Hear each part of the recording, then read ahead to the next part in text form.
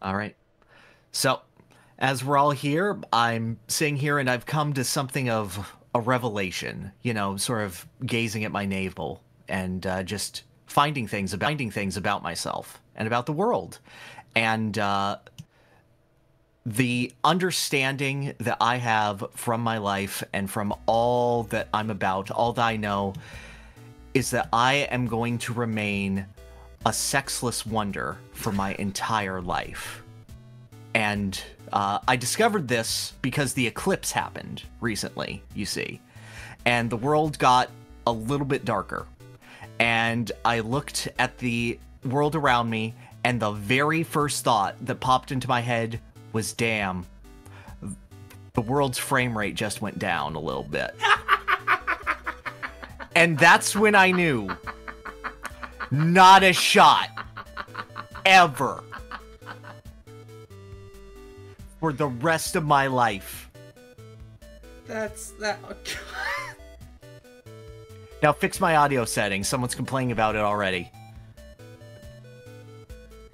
oh, but it's. Wait, never mind. Okay, never mind. brightness issues. Oh, so that's echoing. That's not. That's not a thing on my end. I I just Oh. control the volume settings. Well, you should have told me that beforehand. I I'm not hearing an echo. Okay, well then we're oh fine. no, no, I couldn't have had, had two streams. okay, one guy. Never mind. Okay. Okay, that's what happens. Uh, before we start properly, actually, guys, uh, does the audio sound level? I know our viewers are nice and don't point out our mistakes, but like, we No, want please- to know if things sound as they should. Please be mean. Please be cruel. It's it's appreciated right now. For those of you listening in post on the spoofy, well, okay, this is a fun segment for you, isn't it? Uh, just just keep laughing. You can't hear it. I am quieter than Pyrr. That makes sense. Let's fix that. Thank you. testing, testing. One, two, three. Yeah. All right. Yeah. Okay. Hey. Anyway, welcome everyone to Design Dorks Gaiden, the show where you can feel a little bit better about yourself and your chances in the world, if you care to have them. I am Pyrr Kong. And I am the Duke of Dorks. All right. I hope everyone is nice. Hope everyone is cozy. Hope everyone had a nice time with the coming months and whatnot. Yeah, this has been a strange month. Like, very much a like transitionary period for both of our channels. Yeah, we both became streamers. Um, I'll know. I'll, I'll see about getting my VTuber rig set up soon, but we'll see. We'll get there. It's gonna be based off of the the the pink suit and the tie artwork that you sent me for the Akechi video. Uh huh. Yes. Oh, I'm I'm excited. That was that was a lie. It's probably going to be like a Oh. friggin' banana fairy from Donkey Kong 64 or something. I don't know. I, I, I, that, that's still good. That's still good. I don't know. Uh, you tell me. Everyone, chat. If I were a VTuber, what would I look like? Make fan art. Uh, hmm. That is. You can't draw. You don't count. I how? First off, Am I wrong? no, but I, I I can I can do a little bit of animation. You have I- skill, honey. You have skills elsewhere. It's fine. Okay, okay. We Okay. both admitted something deep about yourselves. You can't draw. I can never have a meaningful relationship. That's how it works. Okay. You want to And speaking of never having a meaningful relationship, let's talk about video games. perfect, what you been playing? Um, so there are important updates uh, to the world that have to be given because uh, this is everyone's annual check-in for how's Pyrr doing at Mario Party this month. Is it still good? Yes, yes, it is. Um, I want everyone to understand that I had the most Looney Tunes game of Mario Party 3 in my life. It was absurd. Um, No, that's Mario Party 5. Mario Party 3 is a different Looney Tunes that I had. So, here I am. Uh, some of you may be familiar with the board Waluigi's Island. vaguely, yeah. It's a big board familiar with Waluigi. The issue with this board that I've had every time in my life is that the only way to get to Boo is to go by a 50 50 junction. And there is a random chance that it will send you straight to start. and there's there's a random chance that nothing happens. You get to go to Boo. I went to that junction four times in that game of 20 turns. The first time, it's an up or down choice. I went down, and I fell in the hole. The second time, I went down and fell in the hole. In this time, every other player has gone to that junction at some point and gone up. And they do not fall in the hole. There are a total of eight crosses going up that are all successful, that go to Boo and steal, usually from me,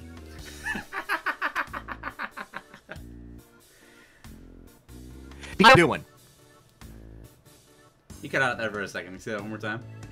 Because I, I know how to play the game. I know what I'm doing. I know the target's on my back. I'm just a little guy in the world doing my best. Oh, and I'm sucking at, vi- at mini games for the first half of this. I get there. Third time. I go down. And I fall in the hole. And then I go up. And I use a mushroom on the second to last turn. And the way that the spaces were laid out, I was just looking for a good place to land. I was looking, okay, I can probably guarantee happening star with one more happening. I can probably, I may be able to land on the bank based on uh, going back and forth. But there is Bowser directly in front of Boo at the top of that junction Oh, please. and I have zero coins. On the second to last turn, Bowser will give me 50 coins if I land on him with zero coins, giving me a guaranteed star steal the next turn. All I have to do is go to the junction and hit up. Because for 14 straight passes, up has been the correct answer. So I go to the junction and I hit up. And there's some lag on my end because it's over net play. And I don't see myself fall in the hole. The next thing I see, I'm back at start. there is just a jump scare of speed up, and I go, ah! So I want you all to understand the amount that I had to go through to still win that game. No shot. Bullshit. No, you didn't. I absolutely did. I won it by getting the minigame star by five coins and getting happening star. Well, yeah, because you keep falling down. And because I did my thing where I act like I've been bullied because I've been bullied. And I'm like, you wouldn't do that for me. And I talk and I keep talking. And then I stop talking and people are like, Pyrr, do you want to talk? I went, okay, so here's what I think. And they listen to me for some reason. Oh, They're that's- wonderful people. I shouldn't be doing this to them. No, you shouldn't. That is. God, the amount of bullshit wins I've seen you pull off. They're not bullshit wins. They're calculated. No, I. That's what I mean, though. You've been there. You've fallen for it. I know. You see that I'm right. The issue is that I'm good and also right. Manipulation, exactly. Just constant deception checks with advantage. Mm hmm. No, me and my boys are going to mess you up.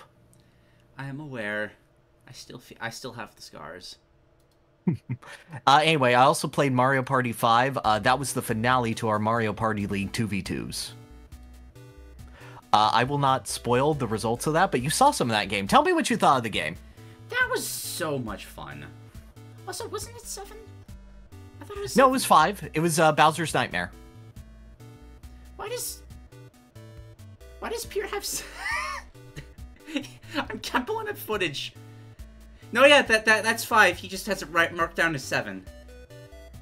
This is a call-out post for Pyrr, who does not understand which Mario Party game he is playing. What do you moment. mean I have it? I right here I have Mario Party 3 and 5 on the in the chat. No, no, he no, but he's got. I, I'm, I'm pulling up the background footage, and he has it marked as seven, which is why I thought it was. Regard, I don't know my Mario Party games very well. That's yeah. Starfold's channel. What are you talking about? Am I? Are we thinking of two separate things? This is the this is the two versus two. Yeah, that's on Tarvold's channel. Yeah, it's the it's the game you seven. Called... Mar- finale. Yeah, it's but you said Pyrr doesn't know his Mario parties. Don't call me out when someone else is making a mistake. That's for Mario Party. God, I I'm tired. You're tired every podcast. Well, it's, it's, it's almost like I have so many things I'm constantly doing all the time. But yes, yes, watch the whole thing. Delightful game. Don't want to spoil either, but the uh, constant conflict between Team Flesh and the corporation has been one of the best Mario Party like YouTube series I've ever seen. Yes, I know it's Mario Party 5, but look at the. I will scroll down to the title: Bowser's Nightmare Finale MP7 Mario Party 7. I'm not crazy, right? Does he? That's the file format. It's uh, MP7. It's so oh, advanced. Fucking, oh, it's just it's just numbered by the which episode it is. I'm an I'm an yeah. idiot. Yes, it's the seventh episode of the. I'm gonna go back and delete this segment of the VOD. Okay, sounds great. Um, so moving on, uh, just a bunch of short games that I played. Um, starting with Popeye 2. Did you know that a game called Popeye 2 exists? I didn't, but I think I could have assumed. It is a Japanese exclusive Game Boy sequel to Popeye 1. It is a 2D platformer starring Popeye, and it is bad. No. The sad part is, it is probably the best Popeye game. I, I, I can imagine, because I don't think I have ever heard the phrase Popeye game in any context. You ever? haven't had the GBA classic Popeye Rush for Spinach? Strangely, no. Which is a weird four player on foot platforming racing game? Okay. Uh huh. It's not good. Anyway, uh, the feature of Popeye 2 is that he has his fist out and he can fist in the air. And every time that you get a can of spinach, his fist gets slightly larger until it's the size of his body. Mm-hmm. Uh, that that's it. It just increases the hitbox, and he's just standing there with the fist the size of his body. when you get maximum fist, he then shoots cans of spinach out of his fist as as he does. It is a projectile. That, that, um, the hitboxes don't work. The game is not very good. I thought that it had tech where you could fist in the air to give you a boost of momentum, but it turns out that no, you just hold the button to run. I was making mechanics where they didn't exist. What is this? God, I'm, I'm looking at the sprite.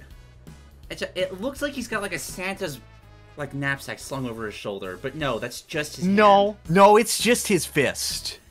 God, that's ugh. You forgot the Switch Popeye game? No, I didn't. I've played that as well. Anyway, um, as a Popeye lover, I can safely say that if you want an easy speedrun win, y'all should invest in Popeye 2 speedrun strats. Cause ain't nobody playing this fucking game. All right. Anything else, or is it just no? Better I just want people to know that I played a bad game. Alphabet. We'll get into a deeper bad game later. Okay. Um, but speaking of games that are not bad, I played a game called Boomerang X. Do you have any familiarity? Boomerang X. I don't think I have ever heard of this. Awesome. Looking at it, so I have this, never heard of this. Yep, this is essentially a tech demo premise of a game you have a boomerang and are in first person, and that's basically it. But every time, and then it asks you, clear a field of enemies. And you do that. And once you do that, you unlock a new ability with your boomerang. One ability is you instantly recall it back to your hand. So it's just a rapid fire there, there. Okay. The next ability you unlock is you teleport to your boomerang's current position. Ooh. You can do this infinitely in the air. So you can infinite air jump while dodging enemies constantly. Your next ability is that you can slow down time while you are midair with a boomerang. Oh, this this sounds fun.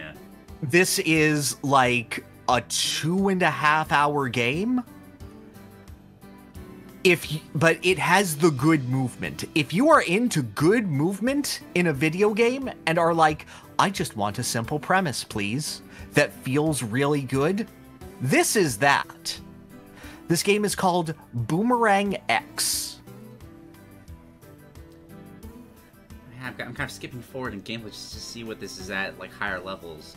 Yeah, yeah, yeah. No, oh, no, no. this Go is, for it. This is just fluid. Isn't it? Oh, that looks so nice. I believe it's on Switch as well, so Yeah, it- even it our audience can see it. Right. Not the best frame rate at times, but yeah, it, it's there. It's No, there. no, no, no, no. It's it's you know, it's a game. It's clearly a concept game, but it's one of those I'm like, I don't have more to say. No, yeah, it Here. just, it just looks sick. I present to you game. Will you accept game? Please accept game. Yeah, if you want, if you want a good speedrun game that'll actually make you feel like a god playing it, this seems like, oh, just the geometry on that. Yeah. Oh, Yeah, ooh, uh-huh. ooh. Okay. No, I no, I th- I thought this one would get you. Yeah, I consider myself intrigued. Yeah, precisely. Also, a very soft spot for like fully bandaged, just protagonists. Yeah, no, no, no. That- It's, it's a good art style. Yeah. No, it plays with it well. Nice. Yeah. Uh, speaking of aesthetics, though, um, I finished a little game called Undertale. Oh, you did. I, I saw that did. stream. You did. Um, there's not much to say except there is video evidence. I did it. I have killed a man. Yeah, the uh, four-hour, forty-minute stream until it's done. Uh, yeah, but uh, we stopped playing that at like two hours in. Yeah. I just want to say it only took me three hours total. Very if you combine everything, three, three and a half hours. That's all we need. Balls in your court, other streamers who took longer. uh, but no, no, no. I I want to say that Undertale's greatest mechanical triumph is that the part of the game that feels the best to play is so antithetical to its message, but proves it perfectly mm-hmm. that real gaming is locked behind doing the cruelest shit to both yourself and the people around you. And I just think that's cool. Oh yeah. Like, like we're so far removed from the Sans fight being a thing that we can't take a step back and go, no, wait, this is good and memed for a reason. It works on a lot of levels. Yeah. Like I, I know that. just, just watching me is a terrible jump, but I, I, I know that there's so much just slime in Undertale discourse, but like the core of it's so fucking good, man.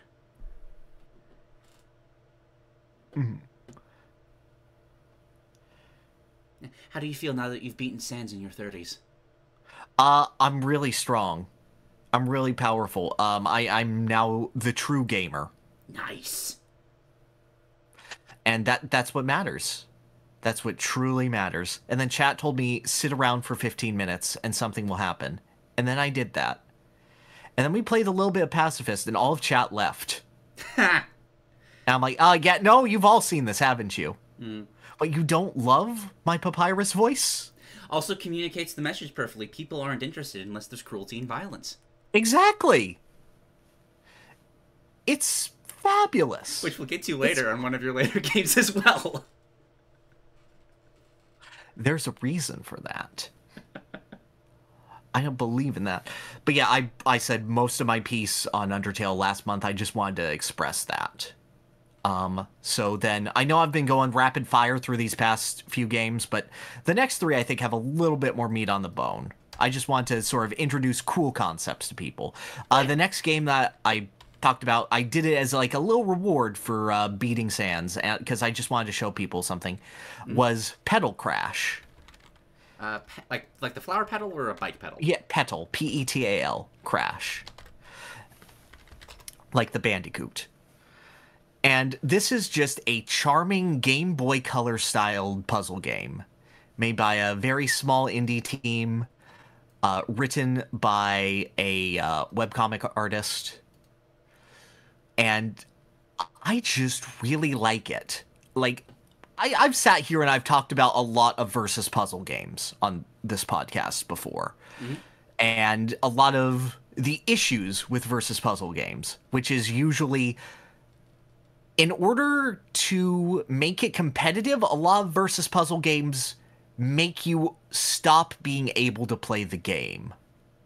Uh, it's the reason why I hold Tetris Attack in such high acclaim, is because you are always schmovin'. You are always looking for the next move to make. You are not inhibited by five extra steps when the opponent rains garbage on you.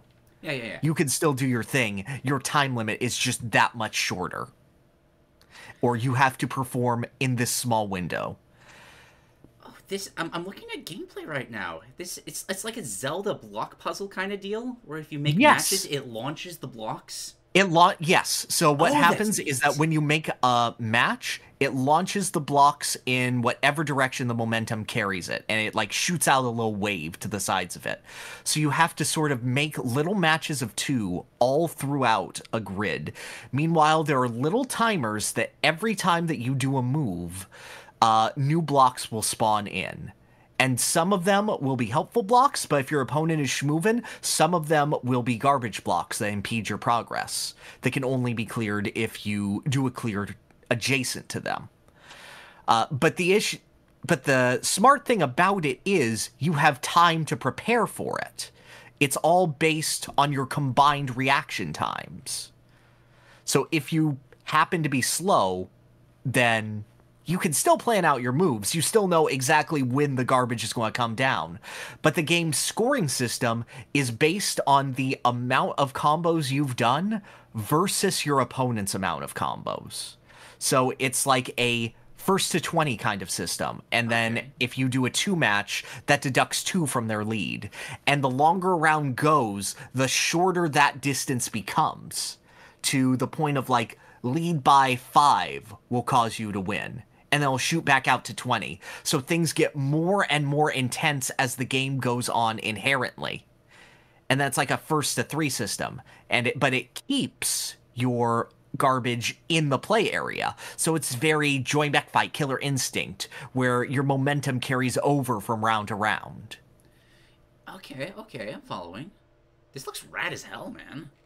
Yeah, um it's a small game, only local, but it's really good. The reason I know about it is because the Baz is in it. And Oh, I don't know if you know, but my career is partially based on that character. Just a little bit, just a little bit. How how Yeah. did that get so many views? I Uh, you want to know the secret? What I released secret? it, and then eight hours later, the Super Best Friends broke up. oh oh.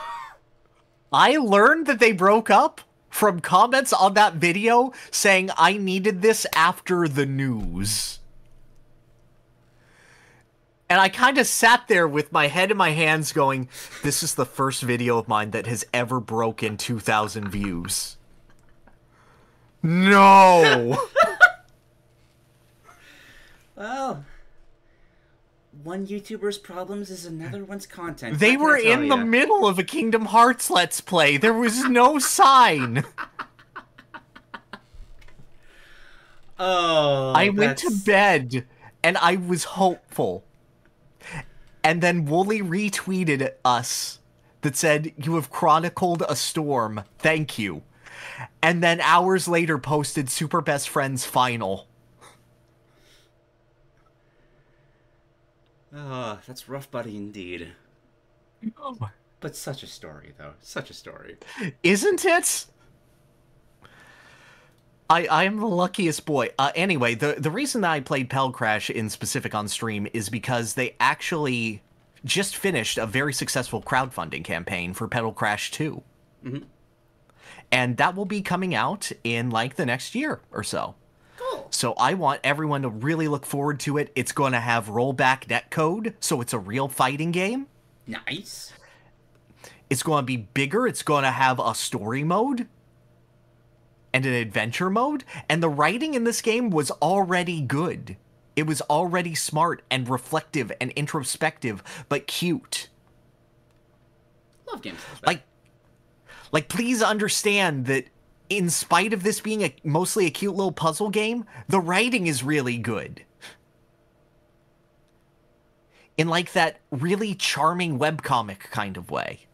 Oh, lovely. That's a vibe and a half. I like that. Like you have the character Orchid, whose flower is an orchid, and she's like, "Yeah, guess what? You picked the best route first try, or maybe other tries. I don't know. I can't see your other playthroughs. Anyway, sup." Uh, anyway, I found this flower. We're going to go around to people, and we're going to be chill. And then through the story, she loses her chill, and she loses her self awareness, and she goes, I don't know. I'm just detached and don't know what I want in life, okay? All right. And I'm like, damn, Orchid, you funny and sad. You're like Earthbound. Sick. and the soundtrack's really good. Lovely. Yeah, I just wanted to recommend that. Um, next game went to my childhood and dug up Pokemon Pinball. Did you ever play Pokemon Pinball? Nope. But I Shit. understand the premise. Pokemon Pinball is the only pinball game I've ever loved. Which is to say, I am so intensely bad at pinball that I cannot enjoy pinball games. I understand the idea of it. I have no desire to learn the physics of it. No, yeah, I, I feel yeah. Same. I I'm in the same boat. I'm never a strong physics person. Pinball is like the nadir of physics games. Pokemon Pinball was my first Pokemon game. Really? Yes. So I need you to understand that my discovery of tons of Pokemon was randomly sitting around and seeing them pop up as sprites for the first time in a randomized pinball set. I kind of love that. Let me tell you, the first time I saw Scyther, Yeah! my mind was blown. And you have to catch them to get their Pokedex entries. You just get their silhouette of what they vaguely look like if you don't catch them. It's just bladed mantis wings and art. That's so cool. Yes. That was my introduction to a ton of Pokemon, and the sprite work in this game is fabulous for them. Because it's honestly probably their best sprites up until the GBA. Oh yeah, Oh, def- definitely up to the GBA. It's it's such a cute game. It's got a lot of good music, a lot of good remixes of Pokemon themes and whatnot. Uh, there are two tables, red and blue, and my Pokemon Red loving heart has to admit that the red table fucking sucks.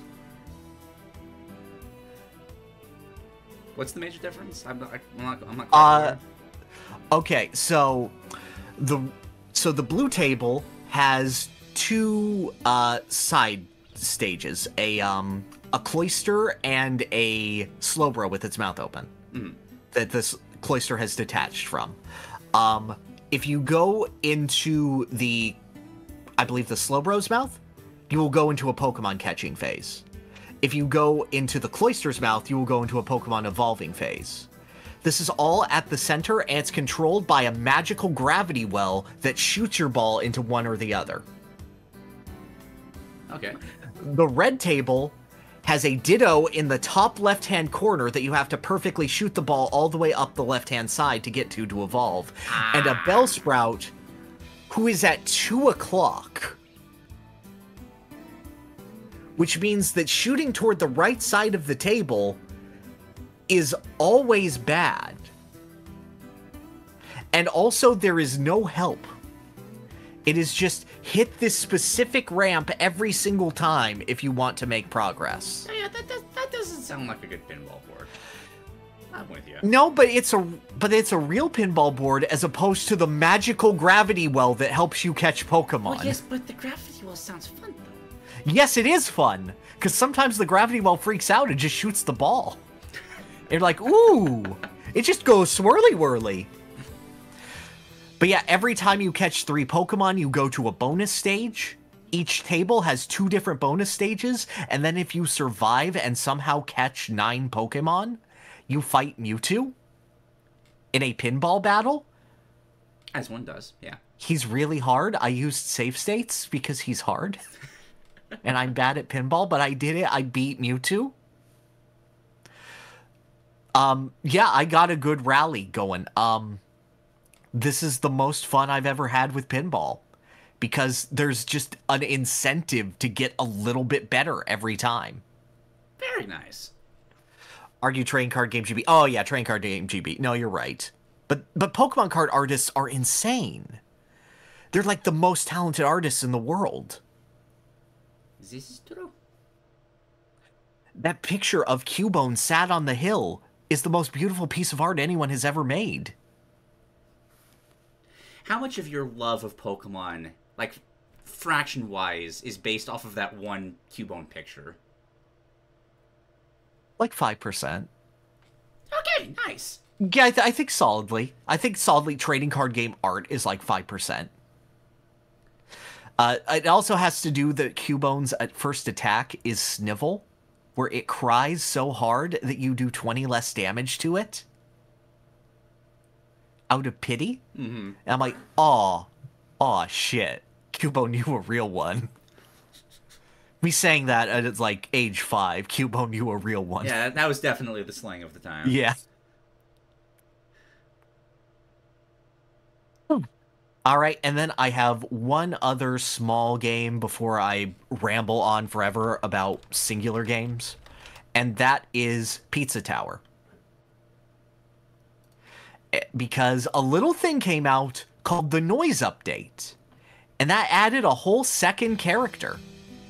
Is- oh, that's what this is. Somebody added the noise to my XCOM streams, and I thought this was like a like an OC variant of it. You didn't cool. know what the noise I was? had no idea. Okay, important That's context. very funny. Because I saw parts of that stream and you're like, let's bring the noise. I'm like, I thought he know.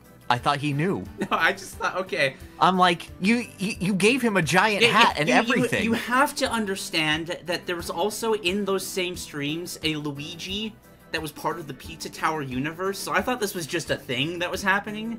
Just people throwing. people their just have the PTU? Yeah. I mean, yeah, kinda.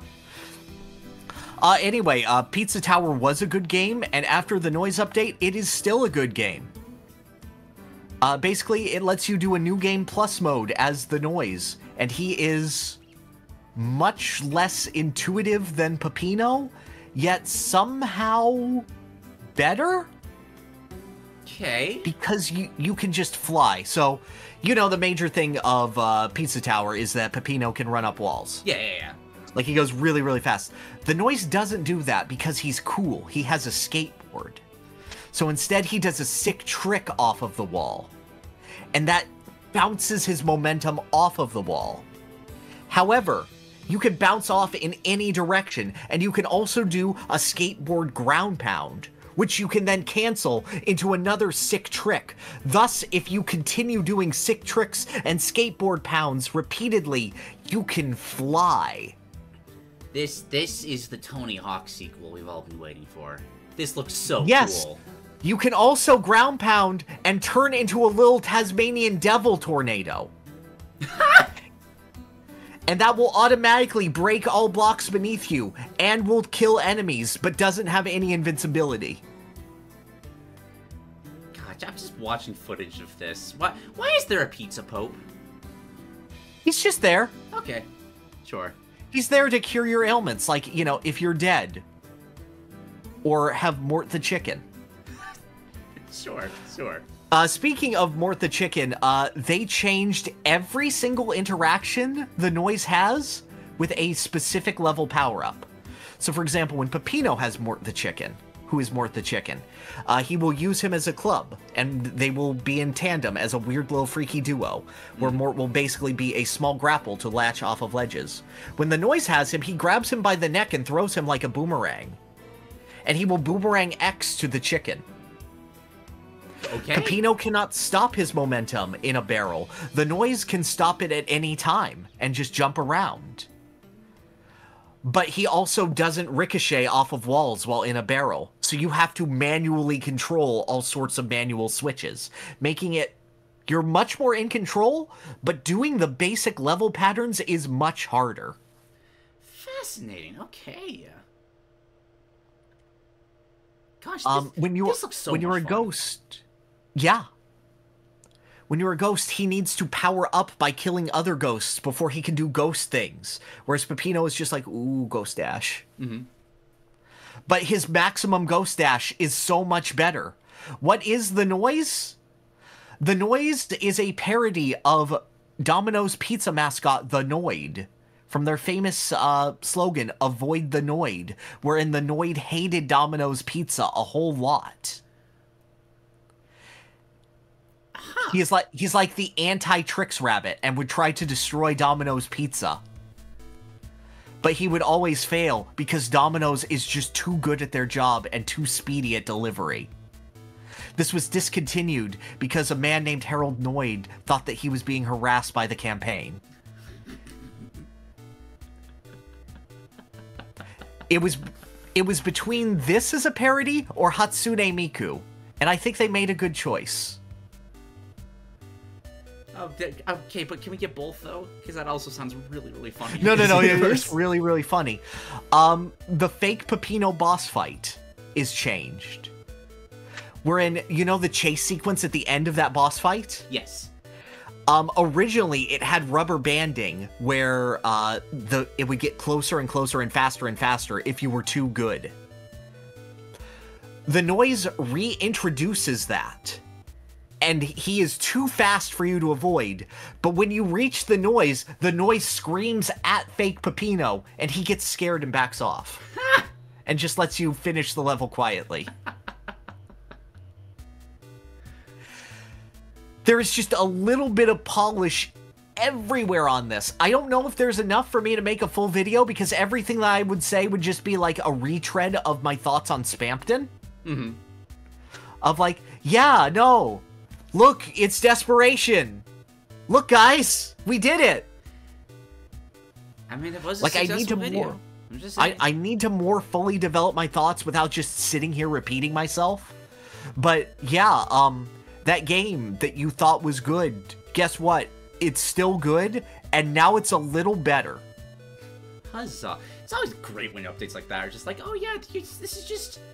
How did you get higher than 100? That's impressive. Yeah, Lovely. still not in my top 100, Seriously? but it's a good game. Yeah, no, yeah, no, no, no. It's like 108 or so. Okay. It's it's really good. It's just they're they're little nitpicks for me. That's fine. That's fair. It's like as close as you can be without actually making it. No, I feel that. All right, and uh, that's me talking for a while. I have six, but technically four other games to talk about. But you can talk about games. I will talk about games for a bit. Can do, can do. Okay. So, this is midterm season and final season for me, so I have not gotten around to uh, that much stuff currently, but I do have my traditional, like, let's get through the regular stuff first. Oh yeah, no, Uh, you, I have Mario Party, and you have whatever else. Yep, yep, yep, yep, yep. So, why is this so hard to find footage for? I'm just gonna grab a random one. That's fine. That's fine. Uh, last month I talked about a Cool Age of Empires expansion that came out. This month, a Cool Age of Empires expansion came out, and it's okay. Oh, okay. Th- th- this is a absolutely bizarre. This is the one that was the um leveling up a mod maker to make official content for the game. It's the the, uh, the Sonic Mania kind of parallel here. right. uh, that it's so bizarre because you've played RTS like custom campaigns, right? They get Yes. they get weird, and this is somebody who's been making them for 12 years. So when bringing all of them up to uh, be in the same official format, you can go from game to game to game, and you'll and you'll just oh, this is the time period of Japan, so it makes sense that actually your your, your spearmen should be the basic infantry this time. And oh, you have to pay samurai for their services, so you get you're gonna have a, a gold drain while you fight, and uh, you can unlock gunpowder by train with the Portuguese, for example, and it's every single mission is just a whole separate game. And I don't have the mentality right now to be able to handle that. It's also Okay. has that sort of since this is being made by fans, it's being made by people that really know how to play the game and they oh, expect Oh, you oh. to really know how to play the game. Oh, it's the modder's dilemma. Yeah, I- I and, see. and so I, there's just certain things in here that I have no idea how to handle what you're throwing at me right now. Like for the amount of enemies, like what kind of am I not making enough defenses? I never do in these sorts of games. Just what what, what do you want from me, game? What do you want from me? No, it's it's such a hard thing because I have real trouble with mods. Like speaking as someone who loves Warcraft 3 entirely because of its modded scene, and also the base game was good, but like Yeah, the modded scene was what kept It- me it's- there it's forever. No, I adore it. Um, I like mods. Generally, I don't play with them, and unless I really love and get into a game, they don't affect my experience to a significant degree. Like, I have to know a game before I start digging into its modding scene. And even then, I probably won't want to play much. Like, uh, I.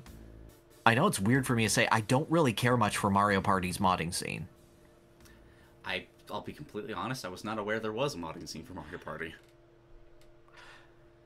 It just I like dealing with what the hand of that original game was dealt. And I feel like you kind of lose the grass from the trees, so to speak. Oh, that I totally get. Yeah, there's a lot of once you can really start telling where the original game ended and the mod begins. Mm-hmm. I, I don't want to not from like a purist standpoint, but if there's not that extra step taken to like make it mesh, it it's just it feels off. Yes. And like that that's not to say, oh please stop modding. No, no, no, never stop Absolutely not. modding. Yeah, yeah, yeah. Absolutely. Please indulge yourself. Like I'm, I'm going through the XCOM mod right now, and that's been phenomenal because Yeah. it, it takes that extra steps to really make it Yeah. feel like it's just the game but more. Uh, the Terraria Thorium mod, I'd also go. It just requires more to hit a much larger audience when you're not at that level of community understanding and you're not right Mhm. there in the deep bedrock of it. Yeah, some Smash moves that's are really good. There's a lot Yeah. more that exist. There sure are. Oh god. there are a lot of people who sure do know how to put references in. For sure, for sure. Uh, yeah. All, that said, I still love what this is. It, it's it's made by a mod maker that really clearly cares about history because all the changes are made to kind of better embrace what part of the world is being covered. Like there's a like there's one for Francis Drake, and he's got like a full crew of just people from Africa, from from Portugal, from just all over the world. You get this really fun mesh of just all sorts of civilizations units. Very fun. Mm-hmm. But I this is going to be on the back burner for a while because I can't handle learning a dozen RTSs back to back to back to back. Right. Uh, for my other obligation, uh, new team fight tactic sets, and again, it's okay. like it's it's still just as fun as it always Yeah, is. look, everyone, he's growing up. I I am. I He's am. branching It's out of his horrible. horizons. It's abysmal, but going from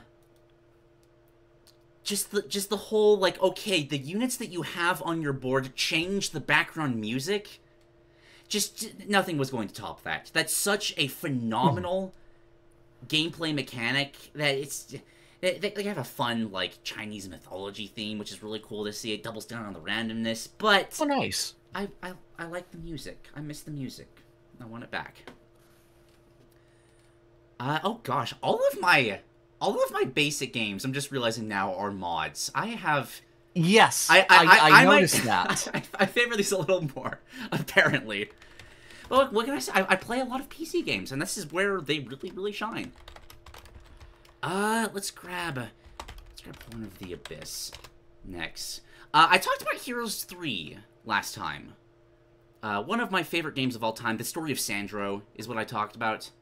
hmm And uh, this is another game that has just a colossal modding scene. But very few of them manage to get to a point of quality, apart from one called Horn of the Abyss, which is uh, just kind of takes that kind of crazy fantastical setting, just kind of slowly integrates more factions into it. Like you'll have your basic, like kind of Narnia castle uh, with another elves and some demons and undead. This one has added a pirate one, long time ago, like sea serpents, sorceresses, that sort of thing. And just last month, they added one for kind of steampunky Wild West, right after the cusp of Dune with sandworms and stuff, which was really, really cool to see. Uh, I wanted, I just wanted to give this one a shout out because I thought this project was very, very dead because Heroes 3 is very big in kind of the um the, the Baltic regions. Uh, the developers are split between Ukraine and Russia, like perfectly Oh. split across the border. Oh, yikes. I thought this was just gone. yeah, no, that uh, that sounds like it. No, yeah, but they're all still doing it, and I think it's nice to has to have small reminders like this that when shitty people aren't grasping for power and fucking everything up for everyone else, humans just kind of default into making cool stuff with each other. That's just what regular people do, and I like that. Just wanted to applaud that. Yes. No, that's a reminders in the very good thing. Yeah. All of what I said about the Age of Empires 2 being made for people, this is made for like people have been playing this for 20 years, mastered it, and that's literally it. Like the aesthetic is wonderful. They have like cutscenes that perfectly capture the art style of the previous game.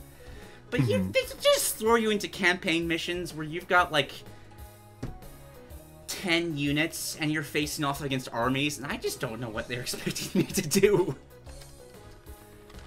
But still, Die. hats off to those developers. I'm so happy they're still doing it.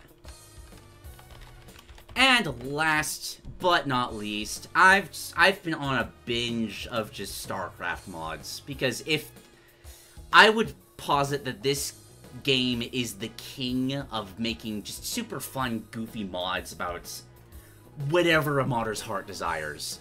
It's just like, like I did last time, just like two minutes explaining each one. I talked about a uh, crew mod last time where it kind of makes it into a roguelike where you have a bunch of pilots for your units, and if the units die, you just lose the pilots, so it's a limited resource of how many units you can train. Right. Super duper cool. Uh, those exist for each of the factions in this game, but the factions in this game are so different that they have to approach it in different ways, which is really fascinating. Uh, the Zerg have to hunt down biomass, like going after little random critters around the map to be able to, like, use that biomass, integrate it to create more units. Uh, which is arguably the least interesting format of it, but the Zerg are a faction in and of itself where preservation is not the goal.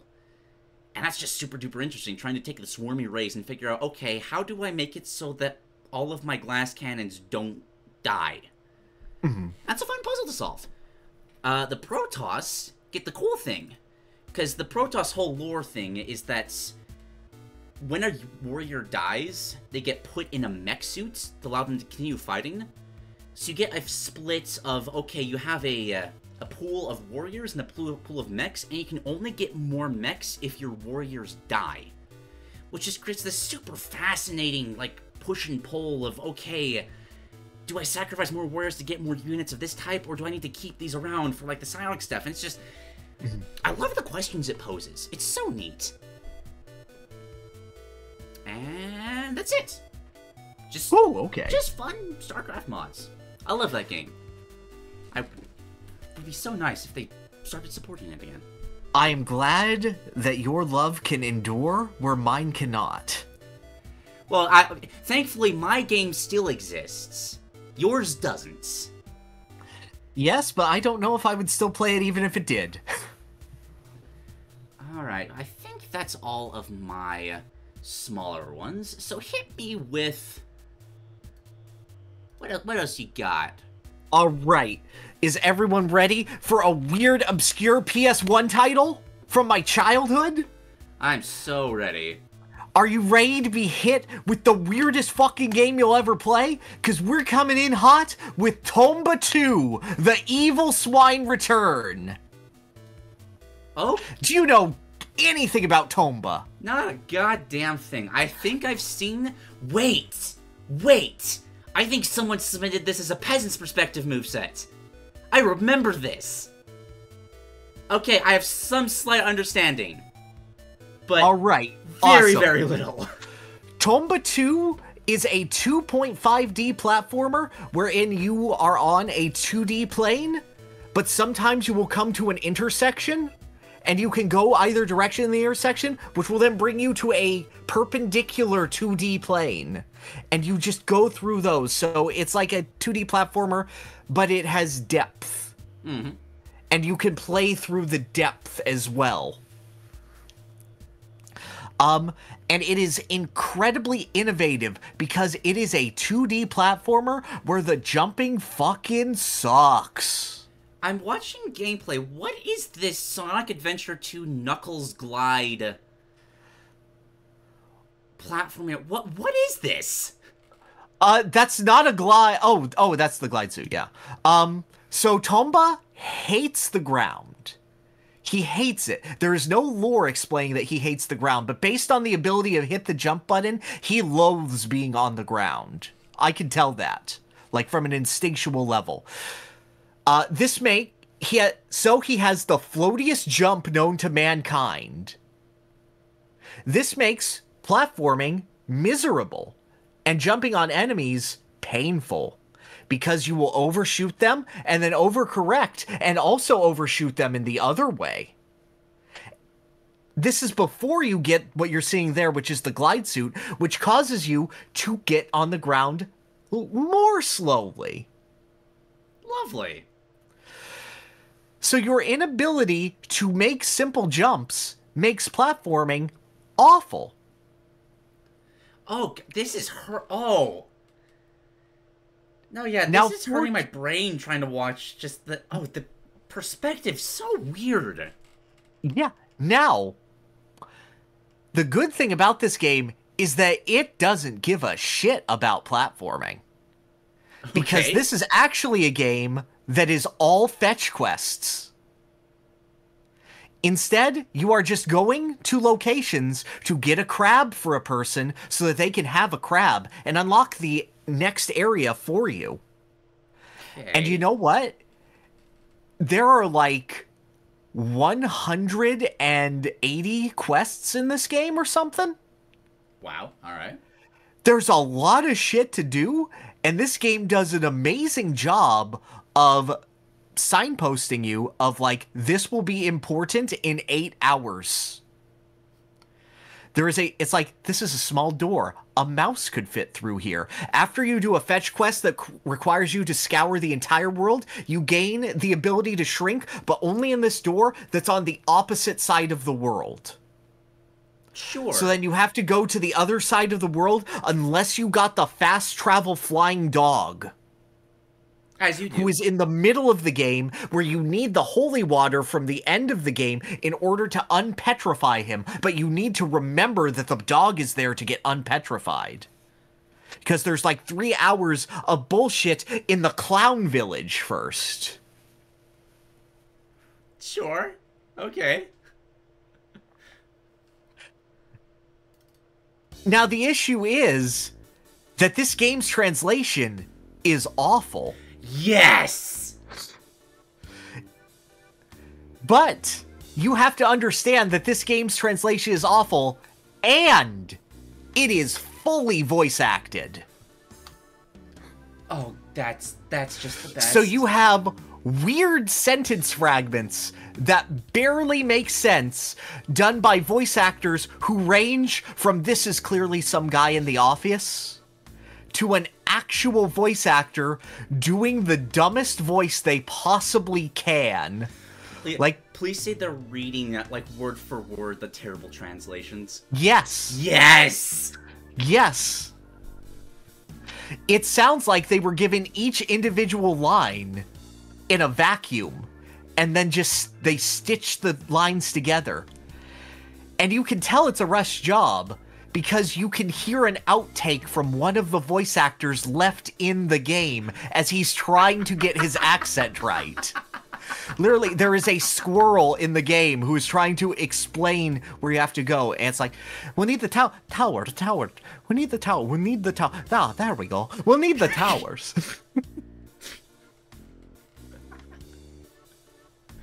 Oh, that's so good. But you also have to understand that halfway through the game, the game decides, yeah, our platforming does suck, and gives you the flying squirrel clothes, which are given to a man who sounds like he is probably a child predator, because he's reading his lines going, Brr, brr, it's really cold out here without flying squirrel clothes. Hey kid, do you want to go? We'll play a little game together. Woo! Because after you get the fire hammer from Santa Claus, you can get his diary. And his diary will reveal to you a green key, and next to him is the flying squirrel clothes that he wanted, but he couldn't find it because it was too cold. No, makes sense to me. Makes sense to me. So it's like Oblivion? No, I don't like Oblivion. I like this bad game. So it is a game where halfway through it gives you one of the most powerful glide abilities, and then it gives you a grapple hook like Bionic Commando. And guess what? The swinging controls for the grapple hook are actually good. Interesting. So your momentum then combos with the glide so that you can basically skip every screen of the game by flying over it, but only through skill. That that does. It is fun. like if Super Mario World sucked, but the cape was still good. interesting. Okay. But then it layers on top of that that there are five bosses. And they have cursed the world. They are the evil swine foretold in the title who had kidnapped your friend Tabby. But not your monkey friend Charles. And in order to find them, you need an evil pig bag. And once you get the evil pig bag, if you go within three character lengths of the door, the door will reveal itself and you can fight the boss. These doors can be anywhere in the game.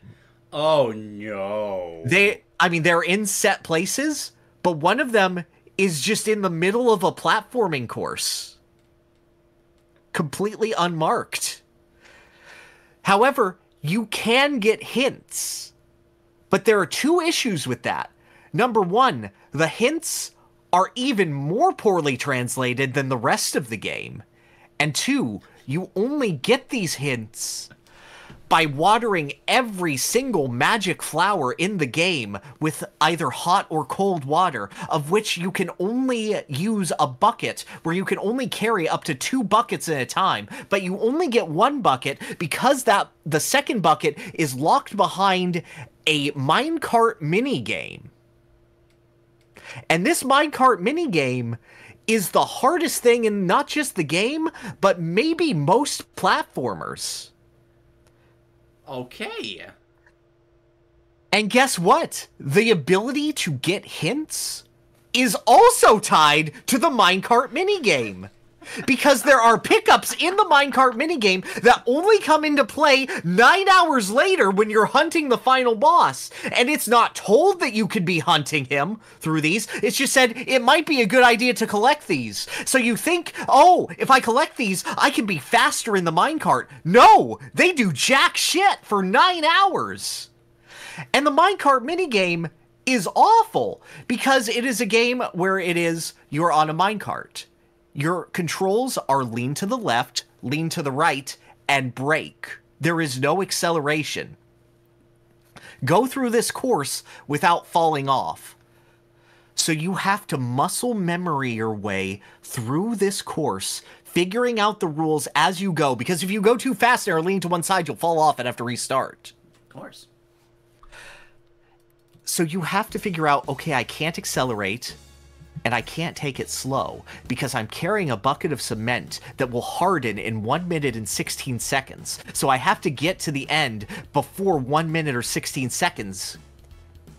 Would you care to guess what the speed run time for this minecart minigame is? Oh. 11 seconds. 1 minute, 14 seconds, and 84 milliseconds. Oh, you, so there's no room for error. You have zero room for error. no. And once you beat it, he goes, Would you like to do it again? I've made the cart faster.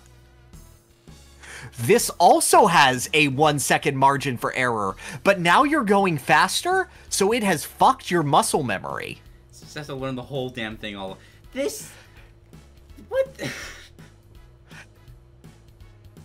and then, after you beat it, the man gives you Golden Sun. And once you have a mid GBA RPG in your hands, you have to collect the Golden Moon and the Golden Star too, which are tied to other mini games. All two of which are bad.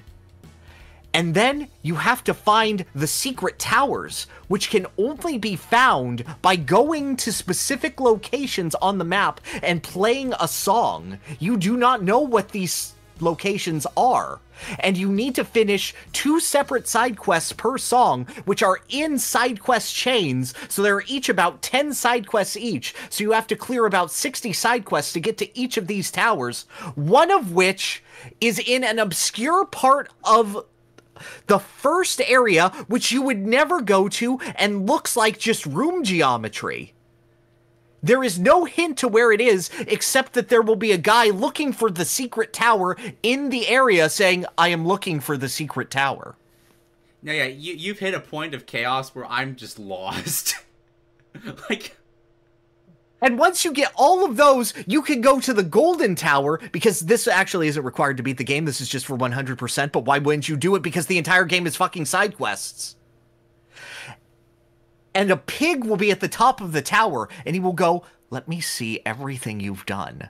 I see you have the golden sun, the golden moon, and the golden star. And you have the secret weapons. Here, you're invincible now and you are just permanently invincible for the rest of the game. Which okay. you've already basically finished. The only thing you have to do left is boss fights, which are constructed in elaborate arenas that you don't have to interact with at all, because all you have to do is jump on the boss's head and throw them in a bag three times. And they teleport next to you for all of their attacks. Sure.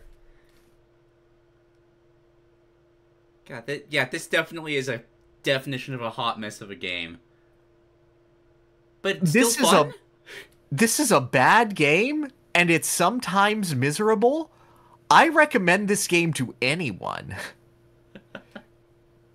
because it is a what the fuck am I supposed to do kind of game the whole time through.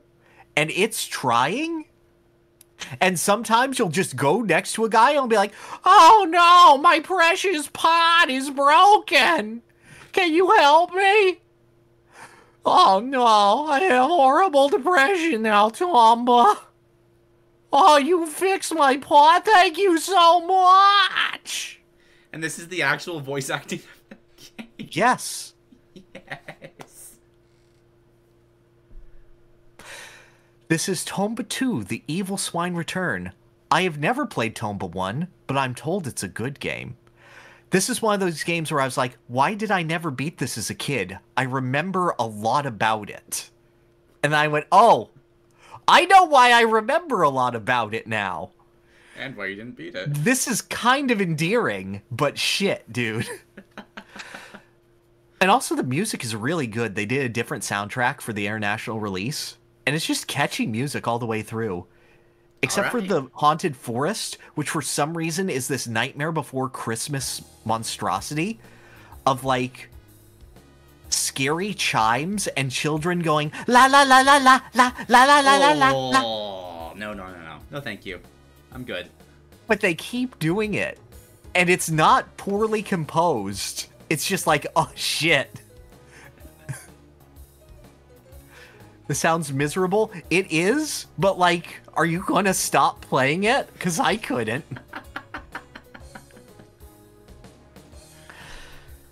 I, I am expressing all of this to everyone to go, please track down Tomba 2. Please look at it. Please try to beat that fucking minecart section. It's within the first two hours of the game. You don't have to beat it. It's for the optional content, but like you should beat it. It's for the experience. Builds character. I miss when games could just be shit like this. Cause this is taking every wild swing that it possibly can. It is way too ambitious for a PS1 title. It is trying its goddamn best. And it's failing, but I'm never going to forget Tomba 2. At the end of the day, Popeye 2? Fuck that. I'm going to forget that in a week. Tomba 2? Nah, that's sticking with you. That that hits.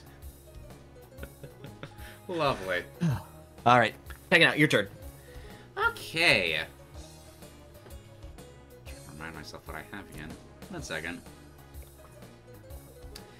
Uh, let's go. Let's talk about the XCOM streams. Those were fun. Yeah, let's go for it. Yeah. So, this, well, not, not this month, but this is when I decided to, like, really double down and try to make this sort of thing work with the modded mishaps I've been doing. And, uh, this, I, I did two streams this month. Uh, finished the first playthrough and started the second playthrough because the first one was awful. I, no, I know. I saw the video. I very foolishly tried to approach this mod while trying to play at the same crushing difficulty I usually play XCOM with, and that does not work.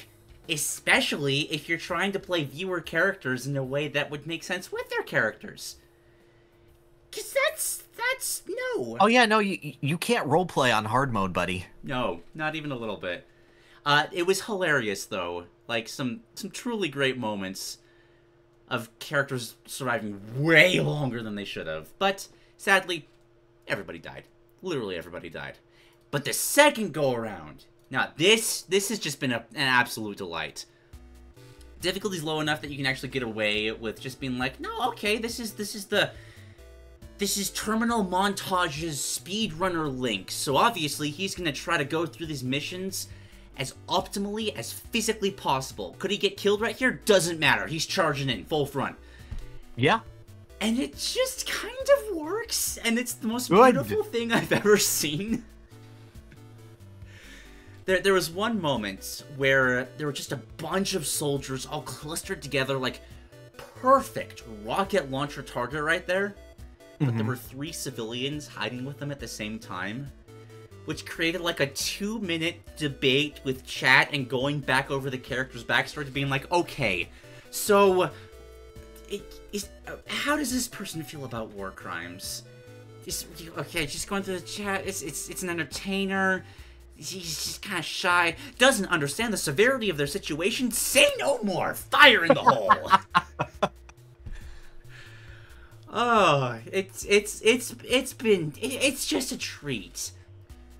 XCOM is in this perfect just sweet spot that allows for this kind of audience interaction while still being like a very complex and chaotic game. I'm sorry, I'm just imagining a Shire Taylor going like they'll be talking about this on podcasts within 15 years. No, but exactly though. It's good content. That's all that matters. And now that people aren't dying anymore, there's like actual narrative starting to form because that's what XCOM 2 does so well. Between all of the the limitless customization, the photo booths, the dozens and dozens of aliens that characters can maybe this character just really gets just misses every shot against this one or constantly panics when this one throws a grenade. Like there's so many bizarre patterns that can happen and they're all so mm-hmm. fun like with this being a mod, we have we have the archer from Clash of Clans, just just because, just because you know, uh, yeah, her cloak has bugged out, and kind of just hovers two feet behind her at any given time. So we've just decided that okay, so clearly there's a dead unit from the previous run possessing that cloak, and now people in chat are trying to figure out who the hell it is. Oh, oh. it's uh, Dahlia Briarwood, clearly. Like, who else would it be? No, you're right. Like, she won't go away. Kind of over relying on the character a bit. Uh, there's a there's a there's a tunified Mario that can be in best of friends with that war criminal from before because he just throws grenades happily all over the place. So logically, it's a match made in heaven. Uh, I just added Prince Zuko to the roster, and I can't wait for him to use every fire munition imaginable. Oh it's, shit! So much honor especially because the like overall goal of XCOM 2 is to deal with a project known as the Avatar Project, which oh, just no. kind of meshes so perfectly, right? God, it's, it's been, I've been having the timeline. My only regret is that Usopp was unavailable to join when I asked him. Like, like, like he, he was down for it, of course, mm-hmm. but not, he wasn't scared or anything. He just had more important things to do. But but thankfully, king his loyal friend from Sniper Island, has been a great oh, asset dude. to the team. I love Sogeking. He was born on Sniper Island. Right? The bravest man out there. Like, I'm not saying that everyone should watch those streams, because I get it, they're long. There's lots of downtime to customize characters, but please, at least toss a few characters into the mix. Because it is so funny seeing these radically different juxtaposed characters just collide into each other in this randomized turn-based blender. And experiencing the mod has been really fun too. Like this is now that it's at a manageable difficulty, this has been a delightful challenge realizing, oh, that's an orange soldier. I don't know what that is. What are they called? Rocketeers? Rocketeers? Oh no. Oh Oh, dear. It's just been a delightful time. Would highly recommend. Good, good. All right, back to you. Alrighty. So, as you all might know, I am something of an aficionado when it comes to silly racing games. By which I mean I am a snob who will say Mario Kart derivative, adequate.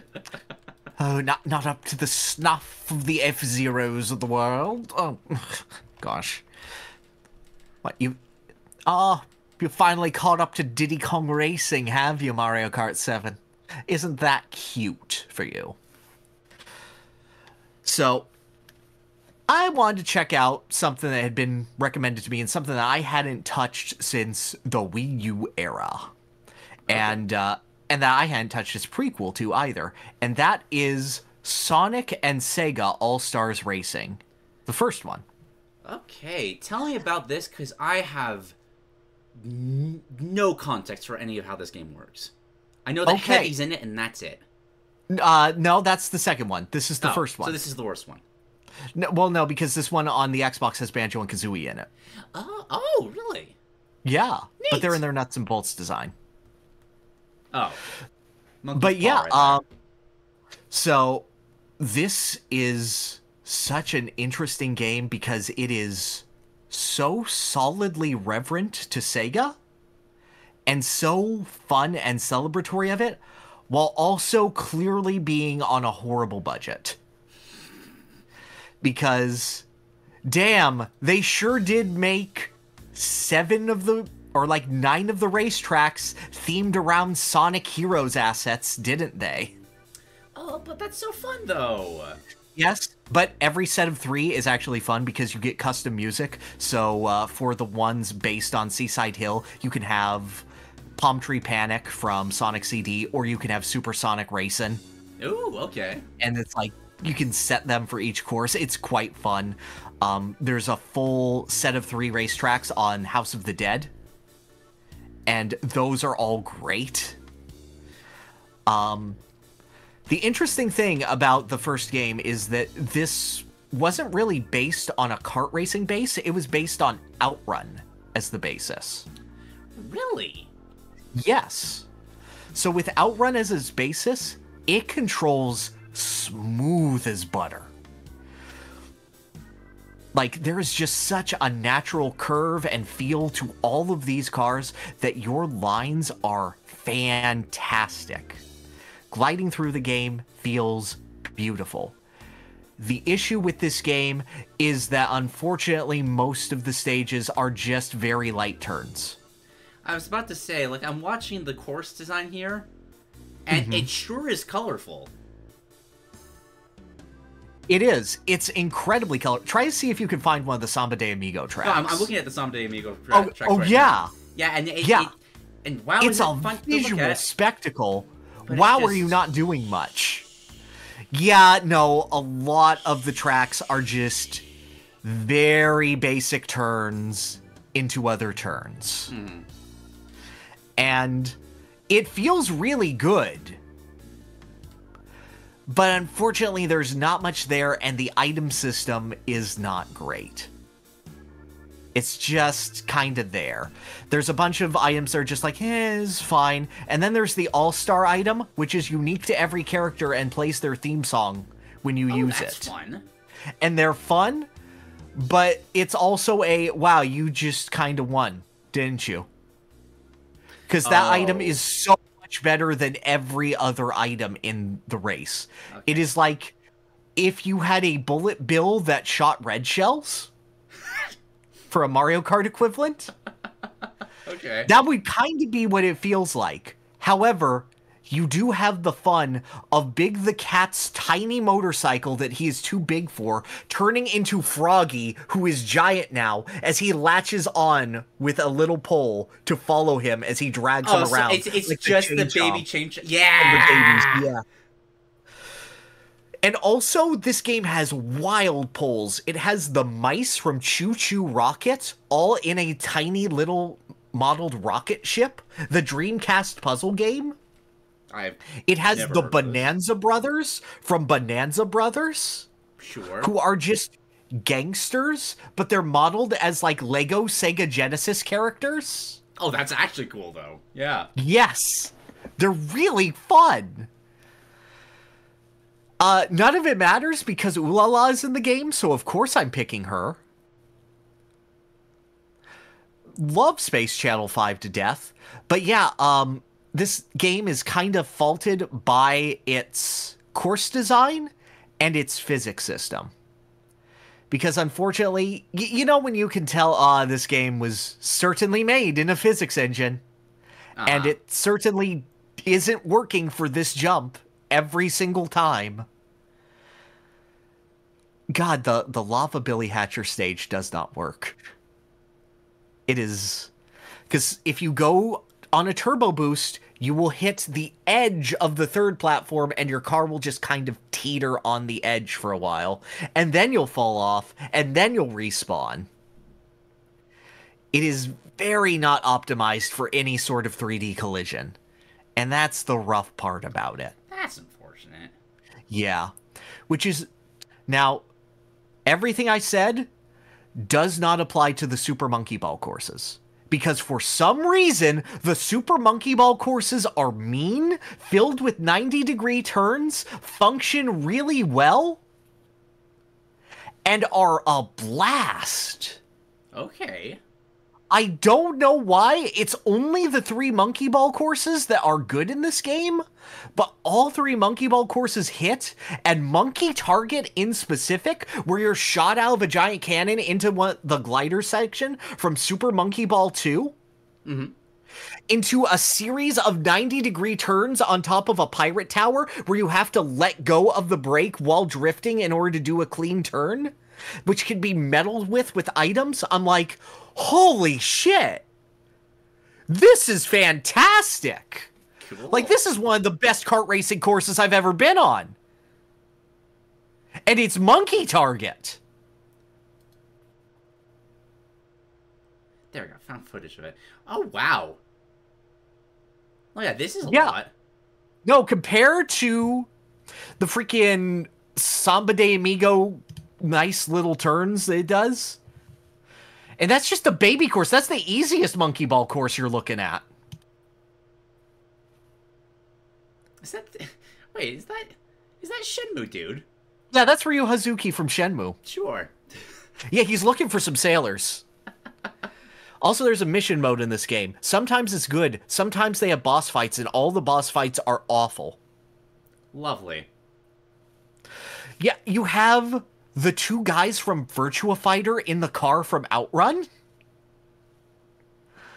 Like, this game goes wild. Sure. Oh, okay. Sure. Now, it it hurts me because I tasted how good this game could be. Because I still think that it's still pulling even with like an average Mario Kart. Mhm. But it- albeit my standard for Mario Kart is like Mario Kart's pretty good. But it, it needs some work. It has some clear issues. Mhm.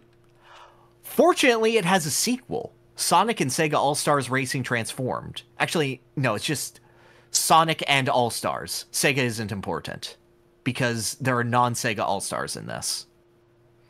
And this game fucking rules. Okay. Okay. Because this takes all of the concepts from the initial game and are like, okay, here's that great control. We've refined it so that physics fucky wucky doesn't happen as often anymore. We have changed all of the courses so that now sharper turns are still a part of it. And we have taken the Mario Kart gi- 7 gimmick of land, air, and sea and made seamless transitions in between them and interacted through each stage so that they change per lap. If Mario Kart is the standard, this is the Donkey Kong Country Tropical Freeze of kart racers. This is every single course is a freaking story from start to finish. Coming from you, that's an interesting comparison. Is it- Isn't it? So, so, so where does the problem arise? We'll get there. Okay. Because I need to gush about this game. Because every single course is this beautiful transition. Like, take the uh, Nights into Dreams course to start with. Oh, that sounds amazing. yeah. amazing.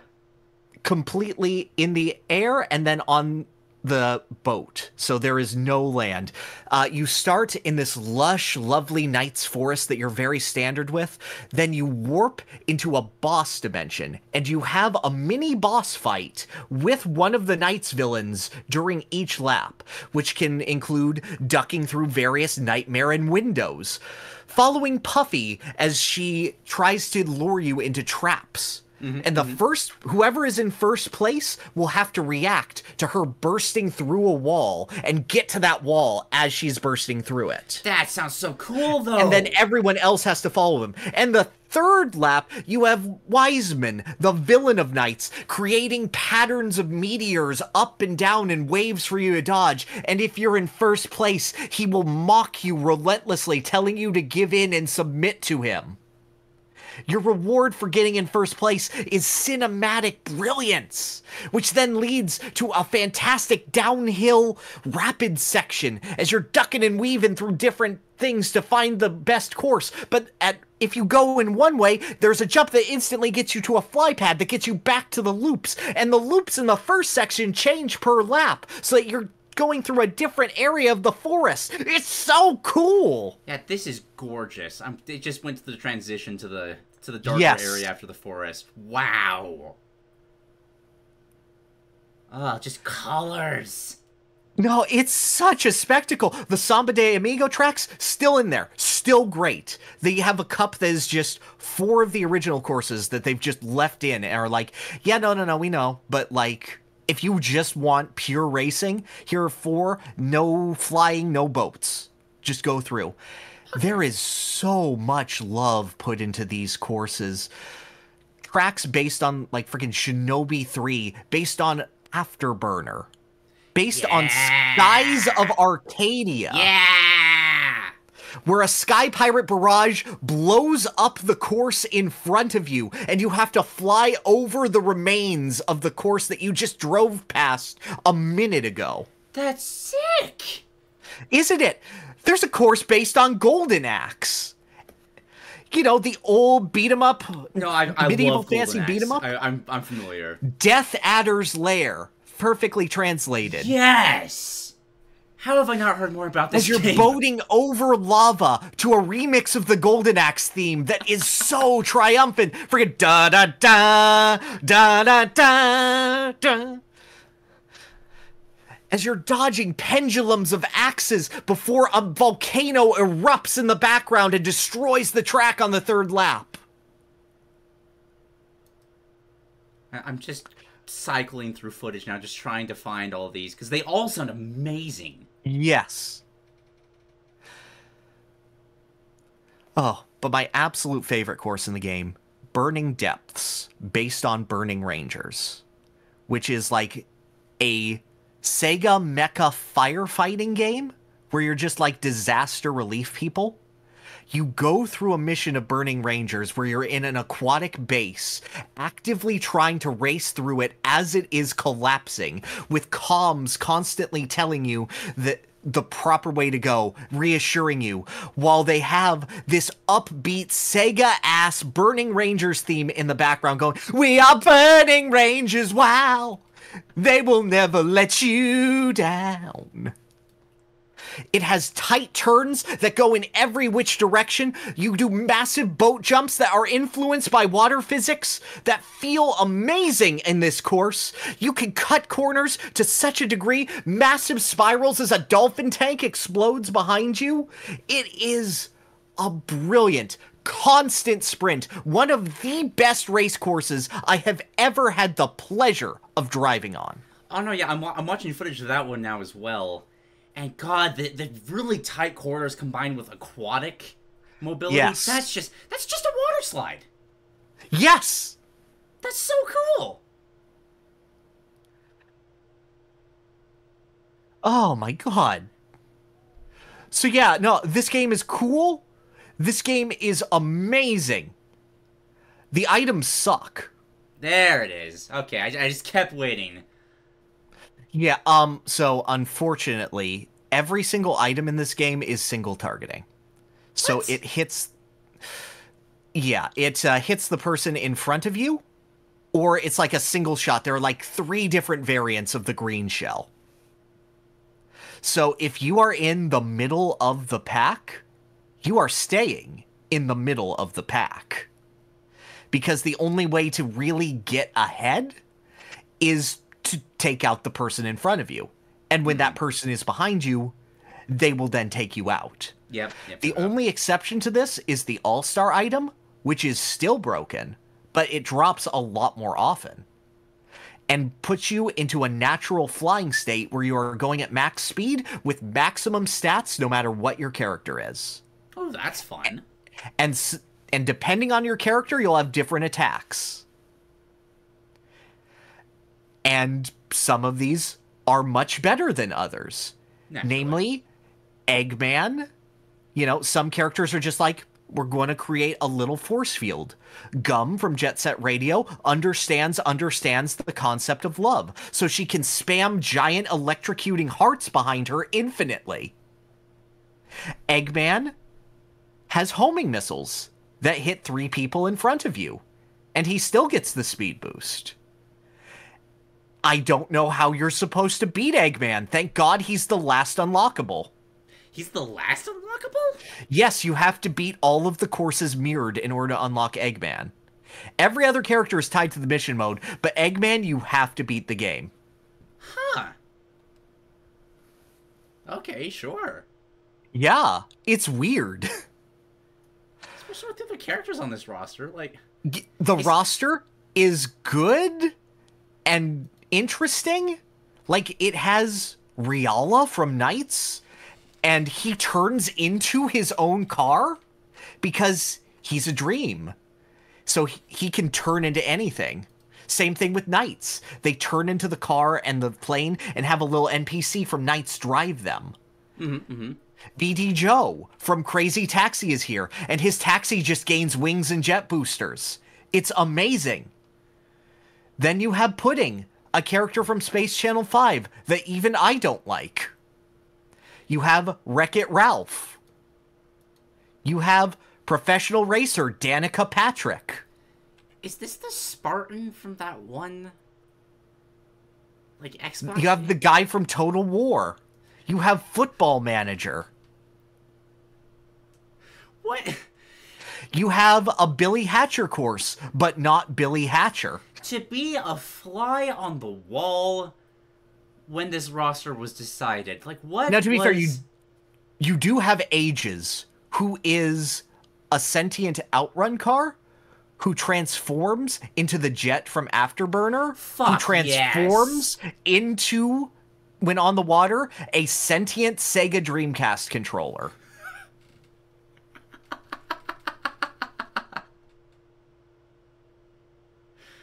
You have the Team Fortress 2 mercs who are not voiced by the TF2 people, and it's very obvious. Oh.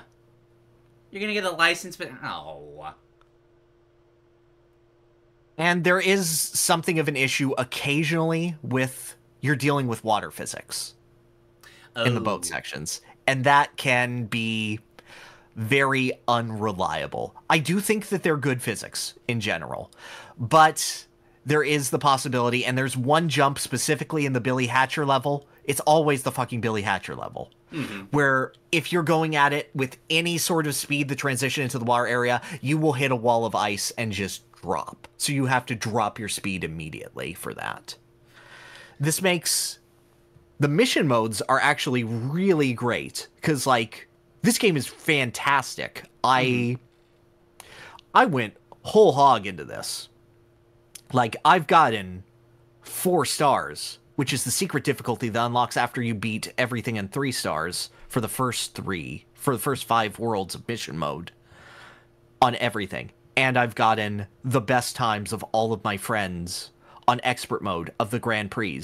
The Grand Prix and the actual races significantly harder than the rest of the game just because you're dealing with item randomness mm-hmm, and AIs that are driving really well.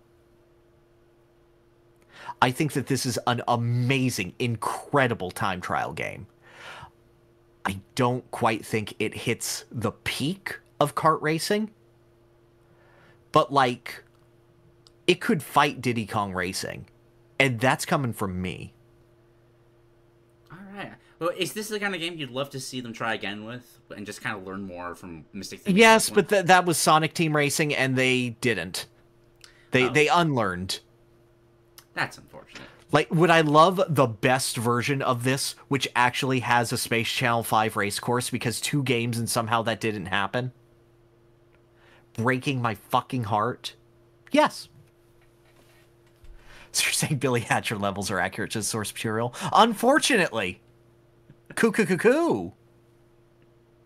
It's, I think it's hilarious seeing Camp freak out about this, Ages in particular, because I specifically remember Camp submitting a moveset for a GameCube controller for Peasant's Perspective, and that's making a lot more sense right now. Oh wait! Oh shit! No, I lied. It is the Hornet from Daytona. It's not Outrun car. They added an Outrun stage, and I got mixed up. I'm sorry.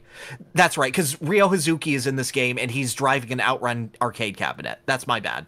Okay, okay. What does my best kart racer list look with this game in mind? Crash, Crash, Diddy.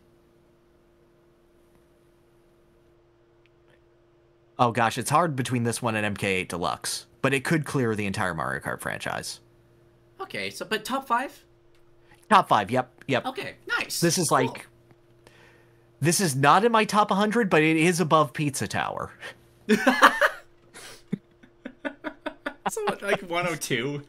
Yes! All right, sure. I just updated my top 100 on my Twitter, and uh, this was like, it was between this game and Kirby 64. Oh, okay. I, I appreciate that. That that's that warms my heart. That takes priority. Yeah, it's really good. Oh yes, and the announcer.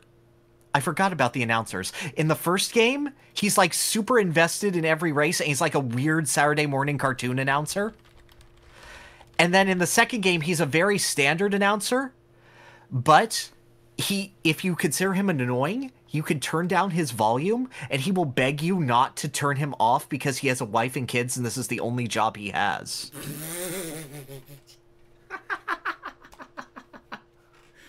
That's fantastic. I love that. Yes. So yeah, this game's really good. Um, I probably obsessed over it a little too long, but I think it's worth it for everyone to just go through it because the first time you play through this game, it will be the best kart racer you have ever played. It makes the absolute strongest first impression it possibly can. And it's only after playing it repeatedly that the cracks showed. Nice. All right.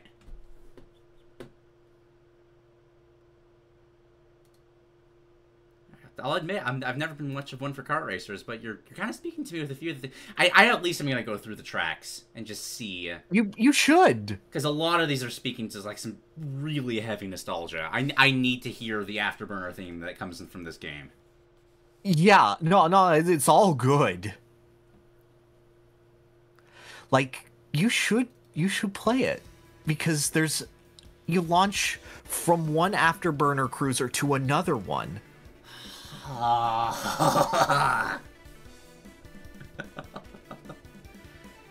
They're just two pa- parallel That's aircraft good. carriers.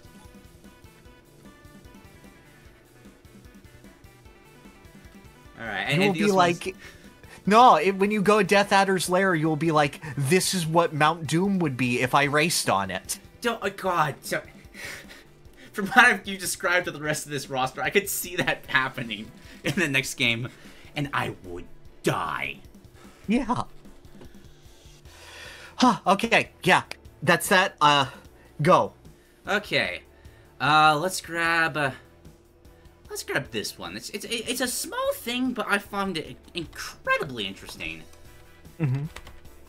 Uh, because I, I rarely get a chance to talk about this game because I don't play it at all. However, I follow the lore religiously, Mm-hmm. and that game is League of Legends. Yeah, okay, fair.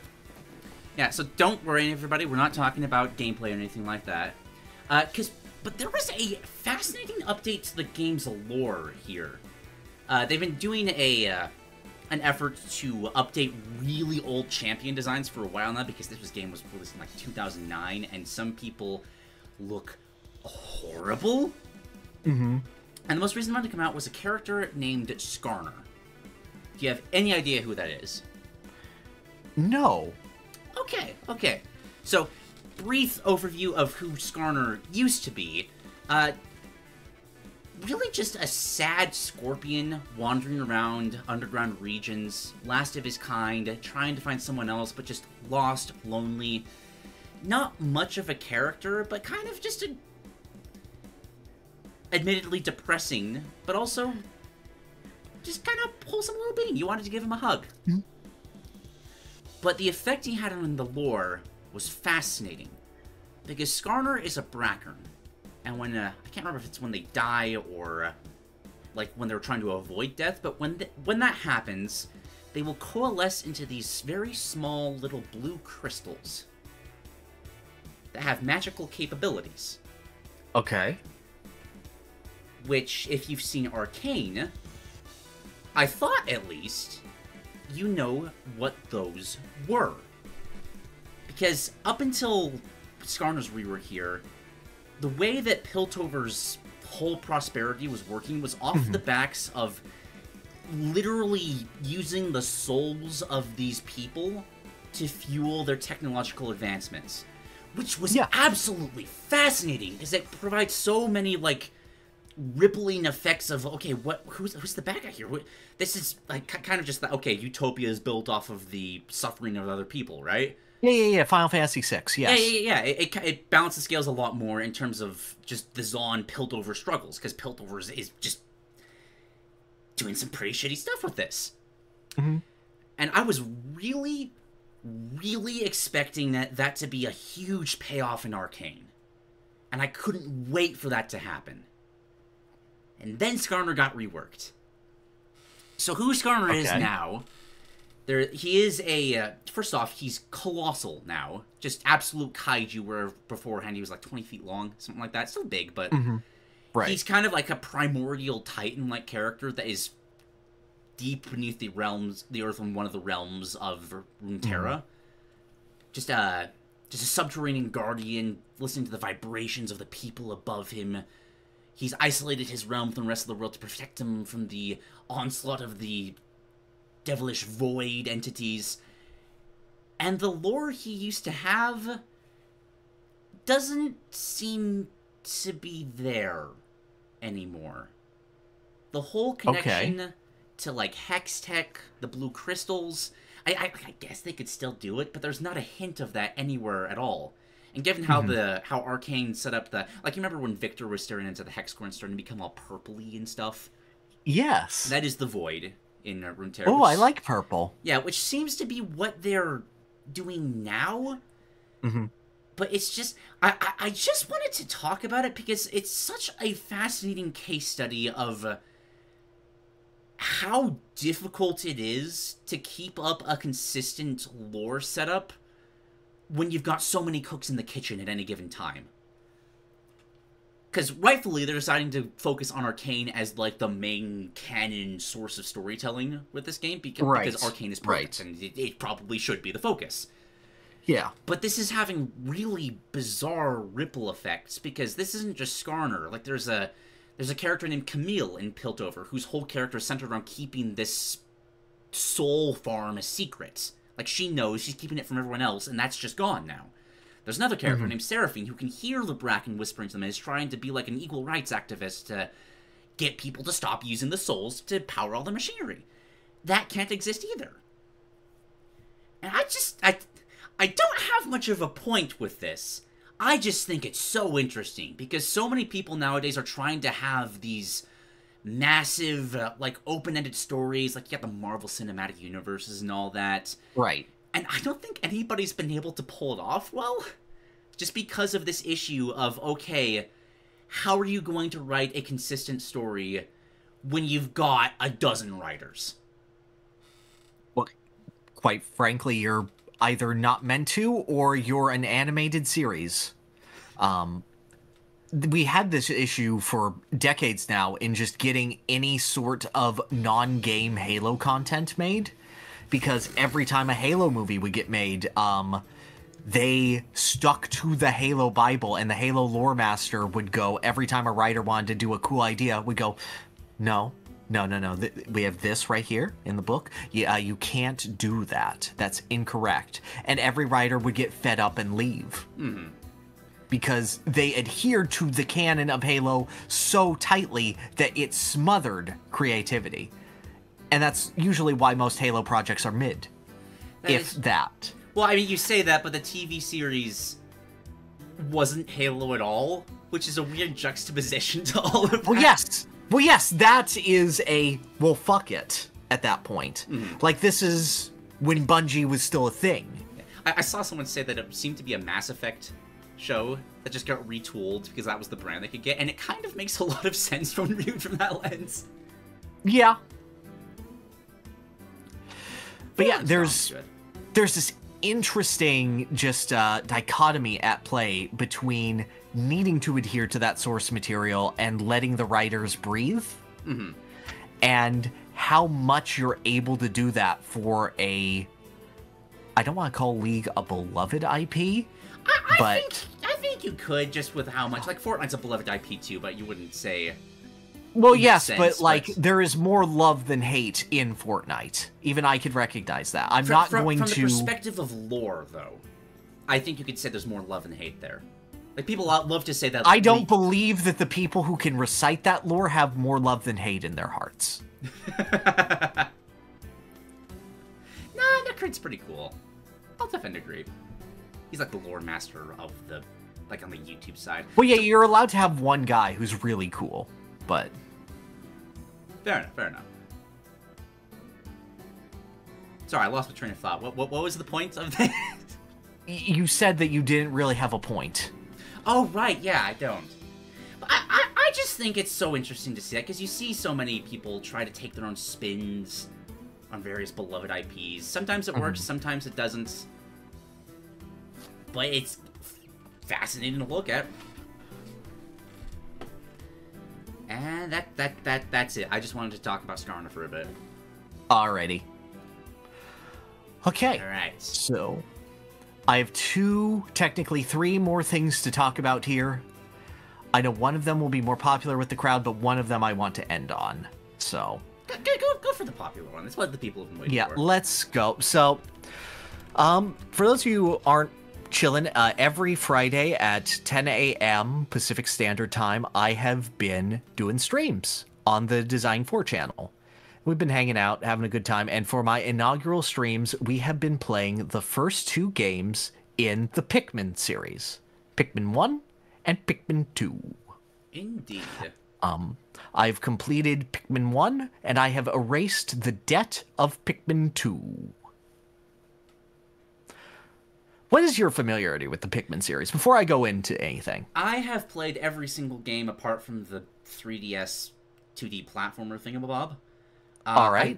I, I enjoy them a lot. None of them quite make it into my top 100, but I think like in, in, a similar vein with the Sonic All Stars, they're, they're like 130 to 100. I think you'd be able to find most of them in that range. I I enjoy get the you. series a lot. It's just that like our RTS games are like my thing. So when I mm-hmm. play through these, I just kind of want a little bit more. But they're still very, very fun games for me. I love the multitasking aspects. I love how frenetic they can get. I love the bonds it creates with your Pikmin and how horrifying it can feel when they die. And just kind of that push and pull, push and pull, trying to be mm-hmm. as efficient as possible while also keeping your soldiers alive. Right. So, to go over my experience with Pikmin, um, I played it as a seven dollar used game from a GameStop. Um, like five years after its release, I got to Puffstool. It turned all of my good little boys into delinquents. They attacked me, and then they all died because the day ended, and they were still delinquents. And that's what you get for leaving Daddy and then I turned off the game and I said I will pick this back up and I never picked it back up. So now going through Pikmin 1 now is Pikmin 1 is such a fascinating game because it's simultaneously very clearly a tech demo for the GameCube. Mm-hmm. Is very obviously just trying to show off a lot of capabilities and making a game around that and then they're filling in the gaps in really fascinating ways by which i mean nintendo actually got off their asses and decided to write a story and write a good character story Right!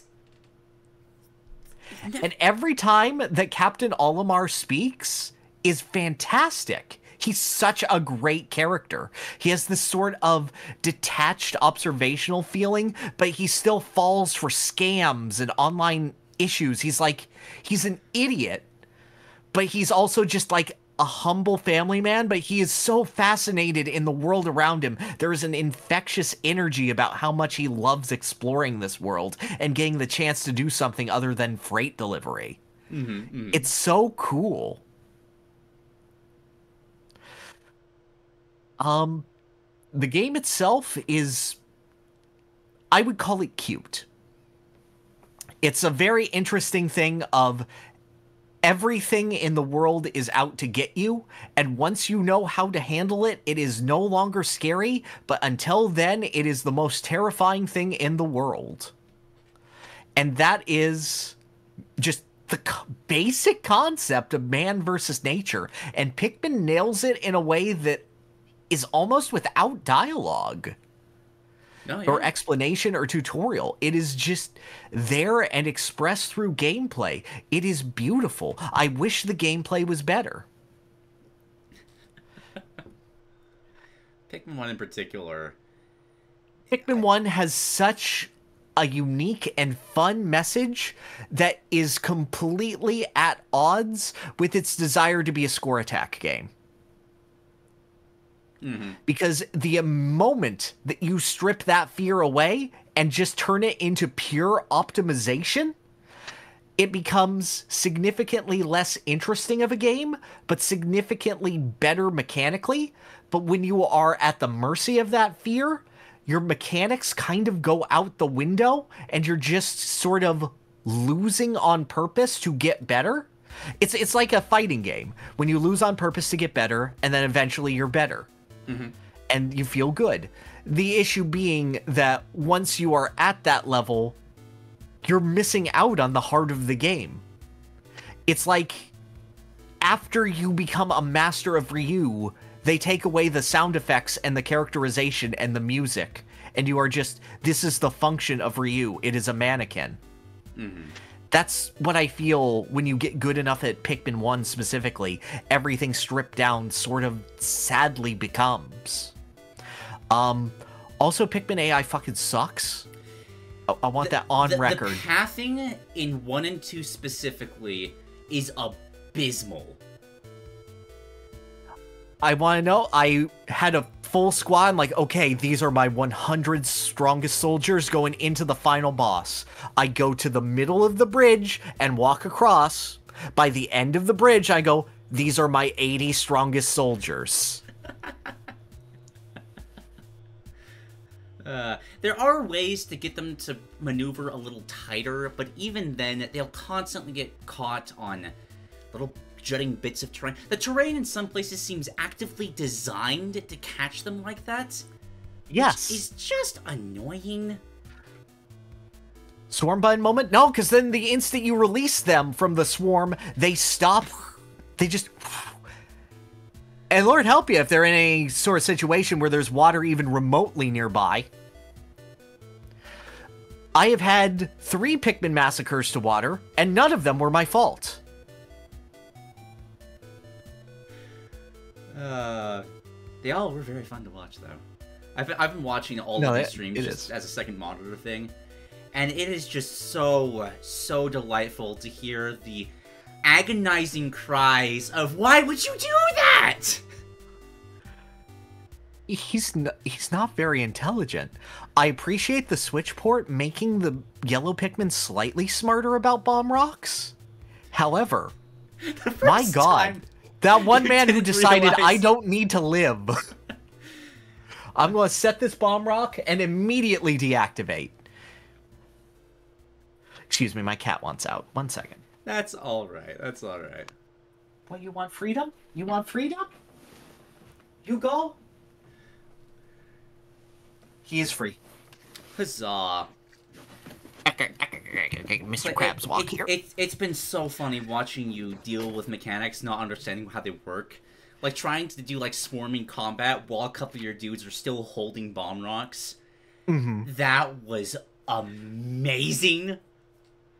Or going against enemies that's oh this is electric, but you don't know that yet.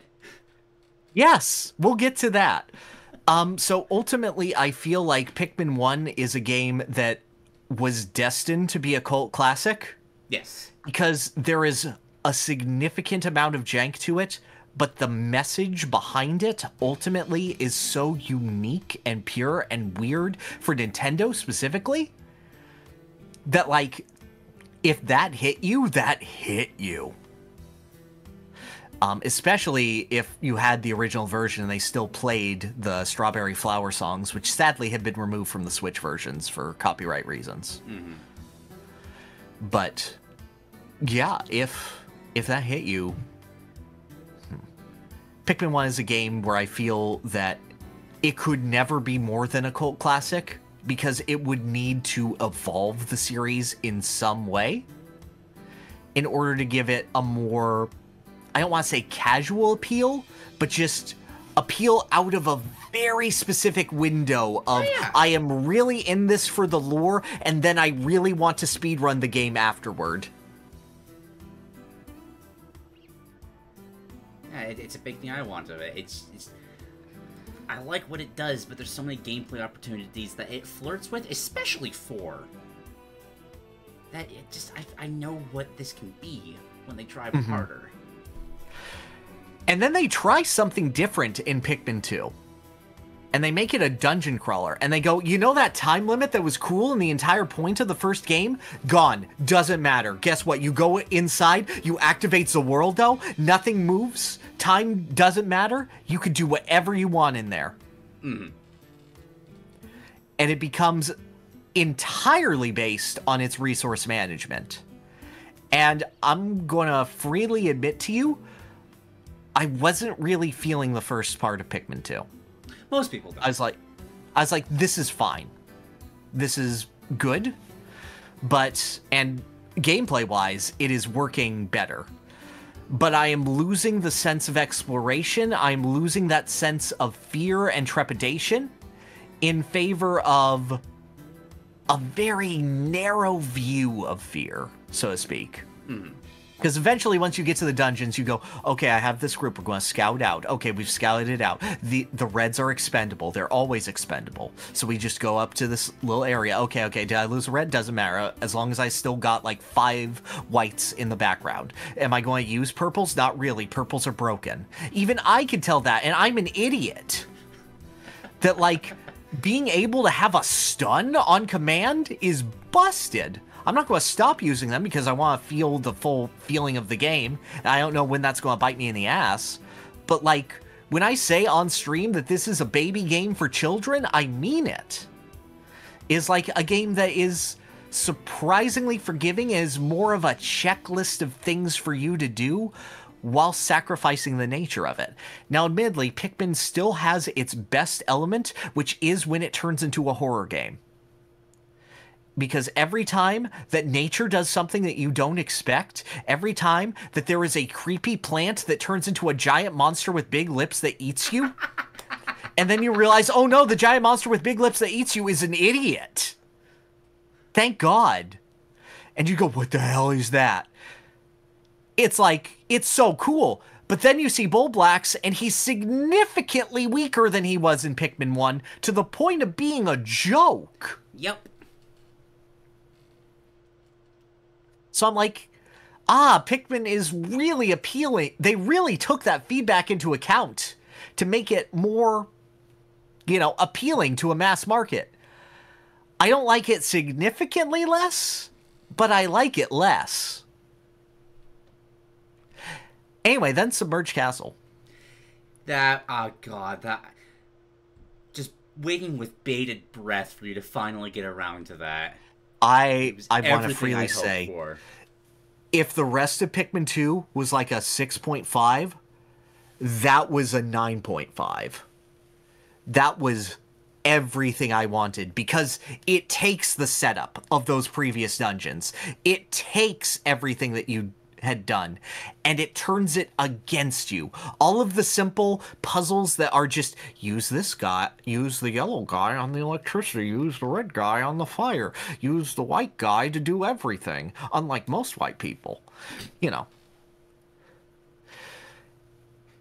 It takes that and it's like, no, here is the least useful form of Pikmin. Figure it out. Every single step that you take is going to be a struggle as you're slowly whittling your way through. And you're like, okay, I'll take it slow. I'll take it easy. It dumps a giant fireman right in front of you, and he'll probably kill a lot of guys right off the bat. And you'll be like, okay, I have to just bait him. I have to put him in the water holes and figure out the best way to do it while losing as little of my resources as possible. Mm-hmm, mm-hmm.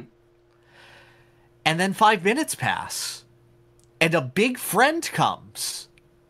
Why is this the best horror villain in video games? It's so good. Why is this guy Nemesis Resident Evil, but actually good?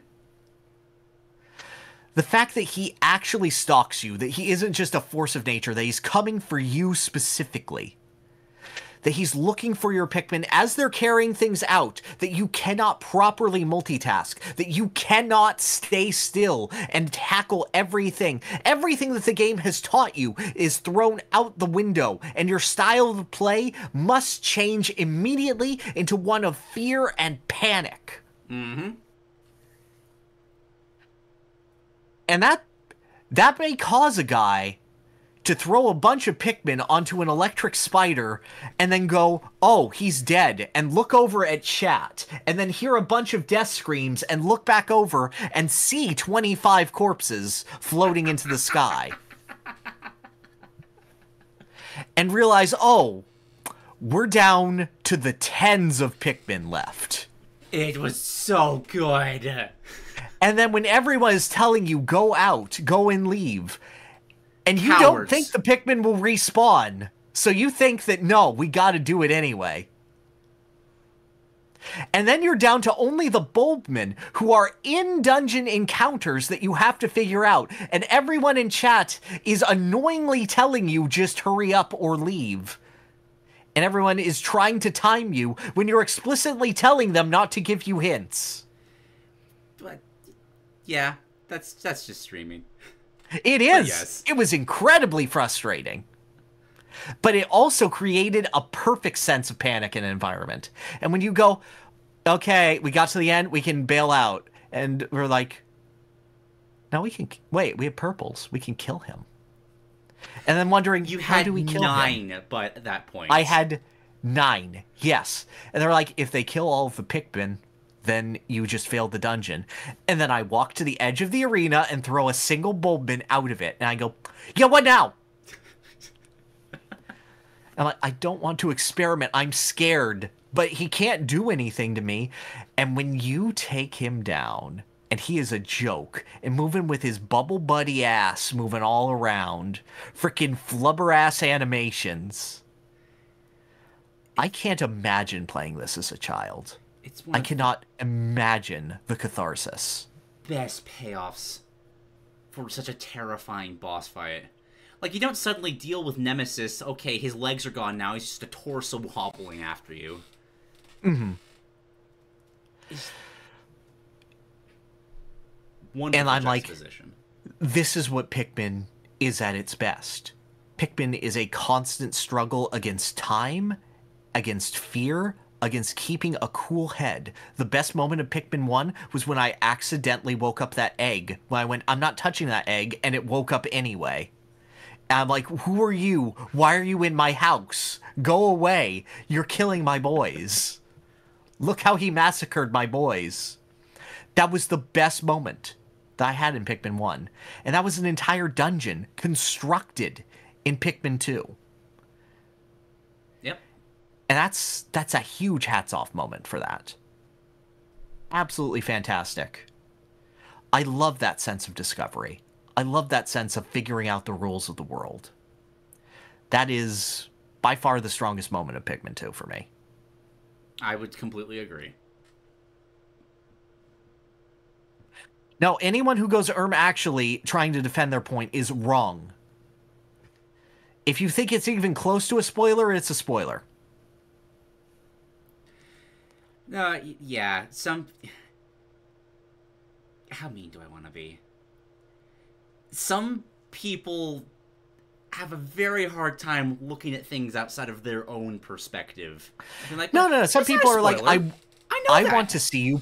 No, I want to see you play the game how I played it. I want to see you have the same memories of this game that I had. Mm-hmm. I want to feel the game again through you. And I know people are looking for that, which is why it's so much fun performing. Which is why it's so much fun going, oh god! Okay, okay, okay, okay. Because you're just taking that natural emotion and letting it out in its fullest form. Yes. And it's great. It serves it well. At the same time, you have to understand I'm not going to be you. You have to understand that with any streamer. They're not going to be you, they're not going to be your experience. With that said, I do think that streaming Pikmin has greatly improved my experience because I get to have those emotional reactions to the game in their fullest form, and that feels great. Absolutely. Backseat gaming, not even. It's just that feeling of, oh, I know what happens next. Look at where we are. It, yeah, building up the anticipation for something, so you know Yeah. something's going to happen. Or that feeling of, what are you even doing? Which was funny. Many people question my breadbug tactics. And after that, I would also question my breadbug tactics. To be fair, the breadbug tactics really aren't explained very well. No, but I was happy to figure them out. It made me feel proud and smart and stuff. Mhm. But yeah, um, just to say, I've been loving streaming. Like, let that not take away from anything else. This is just purely intellectual after the fact, reflecting on it. Um, ultimately, I do think that I like the Pikmin series a lot. I hope that it has more moments like the Submerged Castle. Um, Don't spoil me. not gonna spoil you. I'm, I'm just thinking for myself. All right. It- Don't it- be my It'll be interesting seeing you play through the rest of the series. I'll, I'll be interested. I think I'm going to take a break after Pikmin 2, I think just so I don't wise. burn out on the series Three's different. and just to figure out things. I'm, I'm sure it is. And I'm, I'm looking forward to it, but um, I do want to be able to branch out and do other things because I feel like when you're pigeonholed into one specific series for such a long time, that can be it creates problems when you go out of it. If you go out of it early, then you can come out, then you can come back. but yeah, overall, my thoughts on the Pikmin games are very, very positive. Um, they were never going to hit exactly where I wanted them to because I was too much of a coward to appreciate them as a child if I played them in my childhood. And I'm too far removed from it now to have the same impact that it had on a lot of people. Mm. But I think they're great games. Nice. I really do. Just as a guesstimation, like top 150, top 200, where Uh, nah, I don't freaking know. Like Too- Pikmin too- too one's in the, Pikmin one is in the seven out of tens. Pikmin two has a chance to climb. Like eight out of ten minimum is getting into my top 100, okay, and Pikmin two is at about the seven level. I don't know. If, if anyone is bored, you can just look up Pyrrhic Kong on uh, Backloggd. I post reviews of every game that I beat um, after I beat them there. So, if you're bored, that's there. And there is a full review of Pikmin on there. very nice.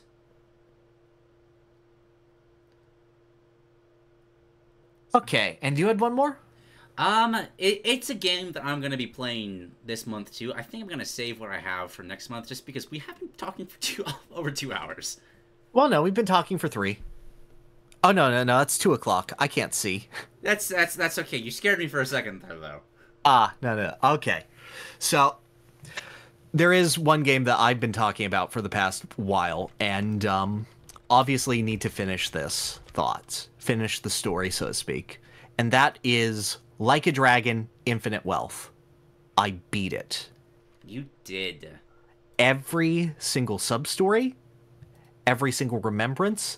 Only things I haven't done are darts, mahjong, shogi, and a couple of the uh, Chinese-based gambling games. Mhm. So it is fair to say I have seen 99% of what the game has to offer. And I am going to ask you, how deep in spoilers do you want me to go? I'm not going to start launching out spoilers, but Uh, go, go ahead. Like, I, it's a game right. I'd like to play at some point, but it's that's not my life anymore. I can't handle a hundred hour RPG. Well, you can you can handle one of them It wouldn't be this. because you're not going to play this one first. It'd be Baldur's Gate 3. All right, so my overall thoughts on the game are that it is the most Yakuza Yakuza game that any Yakuza game has ever been. It is pumped up to 11. Um, how I'm going to go about this is give general thoughts, then give thoughts on the sections where you have control of Kiryu, and then talk about the end game. Okay. So, I think that this is a dramatic improvement gameplay wise from the first Like a Dragon game. Just in general, movement is improved, battle systems are improved. I, I would even say the mini games are improved. Like, there's such a joy. Side quests pull probably about even. They're incredibly hilarious. I would say that the first Like a Dragon uh, Ichiban game is a bit more consistent, but this game has Baby Man Let It Snow. And, like, that is a peak. Indeed. Um, this was an incredible experience. Absolutely insane for 120 hours. And the last five don't stick the landing. No. Oh, but after everything you've oh. It is. They are. It. All right. That that's oh. I was like, this could be one of the greatest games I've ever played if it sticks the landing. Now it is merely in my top 100. How dare it? How dare it indeed. It's it's I'm not even upset at the ending. The issue is that the previous two games were two of the best endings to video games I've ever seen. Hmm. And this one merely being alright, but having some clear, glaring issues, creates an unfortunate disconnect. Yeah, an eight out of ten sticks out a lot more if the other two are twelve out of tens. Mm-hmm. But un- understand, like everyone, I'm saying that this is some of the best 120 hours up to that point that I've ever played. So you, you gotta understand where I'm coming from. No, yeah, I, I, I get you. I get you. All right. So last time I left off, I had just unlocked the Kiryu sections.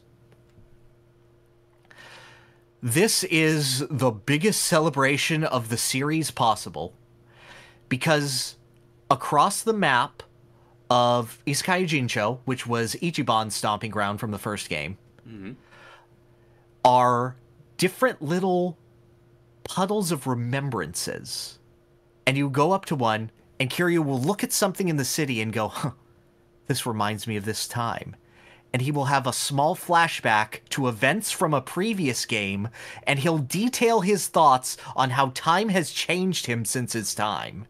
He is going over the entirety of Yakuza moment by moment, from things as dramatic as friends dying to things as benign as, I remember when I fought a giant squid. That was crazy to to things like, oh, that looks like a castle. I remember when I had a dream when I was Miyamoto Musashi, flashing back to the non canon Ishin game. It's like, it was so odd. It felt so real. this series loves the Yakuza series. Or this game loves the Yakuza series, rather. Mm-hmm. And then you get to the agonizing bit where Kiryu's friend Date comes and he's like, "Hey Kiryu, how you doing?" Cuz he's one of the only people that knows he's alive. And he sets up moments where he will invite one of Kiryu's old friends to a bar and he will talk to them while Kiryu has to just stay in the background, hidden, and listen to oh, what they think of him. Oh. And Date is actively asking him, "Well, c- come on, dude. Come on. You're dying. You have cancer. What are they going to do to you?" because Kiryu is refusing to take treatment for his cancer because he doesn't want to show weakness in the end and he still feels like he has a duty to other people. So Date is bringing people back into his life so he, they can tell him what they meant to him so that he feels the need to take care of himself for once. Oh. And he starts with one of the kids at the orphanage who is now 20 Oh, and is having his first break. And he and the kid is like, "Oh, damn, hostess clubs are great. Thank you, Date-san." And then a guy starts harassing the hostesses and Kiryu's about to step in, but the kid from the orphanage steps up. Because Yes! Uncle Kaz would have stepped up and protected women and he gets his clock cleaned, and then Kiryu has to save him. So he has this blurry vision of Kiryu having saved him at his lowest moment. And he wakes up and goes, Uncle Kaz, and Date's like, "Huh, Yeah, you were screaming that all the time. When you took care of those punks on yourself. You must really think about him, huh? Oh. oh my god! It's just like 15 scenes of that. Right down to the people who mean the most to him. And being like, what about your daughter? This is a spoiler. He can't bring himself to see his daughter. He gets to the bar where she's at. He's about to turn the knob. She's talking with his old friend who has found him out. And she's like, if I could see him again? I mean, that that would be great, but I, I can't rely on him forever. Like, he left me with so much. He left me with so much strength, and I think he would want me to walk forward into the future. And Kiryu leaves. He's right there. Ah. That's really fucking wholesome. This game fucking sucks. it is like the amount that you will get out of this game is multiplied tenfold for every previous game you have played.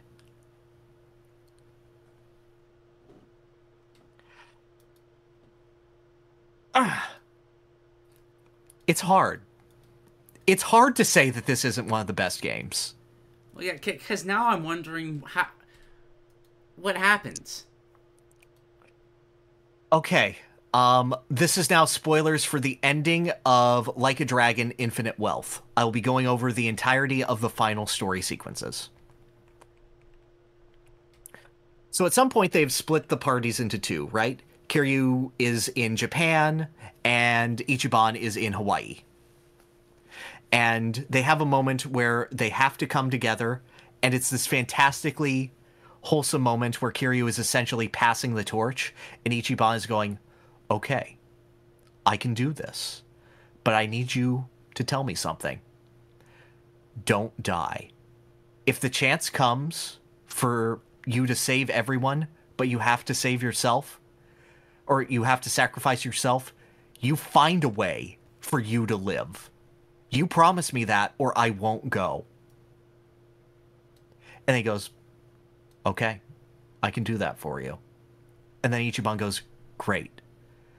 Um, by the way, I didn't know that you proposed to a girl. And Kiryu's like, Yeah. No, I got game. Ichiban's like, "Can- you tell me how you did it? Just, just, just, just, just for some tips. And he's like, Uh, I just looked her in the eyes and said I loved you. And Ichiban stares at him and goes, What? Oh, oh, I screwed up. Oh, I fucked it up so bad. Oh my god. And it's so funny. And it's so good.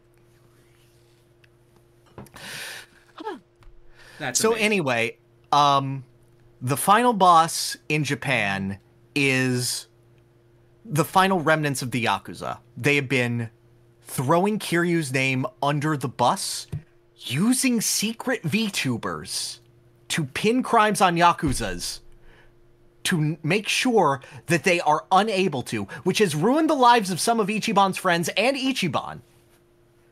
This man, who is leading the effort, hates all Yakuza, wants them to suffer and fade into a miserable irrelevancy. He is also Ichiban's half brother. Okay. He was born to another person who Ichiban's father was promised to. And so Ichiban's father had to create an heir for that sense instead of with the woman he loved. And Ichiban is the child of love as opposed to the child of duty to the Yakuza. Mm-hmm. And this guy hates that. And he's voiced by a celebrity. And he describes himself as Ichiban's dark mirror. And he is Kiryu's final boss.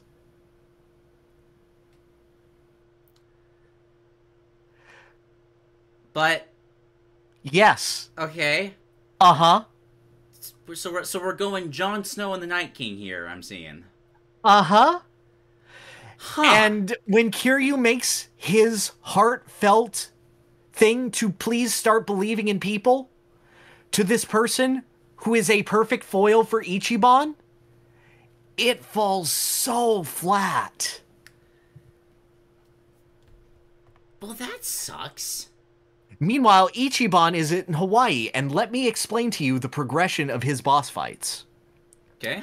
First, he has to fight Danny Trejo, who has two machetes. Perfect. He is shirtless on a boat. He better. Then he has to fight a giant shark that is the size of the boat. Th- this is this is The Yakuza. giant shark ate Danny Trejo because Danny Trejo was too cocky. Then he goes to Cultist Island and has to fight an army of cultists while avoiding landmines. There are 200 cultists, but some of them are good, but they lock him in a building and he has to escape the burning building. Imagine just fighting thousands of brainwashed people. Whilst all in Hawaii, everyone has been hunting you down for your entire existence there because they are also secret brainwashed cultists. as you'd expect. Yeah, yeah, yeah. He gets to the area where the secret nuclear waste disposal facility is because in the 11th hour, the game becomes about Japan's nuclear waste issue. Okay. Okay. However, he has to fight the guardian of the island when the people lock him in a secret underground lair and the Kraken shows up. Sure. So then you fight the Kraken, who has two tentacles as separate targets with their own health bars. Like it's a fucking Paper Mario blooper boss. Mm-hmm, mm-hmm. And then, after fighting Danny Trejo, a giant shark, Cultist Island, and the Kraken, you are faced with your ultimate foe. A 111 year old man with two SMGs.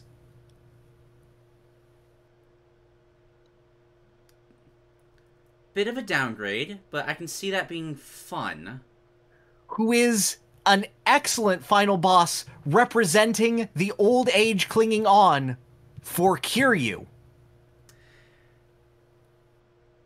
Is this intentionally juxtaposed?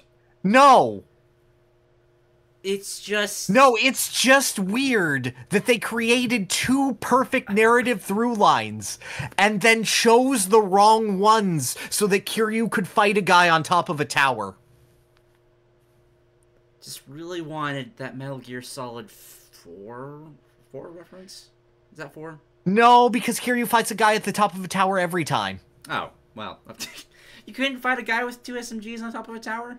No, because he's Hawaiian. Fight on top of a volcano. Volcanoes That's not the same as Millennium Tower, dude. It has to be Millennium Tower. Do you know how many people have fallen off that tower and lived? At least six. Probably. I don't know. so you get the odd ending where the message of the game is diluted because the characters don't really work off of the right foils. And the best moment of the game, of the endings, is given to Ichiban's friend Chitose, who decides to use VTubers for good.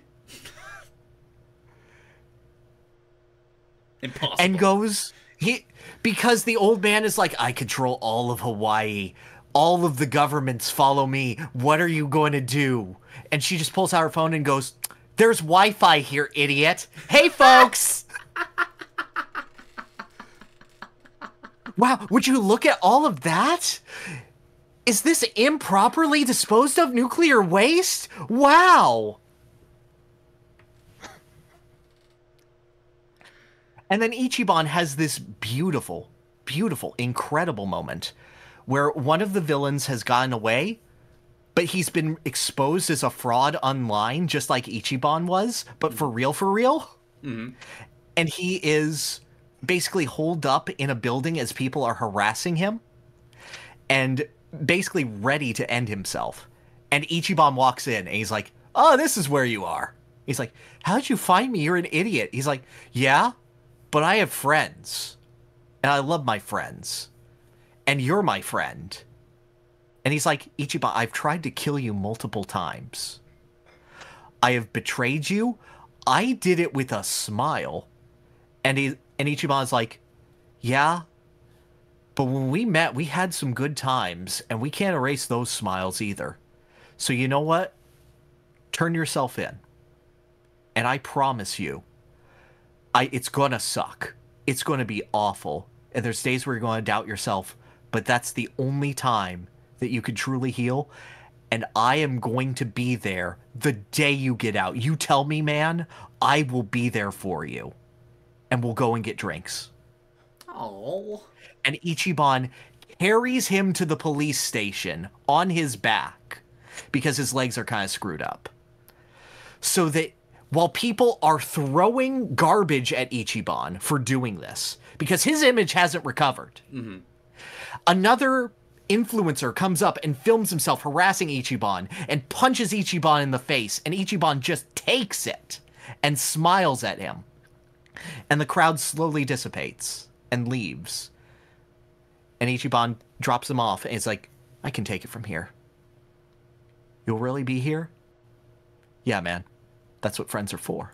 Oh. And it's so good! And it's unearned! this game is so good, but the pacing is so fucked at the end! That's that's such a goddamn shame. Cause it cause it sounds like the conclusion that you're wanting was just there. It is! It's right there! All they had to do was swap two guys! It's not even so bad, it's just. Eh. When it could. But the expectation is for it to be the best thing it could possibly be. No, yeah, I, I, totally get where you're coming from. There's so many things I've experienced. I'm like, oh yeah, that was good, but I can clearly see a direction they should have, they could have taken, that they should have taken, mm-hmm. that would just make it one of my favorite things ever. And you just why, why no? Is it, is it the setup for like I don't know sequel baits? They have to be in the certain situations. I don't know. No, no, because the game ends and it ends with Kiryu saying he's taking chemo now. And he says, What's your name? And he goes, Kazuma Kiryu. And it gives you a trophy that says the man who reclaimed his name. It's like, nice touch. That's so good. That's so Yeah. good. You could have gotten to that anyway. Because that would have You didn't so need to go down this path. It throwing away how things used to be against that one SMG dude. That would have that Yeah. would have punched. That would have hit. Maybe the writers just got really drunk at one point, and just a couple of pages got swapped and it just went all the way through production like that. Yeah, but like then they made this one villain who's just unique to this game, and Yamai is so hot, and he's got such a good story, and he's so hot.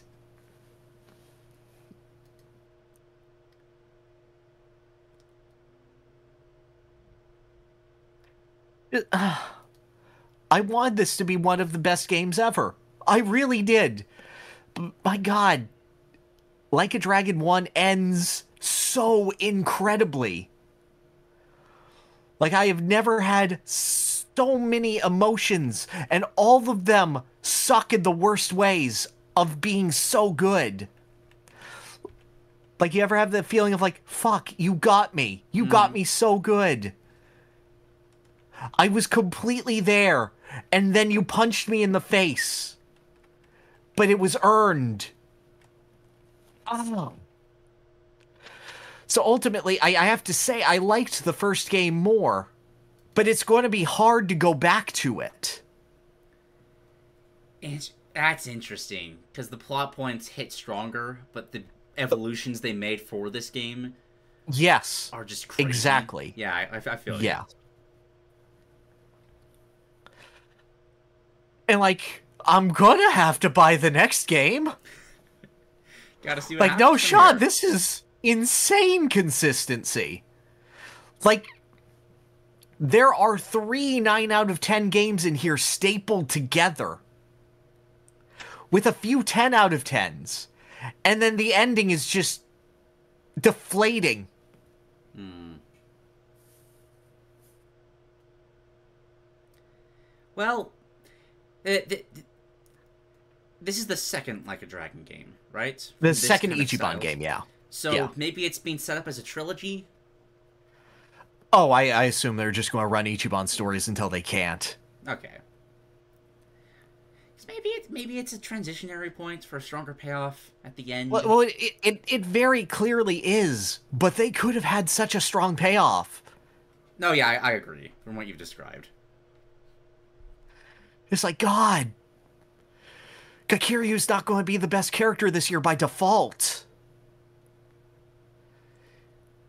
I mean, I have. I He's going to have to actually work. will he though? I haven't. I haven't seen much of anything from any other game this year narratively. I- Uh, Barrett exists. Oh shit! Right. Never mind. I forgot Rebirth. Yeah. Okay, no, like okay, there's like three. Freaking of Rebirth. Keiichi, Keiichi is right there. That that okay. So Rebirth.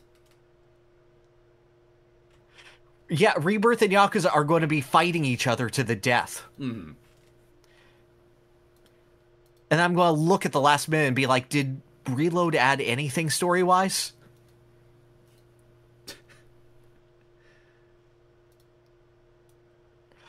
But yeah, um, this is an incredible game.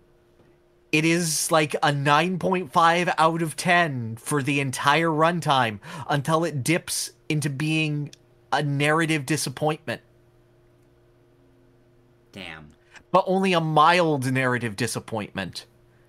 But also, it was it was riding so high that that's a bigger fall than most. hmm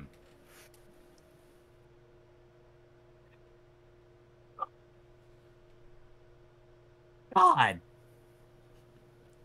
I wish you had any experience with the series. I'm sorry. I know. I wish I could add more.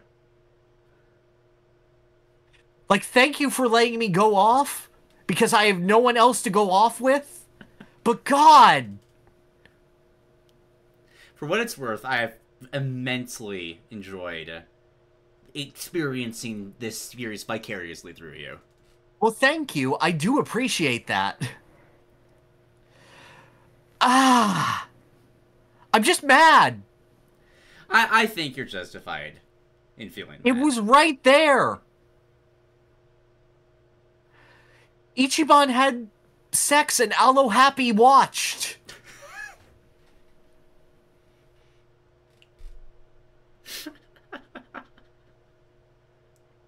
sake. Uh, you good with the Yakuza? Can we move on to the? Yes, yes, yes, we can move on. Uh, transition.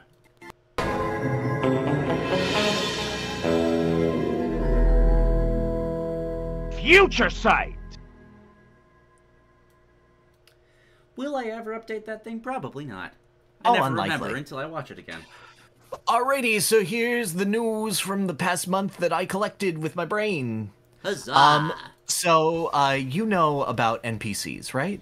I'm, I'm, I'm fairly aware. Non-player characters. Um, have you ever wished that, like, instead of being written, uh, they could just talk to you and say whatever they wanted? I, I know what you wish that you had to. an experience more personalized to your exact taste and search metrics, so that your games could have an infinite number of stories inside of them. Well, I, the, the only reason I'm pausing is because I want NPCs to react to the dumb shit that you do in video games. But that's not where this is going. No, not at all, because Ubisoft has you covered here, because they're presenting their new research project, Neo NPCs, using generative AI to really talk to you. Yes, with the biggest of quotation marks around it, really. God, Stormgate just did this as well. It's not there, guys. It's really not. Even if it was there, I wouldn't want it. Because telling a constructed story matters that much more to me. I don't want to have a different experience from the person next to me. I want to be able to talk about that experience. If Ichiban didn't fight the giant squid, but instead fought a giant bear in their game, that wouldn't be as good. I, I, remember seeing the president of Larian talking about this, where this could be useful. I, think the example. Uh, that's not he had. But, like, having a character react to you wearing a pot on your head, that kind of region, he thought might be interesting, but this is re- replacing kind of storytelling altogether, and that doesn't work. Yes, I entirely agree with uh, that assessment. I, as with most things, I think that AI is at a point where it can be used as a smoother, as a buffer, Yeah. as the ability to help things along. It cannot be used as a replacement.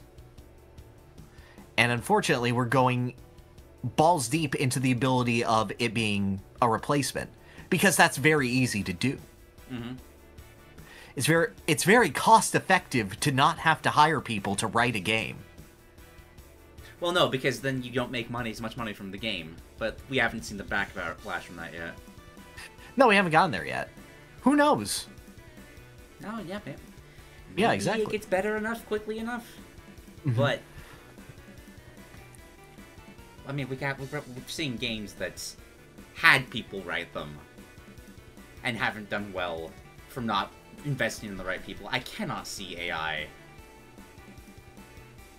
That's I don't know. It's it's something that I want to see advance properly regulated because I do see there is some good, some strength, but to everyone who is now saying that pencil is a bad word, shut up. Oh damn, your eyes look like fully out of your head right there. I I love just that kind of internet person that just goes around with like a whack-a-mole mallet. It's just like no, no, that's that's no, no. I'm taking a stand. I'm making a difference. Fighting for the right thing by retreating from any conflict. Yeah. Oh no. I'm nervous. Life sucks. Weird, boring dystopia. Yeah, I love it. Y- y- But you want to know who else lives in a weird dystopia that is less boring? Ah, I, I think he, I think he's doing okay. Yeah. You might ask Yeah, no, it's do the same. residents of Southtown because Fatal Fury: City of the Wolves is now more than just pictures of the wolves. of the wolves. Uh, You know, this is a famous sequel to the game Garou Mark of the Wolves. Yeah, yeah. Yeah. Um this is the first time we have an actually English Terry Bogard who isn't Hey, hey, are you okay? Honestly, He has I an don't- actual voice. I don't like it as much, but it, I, I get it. I don't, but I respect the moxie. Um this just looks like a fighting game and it looks good. I love how heavy the shadows are. Yes. It's not quite Borderlands levels, but it's still so stylized. Oh, absolutely. I I'm just excited to see it. Garou is such a stylish game, and this is actually taking its style, the grungy little Fatal Fury style, and putting it out there in the front. It's working well. It's taking concepts from Garou 2. We actually have Joe Higashi's protege in the game. Mm-hmm. That's just cool. Eventually, the game is obviously going to have the cute pirate girl that I like, and then I can play the game. Nice. I am curious about how big this game is going to be because this series has been away for a while, right? Oh, yes. No, last game was like, oh gosh, late 90s, early 2000s. Yep. Yep. So. But no, it's uh it seems just crunchy. I know that uh Max and Justin Wong had hands on with it. Oh my god. Did did you see that one video of Justin Wong on that's going making the rounds? I don't think so, but tell me.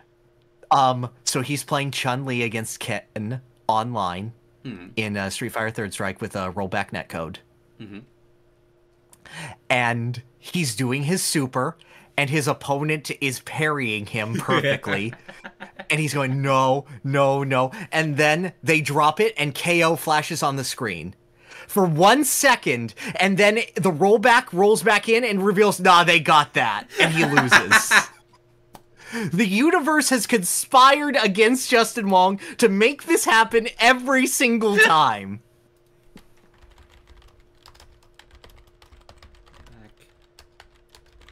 I'm trying to look it up right now. oh my god Where? Where? I must Where? know. Oh god. Who did I share it with last? Uh, hang on, hang on. Hold up, hold up. Let me cook, let me cook. Please, please. This is this is a necessity. I think I found it. Almost. Okay. This is three minutes long. No, it, sh- it should be shorter. Uh, hang on, let me. I, I, I found it. Okay, good, good, good, good, good. Ah, no, that's not it. That No, no, wait. I I got, I got, I got it here. you got it. Fantastic. Yeah, One, yeah, yeah, yeah, yeah, right there, right there. Boop. Boop. Boop. I'll- I'll play the audio for this. So intense. What? No, come on, are you serious? The game! Yo, why the game? The game? The game? No, the games that I won! the game, the game, the game. Ah, Oh that my made me God. happy. Thank you for sharing That man has the most patience of any man in the world. He's been suffering for that for two decades. And, And he's so good at fighting games.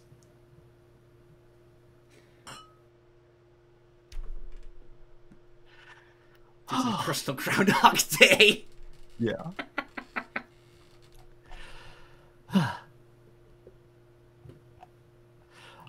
Alrighty. But then moving on, um, do you want to know who else is in their personal Groundhog Day? that that that's a good pull for that one. Is it Pokemon, Uh, that- perhaps? That's right. It's anyone who works on fan games with Nintendo and specifically Pokemon fans. Uh, there was recently an interview with uh, Luke Plunkett with a lawyer from Nintendo uh, who has done, um, you know, lawyer stuff specifically for things that would involve like cease and desist, mostly uh, focusing on like Detective Pikachu and his job and what he did.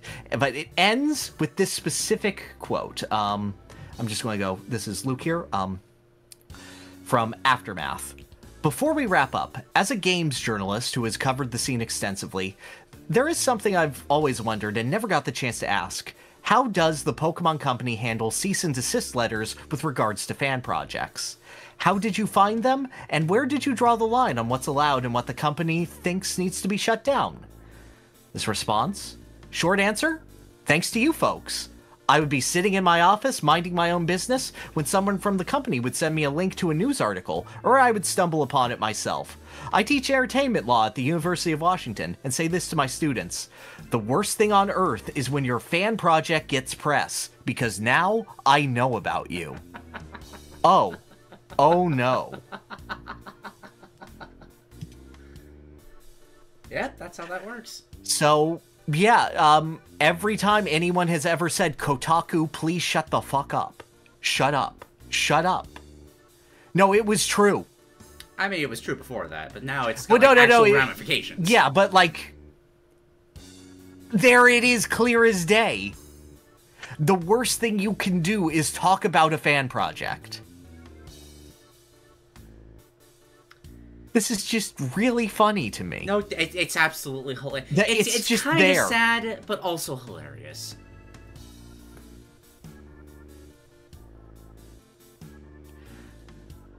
Absolutely. Man. But you know what's also kind of sad, but also hilarious, and also related to Pokemon? I love I can now like track where you're going on the document now with this, because like there is that one fan, not fan game, but the game that is most prevalent to that sort of discussion that they can't quite get their hands on. Yeah, exactly. But no, in this case, it's Palworld. Um, and the Palworld devs are in a little bit of a panic. And, uh, you know, that could be for a variety of reasons. But for this specific reason, it's because they are making too much money. Their Palworld has made too much money, and they have no idea what to do with it. Which is just the worst problem to have in this It's, it's such a small company. There's so much money. We don't know how to divvy it up. It is overwhelming the response to Palworld. Our company is not infrastructurally able to handle this. Uh, what a what a bizarre story of a game. Now let's look at the rest of the games industry and see how it's doing. And now let's look at Palworld. Everything's on fire, but hey, I'm a fire elemental. This is actually great.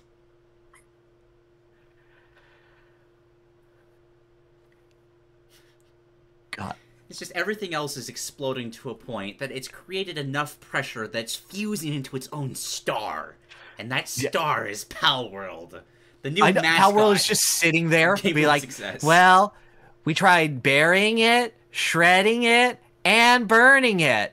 But then we just decided to give it all away.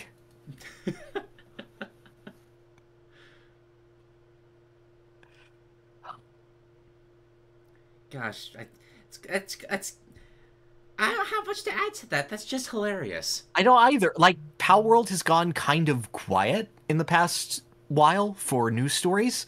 That doesn't mean it's dead. No, it's Like, it is going so numbers. silently, hilariously strongly.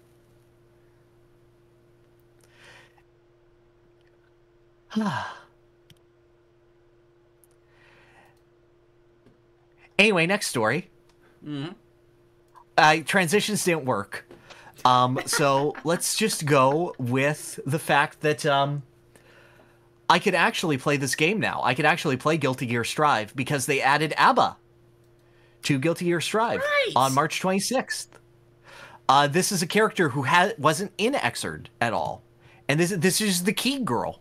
This is she has a giant key, and she's like, "I love Key. Key is my husband," and the Key is like, I, uh, I I get off on bloodlust sometimes, but girl, uh, I'm like, wow, I love everything that this character is about. what's his name? Patrocles. Patro- it starts with a P. Uh, Paracelsus. Paracelsus. There we go.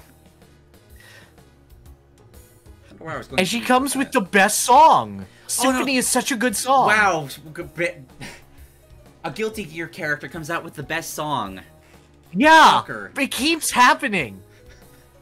But Symphony is really good. No, it's phenomenal. Like I don't play Guilty Gear, but I follow character updates religiously because it just adds mm-hmm. one more song to my work playlist. I'm like, I just want to feel upbeat, energetic, and just. Yep. It's- Apparently, her gameplay style is like she is the worst character at everything, and then she gets jealous that you touched Paracelsus, and then she becomes the best character. like her concept is jealousy incarnate, and then she becomes insane. Like she goes from worst character in the game to broken. At and like we've had versions of this before, but this is one that like flips a switch. This is going from zero drinks Jamie to eight drinks Jamie.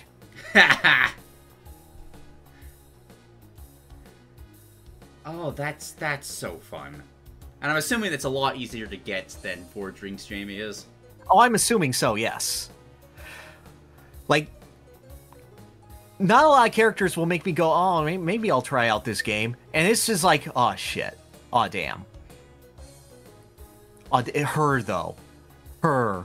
No, yeah. She's so unstable. And I can fix it. No, I can't. But I she can can make me it. worse. no, I can't. There is a key in the way, and I can't touch it. Uh. Also, didn't they announce season four too? They just keep going. Oh yeah, no, no, no. They announced it, and they gave the various obvious trailer of, look, here are bats with a red outline. Who could he be? It would be so funny if it was somebody else, but it's Slayer. yes. And he will also get me to pick up that game. Uh, honestly, from what I know of Slayer, he might get me to pick up the game too.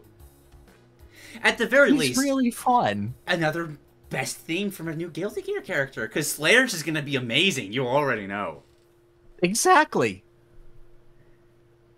I love Guilty Gear. I don't play it, but I love Guilty Gear. Yeah. Yeah, yeah, yeah, same, same. And speaking of love but don't play, um, fans of Final Fantasy XIV Yes, this story. Oh, this story. have been greeted. So, the next expansion to FF14 is coming out this July. It was just announced, and they're like, "Why did you sell on this release date, Yoshi P?" And he goes and he puts the mic to his mouth and he goes, "Elden Ring," and the audience laughs and starts applauding.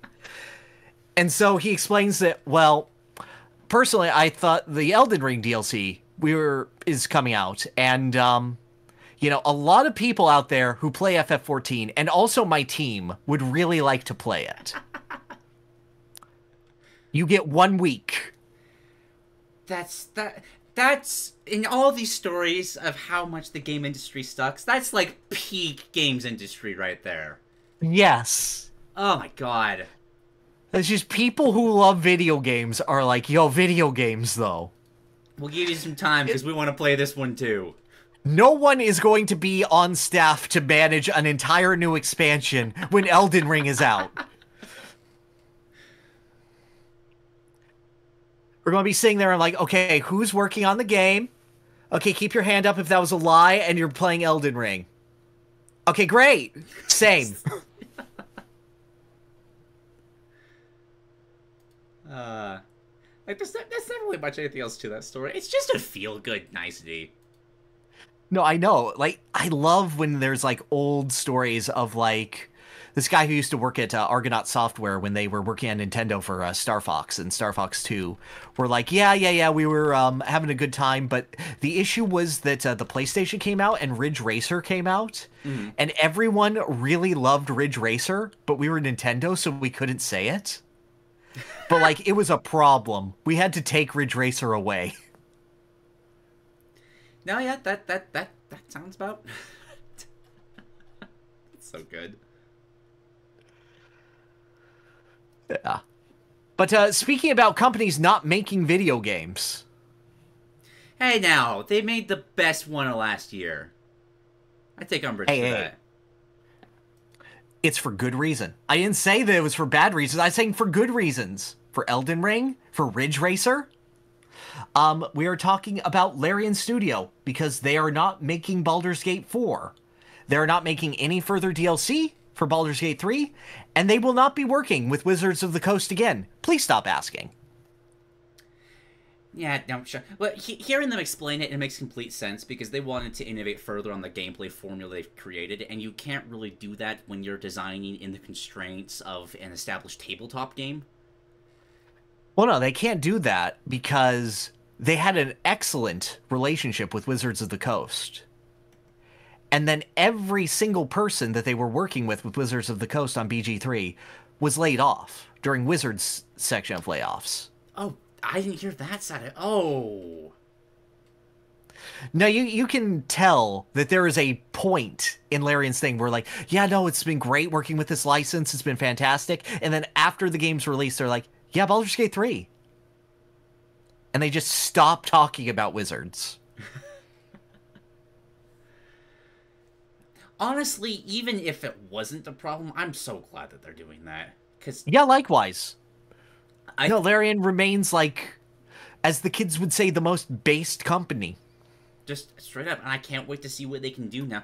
Because I know they're not making Divinity 3 either. They've outright said that, which means they're doing something entirely new.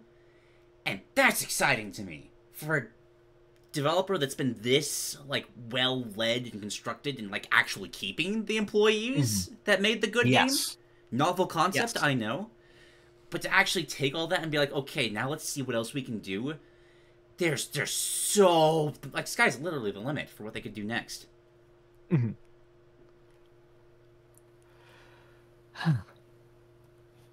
Also, But you know, it's just been so fun to see Swen do a victory lap and just rag on every nasty thing, yeah, like every tradition happening in the games industry. It's been like, oh, Yes. Oh, you're overpricing for microtransactions? We didn't need to do that. Look at all these awards. I literally can't hold all of these awards. can you imagine not being owned by a publicly traded company? Ugh, it's it's such a crazy dream, and yet I'm living it. Hmm. Oh God, who could ever not be beholden to the whims of stockholders? Hmm. Yeah, Just, just one of the best people in the industry right now. I love Swen. Absolutely. But you know who probably is beholden to the stockholders and making as much money as possible? Everybody else. Well, not not not making as much money as possible. No, no, no, no, no. There's some scamming here. Okay, okay. Well, Because we got right in here Tekken 8. Oh, oh, they they did they did the Street Fighter of way too much money. Oh, no, no, no, no, no. They did it worse. they did it worse. Oh, it's a No, because Street Fighter was just microtransactions. Street Fighter was just you want a $20 Ninja Turtles outfit? What do you mean? $20 per Ninja Turtle? And Mortal Kombat was like, hey, do you want a $10 fatality? Tekken 8 was like, Battle Pass. And they're like, clearly, you know, obviously, we wouldn't withhold things that would be expected in the base game from the Battle Pass, except for multiple costume pieces from Tekken 7 are behind this Battle Pass. And of course, this Battle Pass, you, you don't need money to do it. You just need 600 Tekken coins. Mm, oh, of course. Yeah. Would you care to guess what increment you can buy Tekken coins in? Oh god, it's gonna be something absurd. That's right, only 500 coin increments. Of course. Of course. Why would it be convenient like that? Freaking Chuck E. Cheese tickets logic right here. Uh, doesn't it have a season pass already? What? I'm pretty sure Tekken has a season pass too. Yeah, but this is this is a battle pass now. Now you can go live the Tekken lifestyle, live the Tekken grind set. See, for that the thing- extra incentive that fighting game players needed to stick with a fighting game. Because the thing is, like, I feel like that format works if the game's like free to play. Like, Battle Pass is constantly grinding for more. That that that meshes well with the kind of grind set of fighting games. Well, But evidently not because MultiVersus everything- had to not exist for a year. Well, yeah, that's because MultiVersus was a disaster out of the gate, though. That's Yeah, but we said that we liked it out of the gate. yeah, but they didn't. They clearly didn't know how to support a live service game. Oh yeah, no, no, no, they screwed it badly, but like everyone was gonna. It's uh, it's the post-release thing that really gets my goat. Mm-hmm. That's just punishing adopters. Just buying something and realizing, oh, we bought a, a a little less than what we expected. Numbers aren't adding up on our end of the month finance chart. Well, because you're sitting there and it's very clearly the plan. Like, look, I'll praise Crash Team Racing Nitro Fueled all day. Adore that game. The fact that it added micros um, a month after release, scummy as hell. For a kid's game, especially. Cam's pointing out that the team working on eight didn't want it. Like that. That's always the case. That's Well, yeah, always yeah. the case. Can you imagine a team going, you know what, if we nickel and dimed all of our players, that would be the best thing? It's just the finance bros in the upper management. The guy who is putting in Yoshimitsu's hitbox data or doing the animations on Azucena is not the same guy planning out the battle pass.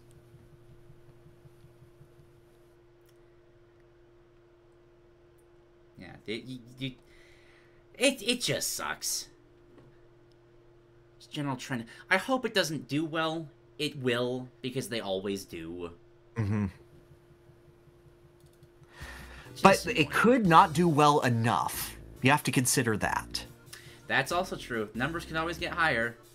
And that's when you look at how many employees are there and like, okay, how can we shave off a little few of these corners, make it fit through the square hole a little smoother. Yeah. Uh, also, people pointing out, yeah, it's a $70 game. Right! Ugh. Like I've seen it. It's it's it's better than Tekken Seven, but like, is it that much though? Baldur's Eight through sixteen or something. Yeah.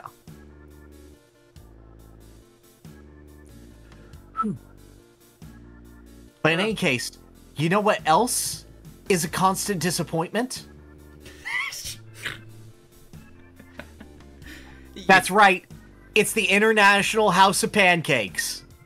Oh, I mean, true. Yes, also true. No, no, no, no, no. The other part of the story, I, I'm giving that guy some slack. He's fine. That's that's that's fair, but yeah. But, like, when's the last time you were like, damn, I had a really good meal from IHOP? I don't remember the last time I had a really good meal from IHOP. Because, like, I feel like Denny's is the stoner of choice. The sort of 2 a.m. Why not?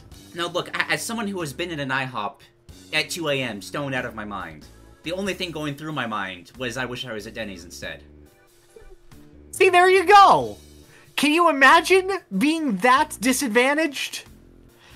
However, they are trying to do something cool because they are offering a Sonic the Hedgehog themed menu. I do have to say, Knuckles sandwich, Dr. Eggman's Benedict. Like, Oh, yes. This makes me really happy. I'm not gonna. I'm not tempted. No, but I know. No, I am tempted. I want to say that I've eaten the Shadow of the Hedgehog pancakes. oh.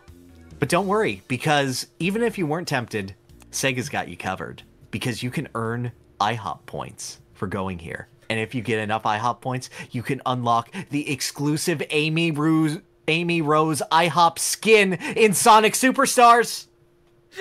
You can make Amy Rose an IHOP waitress. I, I see this and all I want is that the what we talked about last time, the Sephiroth Cloud thing with the udon noodles. Yes. I just want to see the Sonic the Hedgehog cast advertising these. I want to see I want to hear Travis Willingham talking about his knuckle sandwich he's about to get you. Prepared in under 15 minutes. Mm-hmm. With love. Have I told my Sonic Denny story on stream? I have never heard a Sonic Denny story in my life. Oh boy, let's freaking go. So, um, the first time I went to Denny's, um, I must have been like six. And I didn't know any sort of quality with it. I think a friend was taking us there and suggested it or something. And they had a claw machine for Sonic Underground there. Okay. And there were figure there were uh, plushes of Sonic and Knuckles inside of them. And I look at that and I look at all the evidence of I have never seen a Sonic the Hedgehog before and conclude, ah, yes, Sonic and Knuckles, the mascots of Denny's.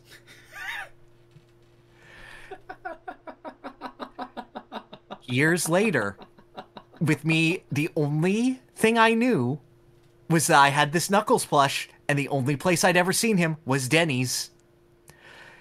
And my friend comes over, and he brings his GameCube, and he has Sonic Adventure 2.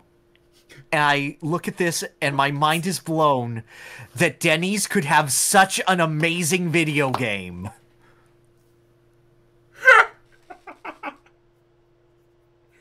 Yes! That is exactly where I was hoping that was going. That's so good. So anyway, uh, yeah, th- this IHOP thing is a betrayal of everything I know and love. Oh no, yeah. You can't. th- th- This is that whole what what what was the fucking phone? The, can you hear me now? Guy went over to Sprint instead. Oh, oh yes. It's even worse. Sonic was supposed to rep- represent something to mean something. Sold out. He he he was supposed to be the Grand Slam.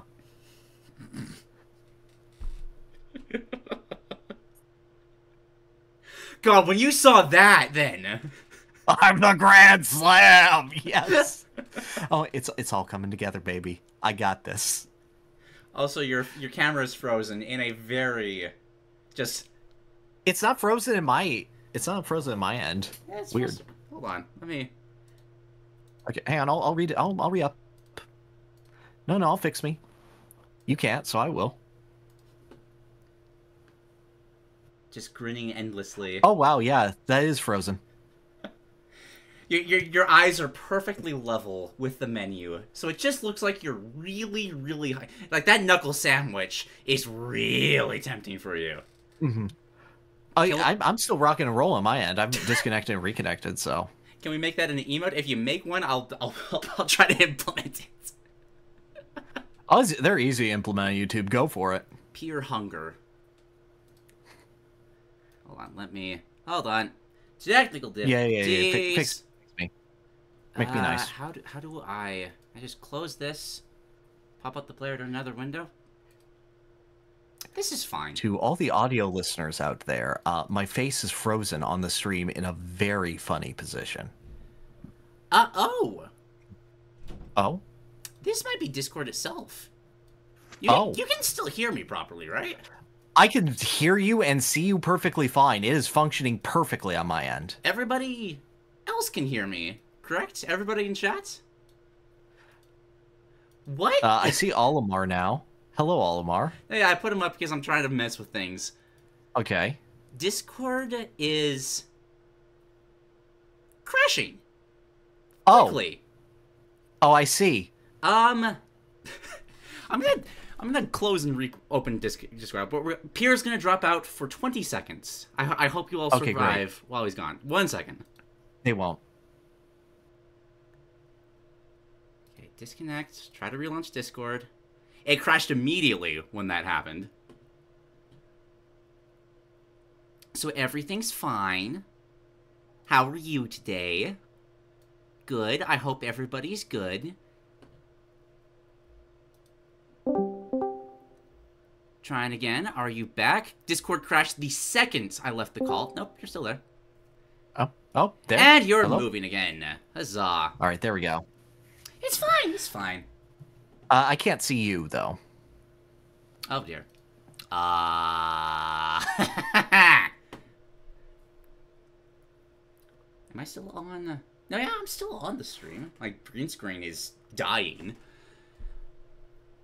Oh yeah, okay, you're on the stream and I can't see you, so that's fun. Is is this does this work? Because I don't know what's happening. this- Yeah, let's, Alright, let's go. good. I just We're can't. I just can't look at you for visual reaction anymore, and that's sad. I will try to passively fix it, but for now. Yeah, it- it- what's the next story on the docket? Oh, it's simple. We're still fearing, feeling hungry. Anyone who wants the pure hunger emote, uh, this would be a good use of it because there's a secret. As you may have known, Dragon's Dogma 2 came out, and that game features the most succulent meat in the world. It has the best rendered meat. You would almost swear that it's real, and that's because it is. Oh, really? E- Every time that you cook meat in that game, it is simply an MP4 of the actual team cooking meat. Oh, that's cheating. No, it's not. Monster because Hunter the team, World managed to do the same, and they didn't have to do that. Cats Yes, but the team went out and said we could either spend the same amount of money rendering meat, or we could actually cook it and be able to eat it. That you know what? That's fair. And like, I how respect could I argue with that? How how can I possibly? Give it, given the choice, I would do the same. I entirely agree. Look at that. Look at that. No, They had yeah, a I- good meal. I'm I'm hungry, just from the visuals alone. Also, I, my camera was off. Can you see me now? Yes, you're fine now. Perfect. Resolved. Yeah, God, I wish I could play Dungeons Dra- ahead of time, but just nope. I got I got Monster Hunter Wilds in the future, and that's all Capcom's getting from me. Ah, damn. I really feel like Dragon's Dogma 2 is a U game, though. It so is though. It's it's so frustrating. Everything I see about it is Every time I see anything about DD2, I'm like, God, I could not like this game less, and Duke would really like it, probably. yeah. Yeah.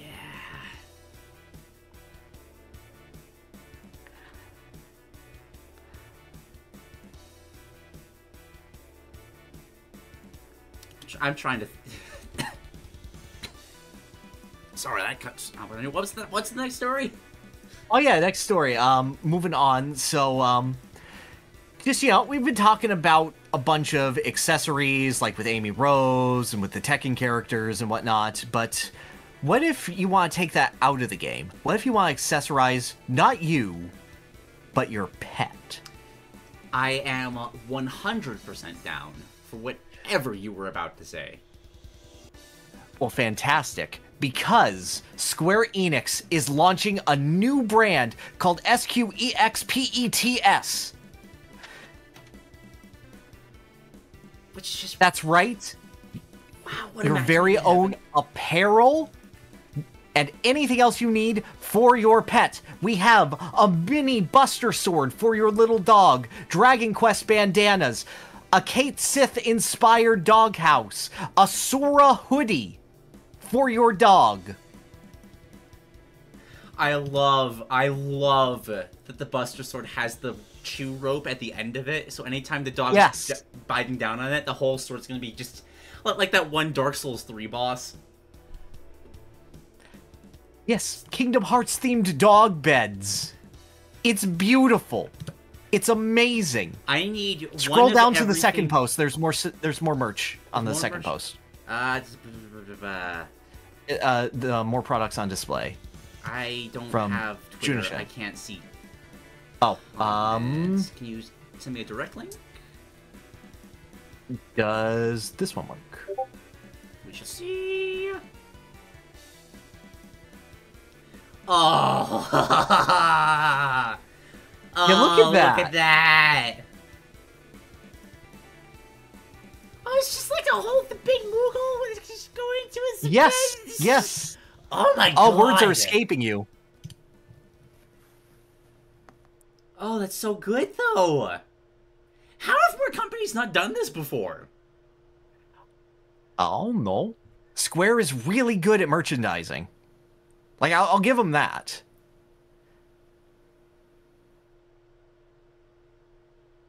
Like, how do I'm I... sitting here, I got my freaking Pete action figure right behind my monitor, so, from Kingdom Hearts 2, so.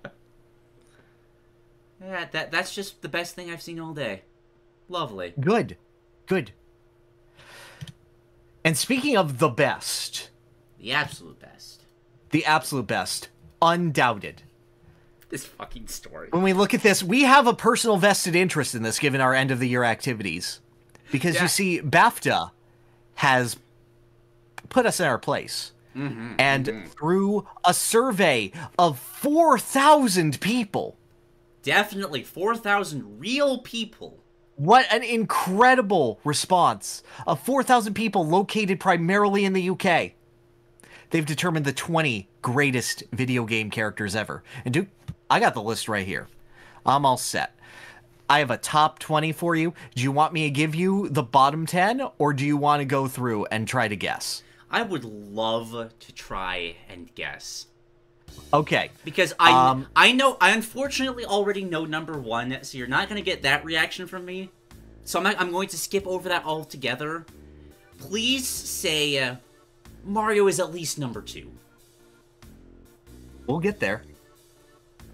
All right, so we have at number 20. Who who you thinking? Number the 20 greatest video game character of all time. 20. Tell me if you want a hint. Uh, let's, let's try. Let's throw. out- Let's throw out a Kratos. I can see a Kratos twenty. It is a Sony character, Uh, Joel. Nathan Drake. In, in like 2015, maybe. Sure.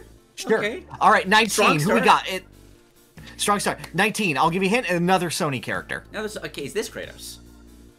No, this is Ellie. I, that that one I can I can understand.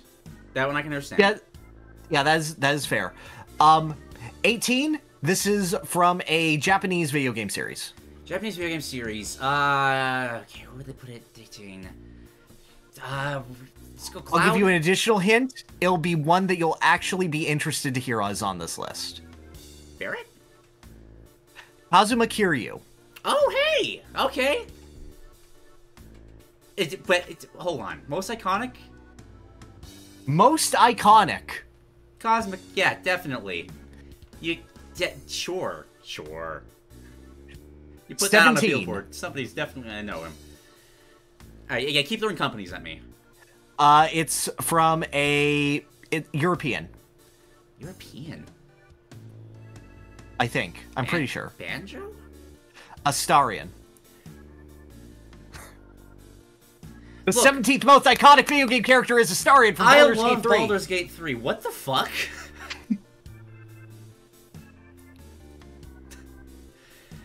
who who is the sample size? Is it goldfish?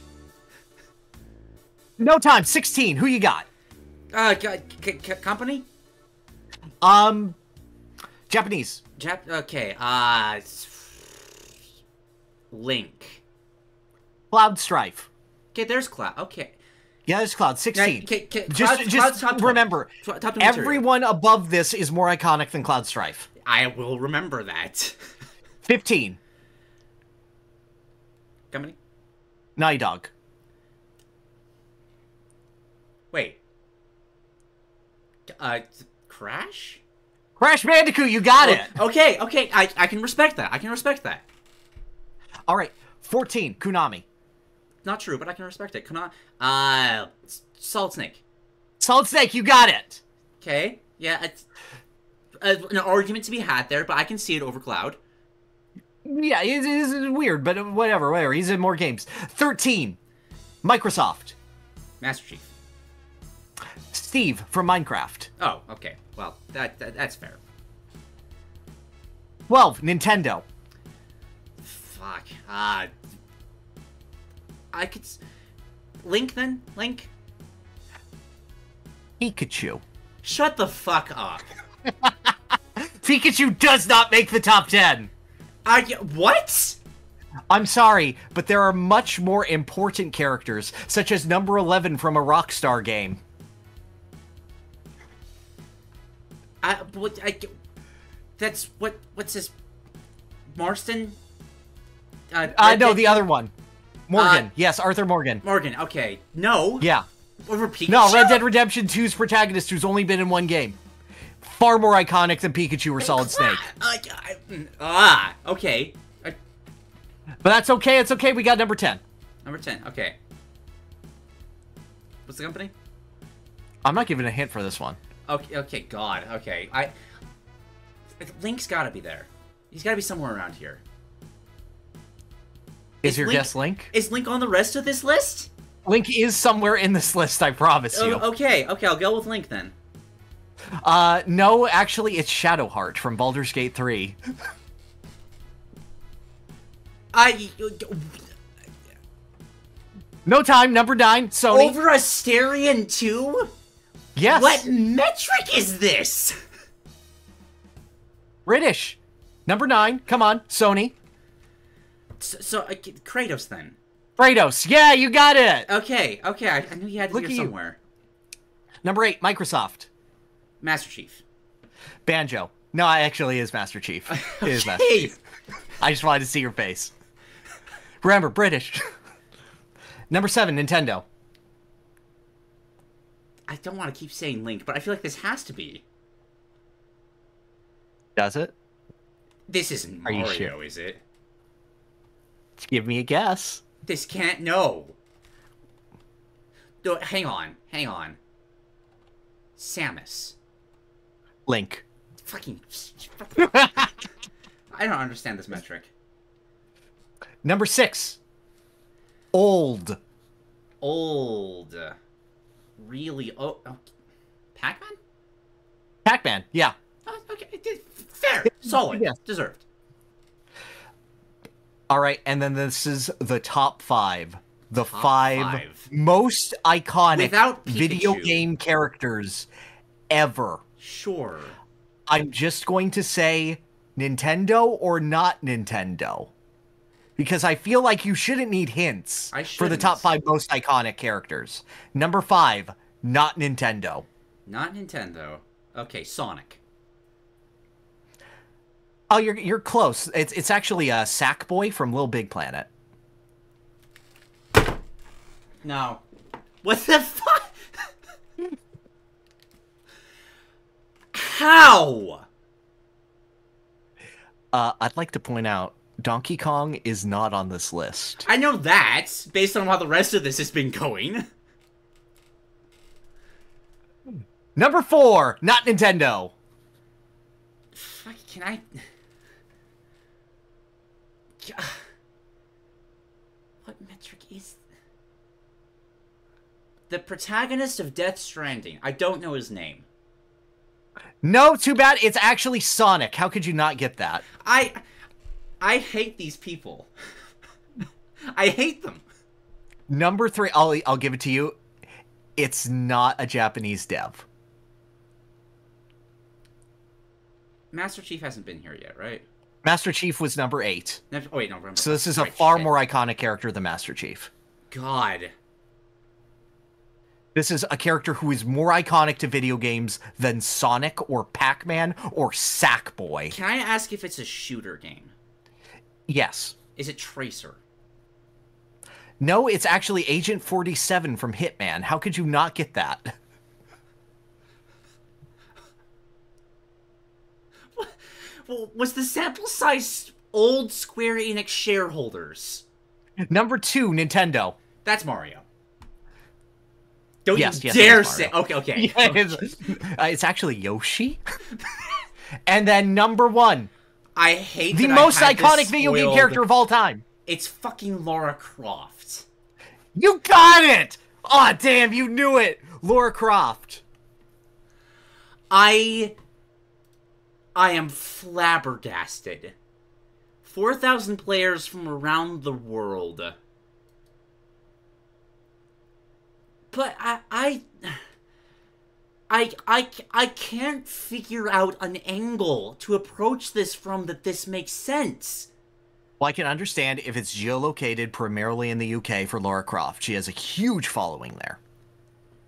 Like, that is an incredibly biased sample size. Uh, with that said, anyone not voting for Mario? Even yeah, like I could see her being high on the list based on the sample size, but number one? Number one. How? Like that Agent 47 back down there. Is that also UK? Is that or is that what what I, I ah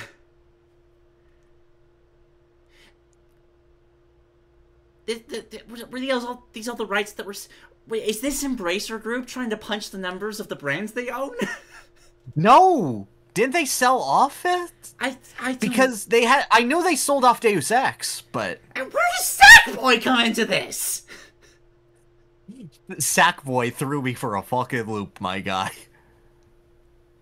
i'm so confused i don't understand Well, hey, you don't have to understand. You just can't be upset at how iconic Sackboy is. It's how like characters like Pac-Man, like Link, like Master Chief, like Solid Snake, they just don't sh- they just don't stack up. Don't even talk about friggin' losers like Crash Bandicoot or Cloud. I mean, they're they're not even in Shadowheart's League. I love reading through this and trying to see them spin. Like, yeah, yeah, Agent 47. Conceived by Danish video game developer. He's an icon in the gaming industry, captivating gamers worldwide. Number four, Sonic the Hedgehog. Yeah. Oh my god. Kiryu being on here makes me laugh though. I, I. It's it's Nintendo wasn't as big in the UK. I get that for every character who isn't Mario. I I this hurts so much because it, it it feels like a bit they're not committing to. It's perfectly spliced between oh yeah, that I expect that that makes sense and just the weirdest and to have it be so officially presented is I'm I'm I I'm not okay right now. Pikachu at number 12. How? Pikachu at number 12.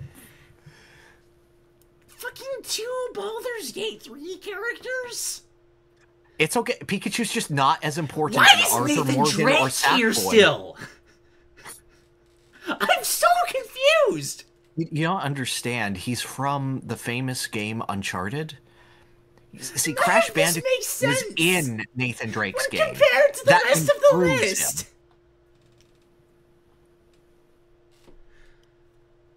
Ah.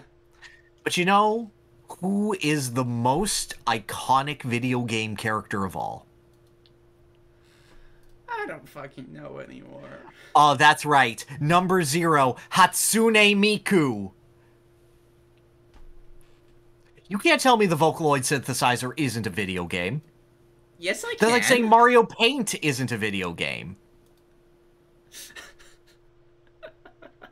but it's okay because Hatsune Miku is coming in hot to Crypt of the NecroDancer, and it's actually a little fire. No, yeah, I, I honestly, I was, I was really surprised to see this, but that's actually really sick. No, that's a, it's a super good inclusion, and hearing her synthesized voice on top of NecroDancer's beat works really well. Oh, oh my gosh, I haven't seen how she works gameplay wise. She like like passes through people in a chain, so if you line them up, you can do damage to all of them simultaneously. Yes. Oh, that's so cool though. No, Oh, she's, she's no, just she's checkers. actually rad. Yeah. She's just that's so sick. Oh, that's so broken too. But God, that sounds like so much fun though. I'm yeah, actually but kind Hatsune of. Miku should be broken in a rhythm game. I'm so down for She's this. so I'm actu- powerful. I am actually so down for this. Oh shit, um, my keyboard is freaking the fuck out. It's okay. We've we've been talking for three and a half hours. Technical difficulties naturally happen. Yeah. Alrighty. Ah. But you know, we've been talking about, you know, what's popular in the UK and whatnot, but we haven't really talked about what's popular in Japan. Yeah, Mario, Because- Link, Pikachu. Nah, Well, yeah, yeah, yeah, yeah, but you have to consider what could the most popular Xbox game be in Japan? You Ah. have to wonder. you, you do have to wonder, actually. I don't have an You answer do. for that. It did not do particularly well. God, Even with like Sakaguchi titles like Lost Odyssey on the 360. Yeah, I got nothing. Okay, well, actually, the answer is Metaphor ReFantazio. What? Uh, you might know that as uh, the game that um, the Persona team is working on. You might also notice that the game isn't out. Which means Oh. there are more test players Oh. for Metaphor ReFantazio than there are individual players of any other Xbox game in Japan. wow. This is from internal data, it just topped the list. That's so funny, though. This game doesn't have a beta, it's not been leaked, there is no demo. That's that's so. I like everyone knows that Xbox hasn't caught on there, but you you really know when you see something like that. Oh my god. That's just the power of Persona. Is it the power of Persona or the It is. It makes you believe. Xbox? Everyone is going to their confidants and believing in them. They've maxed out the Xbox confidant. And now it is solely powering itself through their beliefs. They don't have to go back to it anymore. They just know. And speaking of never going back, unfortunately, we have lost uh, the 3DS and Wii U online services. Those closed within the past week. Yeah, may they rest in peace. However, we have achieved a very strong accomplishment, which is that every single level in Super Mario Maker has been cleared by a human and has proof of it. And that's just kind of insane. That's amazing. There are some that were obviously cheated that humans could not defeat, but one of them was thought to be TAS only, and a human beat it anyway. There was an exception of like, we beat all of them except this one. And then on the last week, right before the buzzer came in, some hero came in and beat it. That's that's just cool. Yeah. Oh gosh, I'm watching in motion too, just kicking the Oh yeah. Oh yeah, yeah, yeah, yeah. That's a that's the uh, level from uh Sany X91SMM2. Memorable username. Yes. Oh, they're French. That makes sense. But yeah, Cool. um, considering the sheer amount of creativity that went into Mario Maker, what a legacy that game has. That's like just kind of quietly swept under the rug. God, I remember where that was just everywhere Yes. when that first came out. absolutely. It's crazy that they haven't tried to do more things like that. Isn't it? But you know, as the year of Mario ends, as the year of Nintendo ends, something has to rise up in its place. Oh no. an opposing force has to rise. If you've seen everything coming in, you'll know what's coming. Sega has officially announced that this year, 2024, is the year of Shadow the Hedgehog. Sure. With with the Sonic Generations remake, with Shadow being introduced in Superstars, with the Sonic 3 movie featuring Shadow the Hedgehog, this is the most Shadow content that will ever go into your eardrums and eye holes, and you will scream his classic line, "I'm the coolest." Didn't he have like a whole game at one point that was made for him?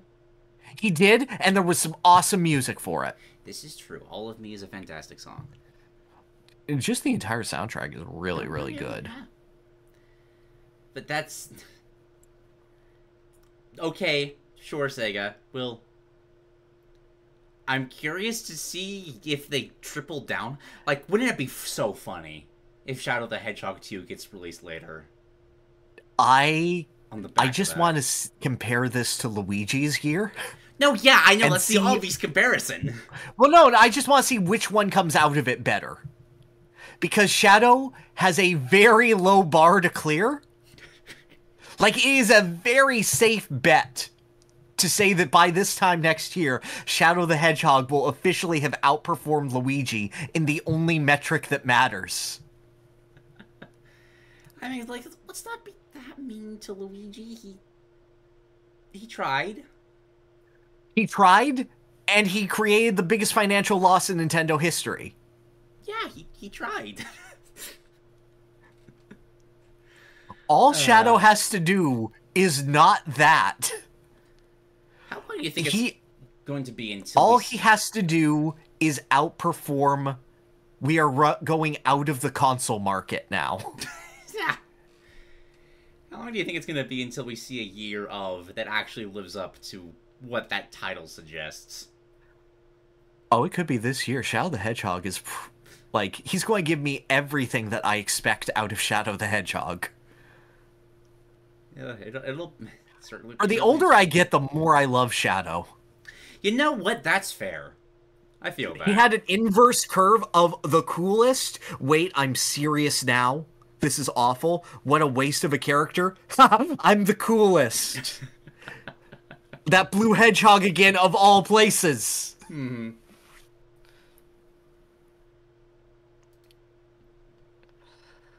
Ah, man. So it's kind of weird that, you know, we've had these two player two characters and they've gone their own years. Kind of weird that it happened twice. Mhm. But, you know, if I had a nickel this year for every well made 2D Prince of Persia game that came out this year, I'd have two nickels. Which isn't a lot, but it's weird that it happened twice because the Rogue Prince of Persia, which will be developed by the Dead Cells dev, is entering early access in May. Which okay, that's sick. Yeah. But also, huh? Yeah, no, it's, it's weird that this is getting focused, but like quietly, like Ubisoft is embarrassed that they're doing good Prince of Persia games. It wasn't even like in Captain Laserhawk or anything. No. Why is this such a backwater brand for them? It looks sick. No. Yeah. I would expect something made by Dead Cells to be sick. Did they just do Castlevania? Yeah, they, there was an expansion to Castlevania. I think it's, was a year ago, two years. The, uh, la- recent. last October, I want to say, yeah. But oh yeah, apparently this is what the movie, the project they're moving forward to. Yeah, I I wish I had more of an investment with Prince of Persia. But also I don't because it sounds miserable being a POP fan. I mean, it, apparently it's getting better. Are you sure? I I trust Dead Cells. I trust the Dead Cells developers. Okay. Okay, that's all the news stories I have. How did this episode end up the just being the one? I talked about 15 games. That's how. You talked about like 40 last time. Yes, but I did those fast. This is true. Alright, well, uh, games coming out the last half of this month, I guess. I Is there I anything? guess I nothing really caught my eye. To be dead honest with you. Yeah, I'm, I'm, I'm going back to the right. Yeah, let me. Yeah, let me let me take a look. bit of a quiet year after the insanity of 2023. Yeah. Uh, Yeah, I got, I got nothing on my end. yeah, it looks like Dead Island 2. Oh, Sand Land. That should be neat. That's the Toriyama vehicle combat game. Mm-hmm. But yeah, I guess there's Stellar Blade for fans of butts.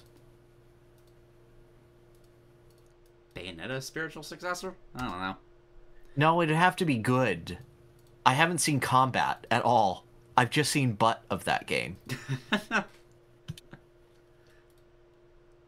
Uh, yeah, that's pretty much it. What you working on? Yeah, it feels like feels like a slow time. Yeah, that's because it's the first fiscal quarter of the year. Everything came out in March. Mm-hmm. What I'm working on, um, if you're a patron of me, you can actually see right now the first seven minutes of the Paper Mario: The Thousand Year Door video that I'm working on. That's available for all patrons. That should be releasing probably first or second week of May. That is nice and on schedule. That is where my focus will be. Um, streaming wise, I'm going to continue with Pikmin 2 until at least we rescue Louie. I'm debating doing 100%, I'm not sure. Uh, afterward, I will probably put up a poll in my community tab and we can see what else we're working on. Or maybe I'll pick a shorter game. I took note of everyone who submitted suggestions last time and am willing down a list right now. Nice. And yourself? Ah, it's been a weird year for content. A weird month for content. I went very quickly from oh, I have no idea what to do with my channel to oh my gosh, I'm so excited to make things for the channel. Yeah, for anybody that missed the update video, I'm with school. I'm having to just find a shorter form way of releasing content, and I think I've got something. Um, I'm trying. I'm starting a roundtable series, which is essentially just taking like a quarter of the ideas I threw out in a video before, like basically a highlight reel of them, and just presenting that. It's way Mhm. easier to make. And we're gonna start doing little streams that are just roundtables of us discussing, like, okay, how should we handle this idea? First one's rebooting Smash Brothers, and I'm excited to do that. Probably next weekend, maybe, possibly. I don't know. It's getting very close to midterms, so I'm not sure how. Not midterms, finals. So I'm not sure uh, what my schedule is going to look like. No, good on you. I do not have the stamina to continue discussing Smash Brothers. So, It's it's almost a second job at this point, but no, I would need to be paid much more.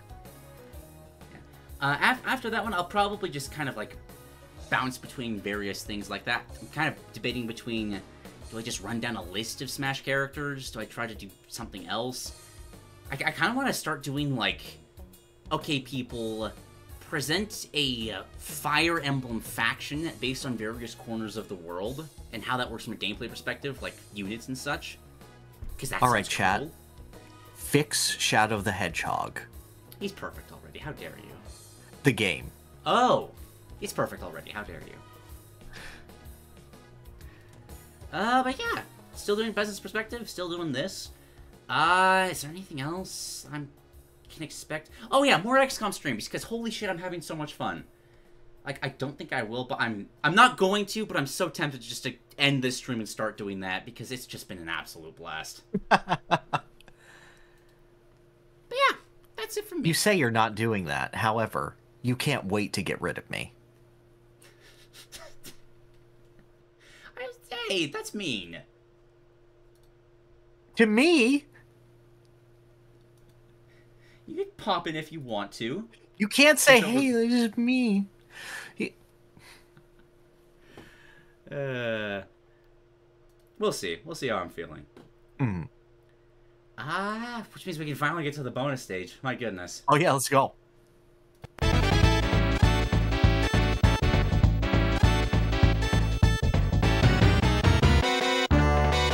Welcome to bonus stage. All uh, right. Okay. I, I I'm going to go first this time. Okay. You down Yeah, for it? go for it. Uh, so I haven't been doing uh, been doing much of any media this month, to be fair. Uh, quick notes after last month's bonus stage, I have been rewatching the cartoon version of Avatar: The Last Airbender. with My brother and my dad. Uh, that show is perfect. The live action sucks. Now that I have the reminder of the context, no, you don't get any bonus points. Wait a me. minute. Well, how far did you get? Uh, in what the cartoon? Uh, yeah. Uh, we just did Ember Island, so we're we're, we're a ways in. Oh, you're oh, you're right there. Yeah, I haven't been able to keep up with all of it, but that that's where they're at, and and my dad's still enjoying it. So there, there you go. Oh, good. Um, I also took up your recommendation of been watching Assassination Classroom, which has Let's go. been a, a fun second monitor until you got to what's his what what God, what's his name? Nagisa. Nagisa's mom's episode, which tore through me like a fucking spear. Wow. Yeah, when you said you ended at that episode, I was like, you you can do one more. Just watch more, please. I swear you'll enjoy it. But no, I don't. I don't feel like I have enough to add to either conversation to really say anything more. So I'm actually going to do something a little different this time because when I made my update video, there was a surprising amount of interest in me to talk about this. I mean, by I mean surprise amount of interest, I mean like eight people. But for that level, that level of a sample size, that's interesting. So I'm actually going to talk about my job. Okay, cool. Yeah, so for anybody who is unaware, I work at a steel yard to survive in our capitalistic society. I am uh, equal parts a powder coater, a welder, and a sandblaster. Uh, welder is self-explanatory, of course. Uh, sandblasting is essentially power washing, like with water, but instead you have to armor up because you're shooting out highly pressurized metallic sand to scour off rust of metal, makes it so we can. How do you not play Luke? How? You have the experience. I, I'm aware. And then powder coating is. Uh, God, how do I explain this? So, so you take the metal that you've sandblasted, you hang it on racks with hooks, and you take a gun, and you blast static electric, electrically charged powder from the gun, which will then stick to the metal, and then you take those carts of metal, push it into a walk-in oven for it to cook and bake the metal off onto. Whenever you see railings in the park and how it gets so ridiculously smooth, that's how you do that. It's it's a uh, thin coating of melted powder that is fully encased the rail and completely pr- protects it from the elements. So that's my job, as well as like carrying the steel from place to place to place to place. It is incredibly difficult. It is outright dangerous. I am sometimes working in the most extreme weather conditions. And it's probably the best thing that's ever happened to me. And I'm right here. I just. the sheer arrogance.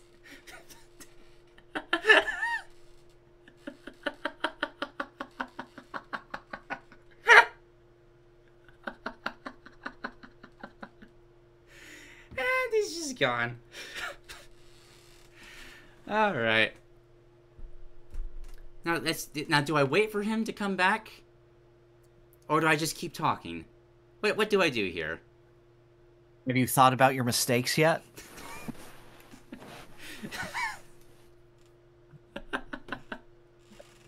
Yes. Have you I learned that your words have consequences?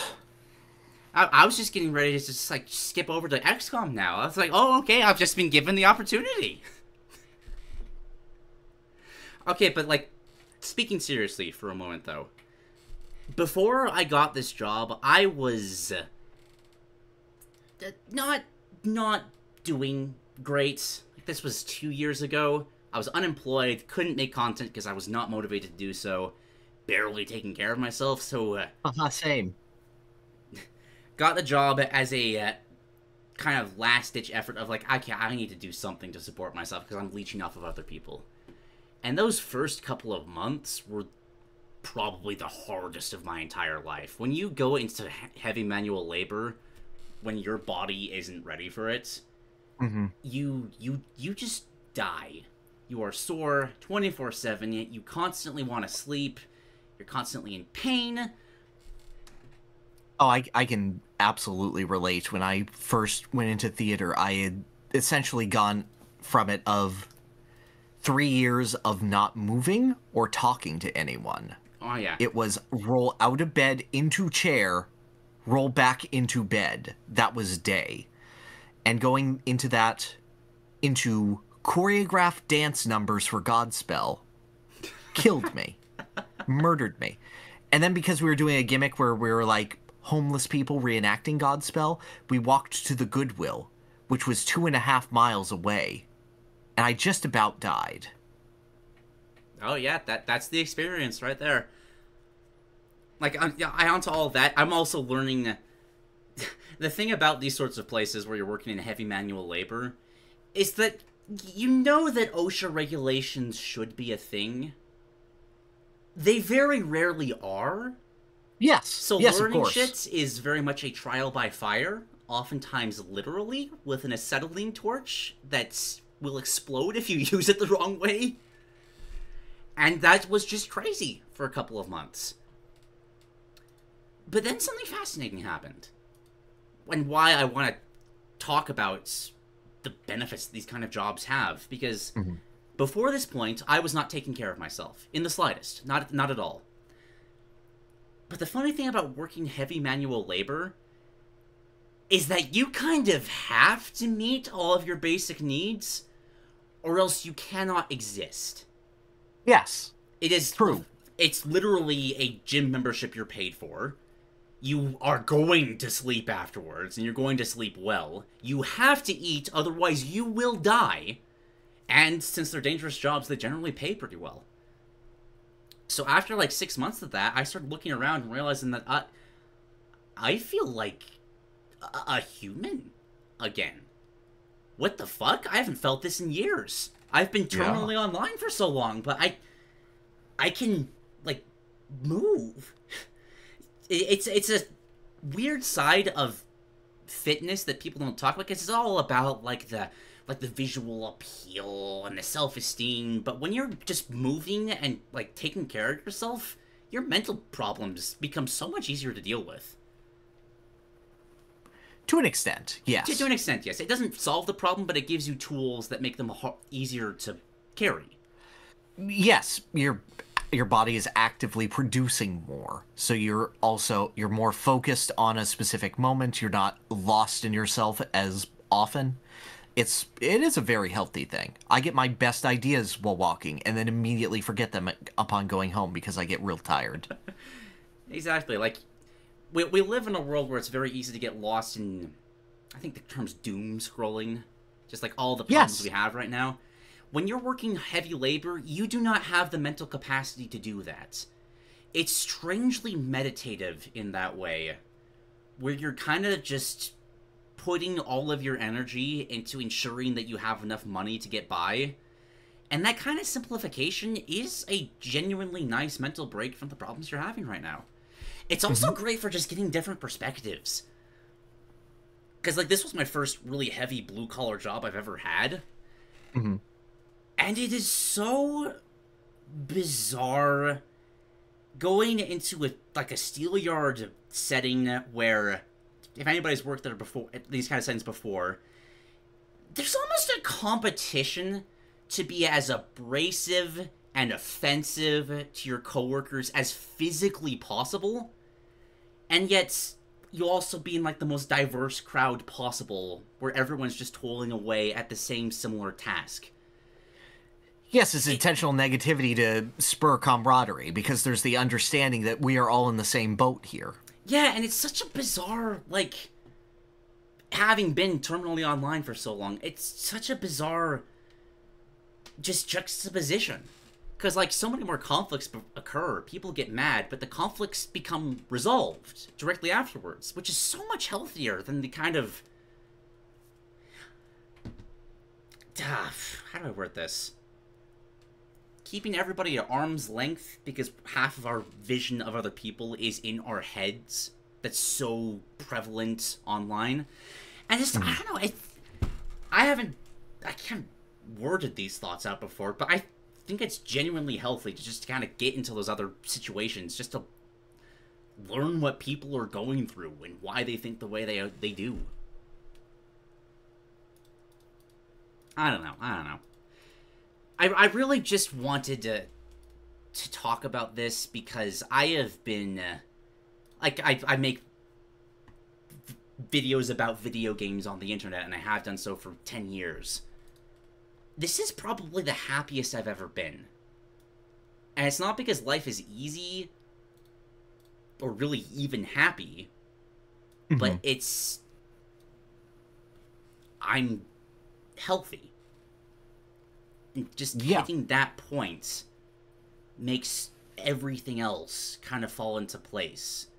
Kind of stepping out of that comfort zone in so many different ways and learning how to kind of coexist alongside other people. Mm-hmm. I feel like with the way the internet works, letting us choose our own bubbles, that skill is atrophying in society at large. No, absolutely. And then when that bubble bursts or becomes ruptured, it's just it tanks your mood entirely. I have been there where if I have a disagreement in a community, my mood is ruined. And like cuz like that's my moment of acceptance and if I'm not feeling accepted there, then what do I have? Yeah. But being able to have basic goals, basic needs be met allows for this bridge to work very well. It allows for actual contentment to exist. Yeah. Uh, external validation versus internal validation. Yes.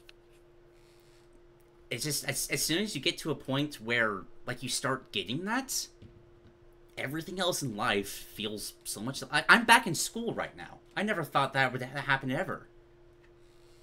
That was a probably my single greatest failure of my past, and I've turned it into success. And I think I credit the Steelyard for giving me the tools to do that. I, I just wanted to tell that story because I know that you, as someone making uh, videos on the internet and watching lots of people on the internet, it's very easy to fall into that kind of just spiral into bubbles. Absolutely. Making that choice to make it your profession and taking away the choice not to do it, it can. It allows for such a stronger, a much stronger groundwork for your life to be constructed because you literally have to do it. I don't know if I'd recommend it for everybody, but it worked for me. And if that sounds good to you, maybe it'd work for you too. No, I think that everyone to some extent should have some level of attempting manual labor at the very least or just to work things um when working at the theater i spent a summer destroying rebuild and rebuilding sets as they were just short staffed and it involved a lot of hauling tons of pounds of lumber into a U-Haul and taking it to the dump and then throwing it out in the dump and then just doing that for a day breaking things up with hammers that sort of thing. Um was a miserable experience. Very cathartic very useful. Got a lot of emotions out of that. And i was closer to the people that i worked with through that experience. And it's very meaningful. Nothing to the extent that you do i am sure. No, but I, I, I, I, I it, you're, you're describing the same situation. I know you can mm-hmm. empathize. Yeah. I only had to do that for a year, but you continue to perpetuate that and continue to make that a strong part of your core because it's become something there. Oh yeah, it's, that's it's, meaningful. it's weird. It's gotten to the point that I don't think I ever want to leave fully. I get that. It's, an, it's a nice grounding rod. I understand. I think I think that's very important, and uh, makes anything I can bring really, really petty. like, damn, damn, how do I follow this up? And be like, you guys are really a cool manga. You want want me to talk about it? You want to talk about a life changing experience? I could I couldn't talk about tennis with you. No. Well, you guys wear points of tennis. Ooh. I, I will admit, I put absolutely no thoughts into how you be able to. I should have gone second. No, no, no. I would have been humiliated either way. This makes this much funnier because for this bonus stage, I am bringing the only thing that can come close to personal growth He Man and the Masters of the Universe. Yes!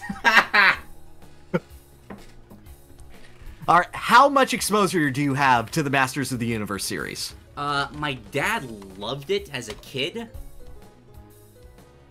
And that's it. Cool. So, my exposure to Masters of the Universe was my friend's dad had a bunch of toys of Masters of the Universe. And I did not know what any of these characters were. And I did not know, but I loved their designs. And I, because they were so varied and incredible. And I picked up one and I looked back at him and I went, "You're my absolute favorite." A man with a green skeleton face. Yeah. And I went, I've just been this person since I, know was four. one. Yes. And I went, oh. I reflect on this memory. I go, oh yeah, no, no, no. This is just how it's always been. Um, there was then a revival series that was on Cartoon Network in 2002, and I watched the hell out of that one. Um, I've then gone to watch bits of the original.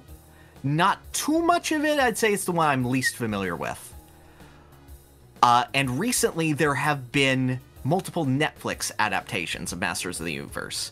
Uh, Masters of the Universe Revelation, which is a continuation, and He Man the Masters of the Universe, which is a very much a kid's cartoon. I, I want to just explain why I love Masters of the Universe, and is entirely because I look at them and I see toys and I see stories. Masters of the Universe does not care about telling a coherent story. Instead, it goes, we had this toy. Look at this man. He has hawk wings and aviator goggles and a jetpack. Hmm. We're going to build an entire world around him. And he's rivaling with this bee man, who is just a man from the bee kingdom. And they're rivals and they hate each other for long set political reasons. And the Hawkman is Scottish for some reason and they all come together at this middle ground where they can go with people like the man who has a gun for an arm and can replace his gun arm with anything he wants because he invents everything, and his daughter who is just good with a bow staff. And the strongest one is just a dude who punch things real good. And sometimes he has magical powers that let him drag the moon out of orbit and bring a chain together by taking two broken pieces and going and then it fixes itself with chain fixing magic. As you do. And he fights an evil man who has a skunk man whose name is Stinkor. We have to come up with Stinkor lore now. And we also have Man E Faces, who is just a man with three faces. And oh my god, just talking about Man E Faces. Because sometimes he's cursed that he can't control his moods and will just Jekyll and Hyde himself, but sometimes he's a thespian and he uses his faces to act. Because That he's an sounds underground amazing, resistance though. leader. And his main face is just like classically trained Shakespearean that goes into. "Ah." That's why I love Masters of the Universe. It is this mixture of high fantasy with technology with 80s absurdism. And You can tell any story that you want with these characters. And that captivates the imagination like nothing else. I don't really know. That sort of world building backwards from products is. I kind of love that. Not gonna lie. No, I know. Because like I just look at this action figure and I go, what could you possibly be? And then the TV tells me what it could possibly be. And they're like, okay, we're going to have a five episode whole series spanning arc about the Snake Men from the Snake Dimension. And then we're going to expand upon it on the comics as we turn your friends into Snake Men, but they get better. But uh, King Hiss, who is spelled King H S S S because he's a snake, you see, has the power to invoke the Snake Man inside of you all along. So, is this? And he just What? turns into a five headed Hydra man. Because the greatest honor for betraying your friends to make the Snake Man rise is obviously to be devoured by King Hiss. I mean, obviously. Yes. It's just neat. He Man is voiced by Cam Clarke in the 2002 show. That's perfect. I wanted Liquid Snake to be He Man. I'm aware of that one. It's so good. Skeletor can have a sympathetic backstory, but he is also the defining Saturday morning cartoon villain. Yeah. There's a moment where he he first meets He-Man in the 2002 series, and He-Man overpowers him and gives him the sort of run and never return. He goes, "Yes, yes, of course, He-Man."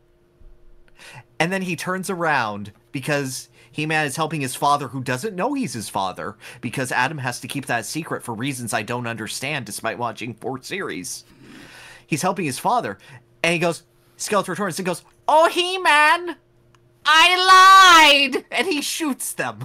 and it's my favorite line because he's so happy.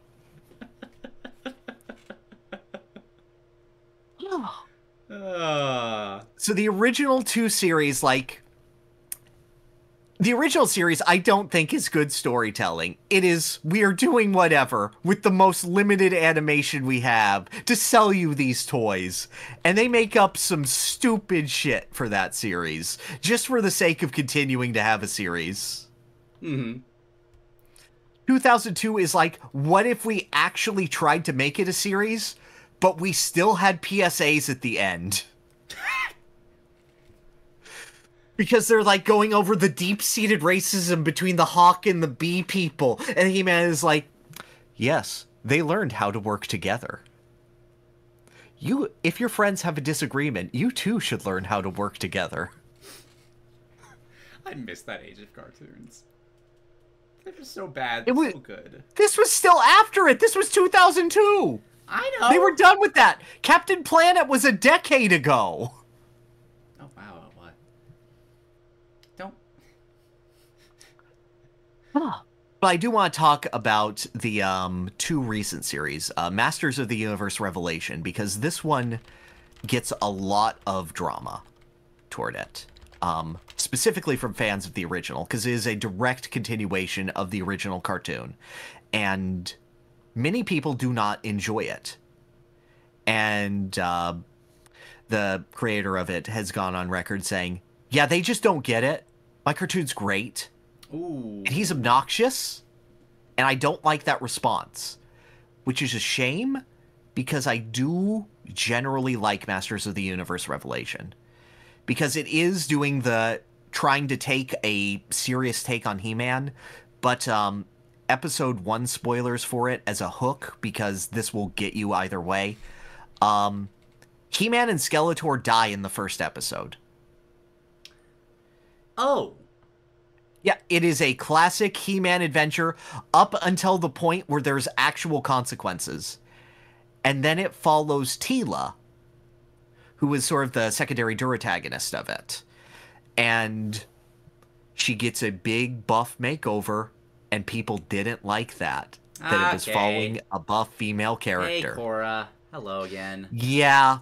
Yeah. There's some of that, but there's also, you know, the promise that will be more He Man adventures, and then that gets taken away from you Oh yeah, that's. for this. God, I, I, there's, so many things like that where okay, there's some people have a point, but since the internet is binary, do you take the side that's with those ones? I Exactly. Don't want to do that. Please understand that He Man and Skeletor do not leave the story after dying. I can't.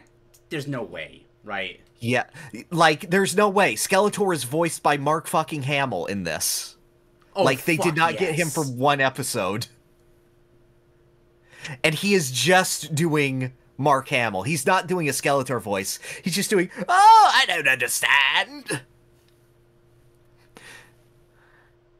Oh, you did real good, kid. Just like, he's just doing Mark Hamill, and it's really good. Mhm. But what it does is it continues to explore He-Man's world in fascinating ways. Cuz it ends up as a solid time skip story and like they get to explore the world that they set up in all these stupid adventures. They get to go to the lowest point of the world where they have to face all of their regrets coming manifest. And that's different for each character based on what they had. And the best thing that it does is the character of Orko. I want to talk about Orko. Orko? Okay. Orko. Orko is the Scrappy Doo of He Man. He is the little black mage looking oh, guy this with the blue hands. bastard. Th- yeah, this little son of a bitch. Um, he is the comic relief. He shows up, he tries to do a thing with a funny magic spell that rhymes, and he screws up, and he has to learn a life lesson at the end. And he has a voice that's like this. And, like, you're meant to hate him. Like, this is the funny mascot character that they have to put into every single cartoon. Mhm. And even the 2002 version, which is what I grew up with, I didn't like Orko he's he's doing the same thing. He has to learn the lessons. He has to learn not to lie and shit. And he's just useless and he takes away from the drama. Due to He-Man dying, Orko has lost his safety net. He has lost the person that makes him feel safe and secure, and he gets horrible depression where he understands that he has not succeeded in a single thing in his life. Oh. This is the equivalent of Meowth from Pokemon getting suicidal depression. Damn, okay. Jesse and James are gone and they've been that way for years. Yes. And his friends are like there and trying, but he's been made reclusive and he's gotten sickly because he's a magical being. He has to do magic in order to continue to exist. So he's gotten weaker and weaker, and this character is on his deathbed, essentially. But he still goes on an adventure with his friends because that's all he has left. And because he does that, he inspires other characters through his actions. Through, despite everything, still being that little magic gremlin and still believing in himself just a little bit. Even if he's not succeeded at anything, he still has a chance to succeed. Mhm. And yeah, uh, it's divided into two halves. A very sad thing happens to Orko in the middle. And then happier things happen later. Okay. And it's really good. On and like this is also a series where Skeletor becomes a character named Skelegod. okay. And he is everything that you would expect a character named Skelegod to have power wise. But yeah, um it just explores these characters, explores this world that anything can happen in in such a strong and fascinating way. And that is so so good. It made me care about a character that I hated before by contextualizing it. And then it has writing like He Man literally screaming at Skeletor, This isn't about us. And I go, Oh, I get it. I got it. But it also Oh. has He Man going, I didn't, you know, the sword was just a conduit. I didn't need it to bring the power down. What happens when I just do it and it's only me? And you get the answer to that. And it's real good. Like, Revelations is. You don't need the backstory of uh, the He Man franchise to appreciate it. And it's deliberately not paying off anything other than cursory knowledge of the world Mhm. because it's trying to tell its own story very clearly. But if you can sense what it's doing, at its best, it's fascinating. And then there's the kids' cartoon, which I also watched because I'm a sucker despite it being a kids' cartoon. It's like one step above Friendship is Magic in terms of kids' cartoons, Mhm. of level of talking down to you. Um, Yuri Lowenthal is He Man, Okay. and he doesn't hide it. Wait, It is very clearly Wait. Yosuke Hanamura No. as He Man. that doesn't work. No, it doesn't. That doesn't work at all. It doesn't at all. Where's the no, bass? You need bass for that voice. not a single note of bass. But it frames it because these characters are so malleable as sort of the fall of Skeletor and his full conversion into being that villain. And he goes from a very traditional schemer kind of villain, sort of luring things, sort of like, oh yes, Prince Adam, of course. Very Scar Lion King. And then he transforms into the full faced cartoon villain and sacrifices everything to get there. And oh my god, the performance that is given. I think it's Ben Driskin who gave that performance. Let me check.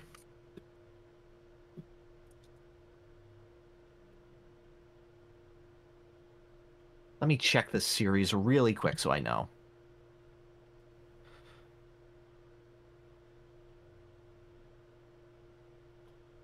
Yeah, 2021 He-Man and the Masters of the Universe. Yep, Ben Yep, Ben Diskin as Skeletor. An incredible mugging performance. And then there are just moments of like, oh, we've locked Skeletor in another dimension with Man at Arms. But oh no, it's Skeletor's birthday. he never had a birthday party before? We gotta give Skeletor a birthday party. And he, and like, it's doing the traditional cartoon thing, and then Skeletor will just kill everyone. And be like, yeah, that was fun. That does sound amazing. It's like, okay, let's not do that. And then it just goes into its deep lore and cosmic ramifications, and George Takei is Merman?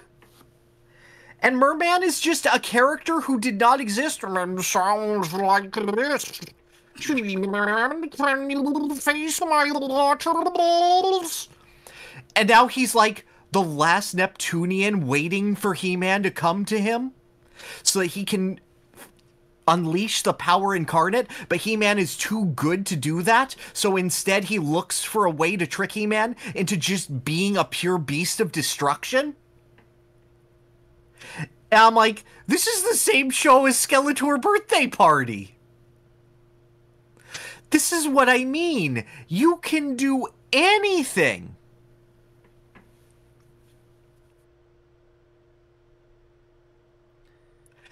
That does This is a- absolutely phenomenal. This is a universe with infinite possibilities, and it it makes me furious that there is not a good He-Man video game. There's not. It is th- no. There's But- barely any He-Man video games. There's like a GBA one, and that's it. But it started with product placement. I know. How? How is that? What? There's not a shitty licensed game aside from one little GBA one from like 2005 that's based on the comics that followed up the 2002 series.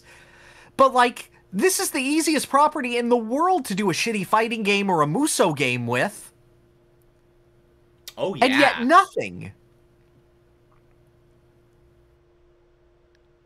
Like, He Man is a silly series. Masters of the Universe is incredibly silly. But you can get in at any entry point, and as long as you understand that this is a stupid kids' cartoon, it's so much fun. I don't think that there are more interpretations that you could give characters other than actual pantheons. There is so much that you can do with these stupid characters. Make stupid worlds for them. Make infinite adventures with them. Nothing gets my brain going more than seeing He-Man characters. And of course, Skeletor is a perfect character in every single interpretation. Like, there is not a more consistent character for you are the best thing in this. No, yeah. By far. Definitely know him by reputation alone. I'll admit, you got me the second you said Pantheon, and my brain said, like, what if we treated this as a kind of mythology? Wait. Yes, It's the that's the idea. You want to know why that. She-Ra cartoon was so good? Because it spun off from He-Man, All right. and then that created its own universe. The branches go as far as you want. The He-Man Christmas special is one of the funniest things in the world because Skeletor is just walking around with two children who want to save Christmas, and he's just going, "No, I am not nice. Stop." I'm not trying to save Christmas. Stop.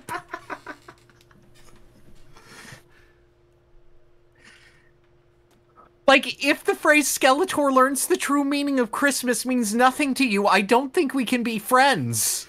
No, that sounds absolutely phenomenal. Also, an Atari game barely came out. so yeah, that's that's my pitch. This is stupid. I love it. It is the only thing that toys have ever led me correct on of this is something that you would actually love. All right then. And like because of that, I mean just just look. I love figures. I love toys. I love them so much. Look at that glory. Bask in it. Praise it. Yeah, now I've screwed up my webcam Yeah, I was setup. gonna say you might want to tilt that down a little bit more. There you go. Yeah, There yeah, you yeah, go. yeah, there, there, there, there, there it is. There's too too far that way, too far that way. There we go. All right, that's my pitch. We can move on. Huzzah! Comments.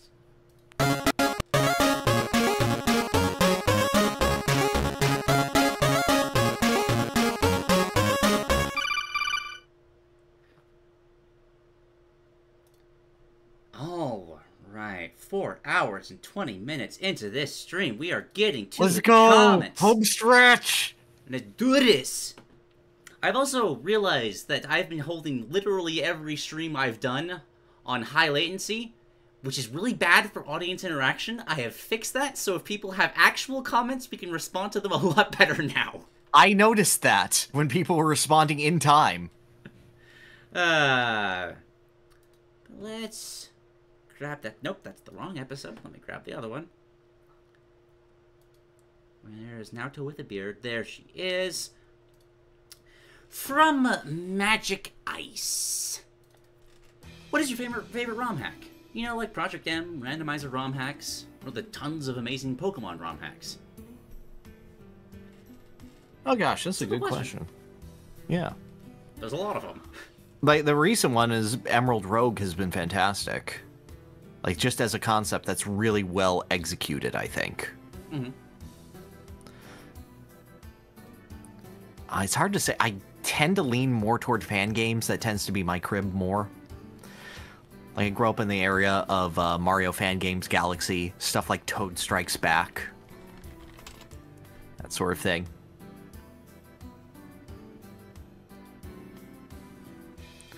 Oh, uh, Sonic Robo Blast 2, dumb, done.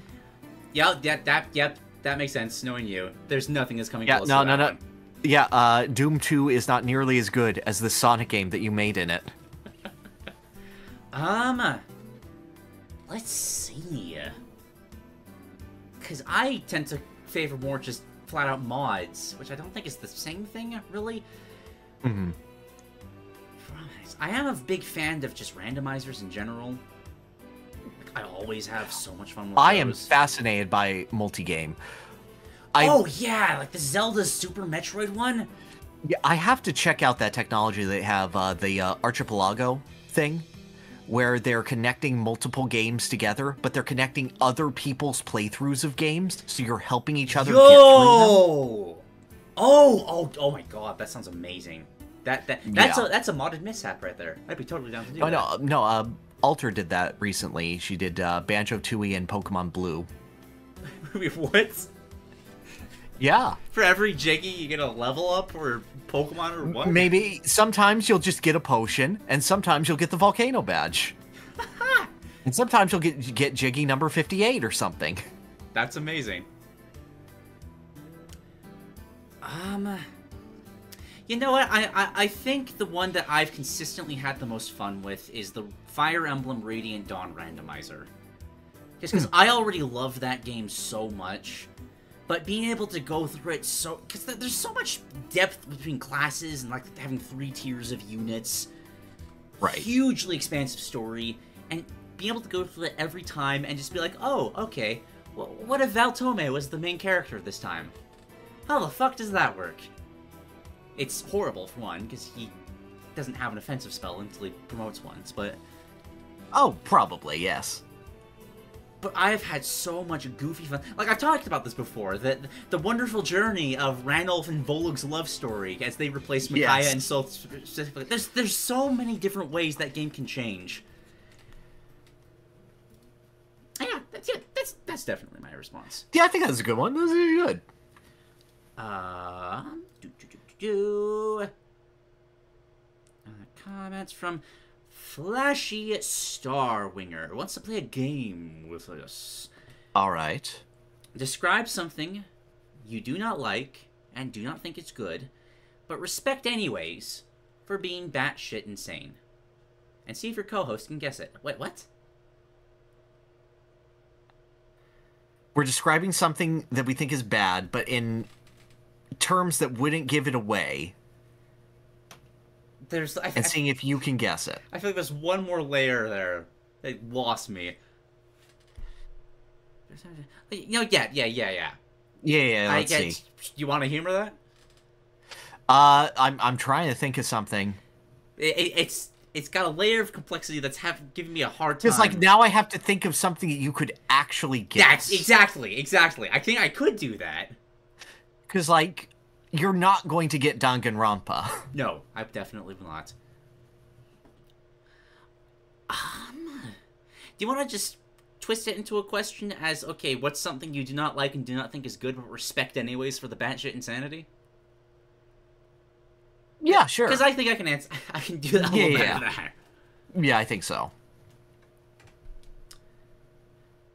And I have to think of something like that. Yeah, yeah, yeah, now you have to think of something. Okay, sorry. Because I already said my easy answer. Yeah, no, yeah. As- di- different trains of thoughts. so now I have to change that train.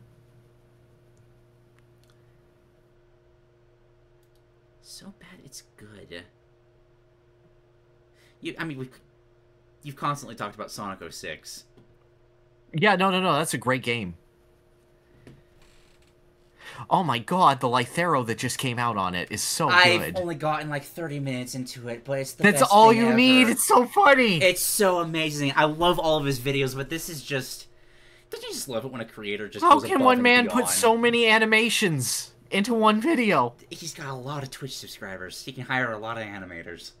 He's really good at it. Um, fuck, this is hard. This is hard, mostly because it's on the spot. I'm not like and do not think it's good, but respect anyways for the batshit insanity.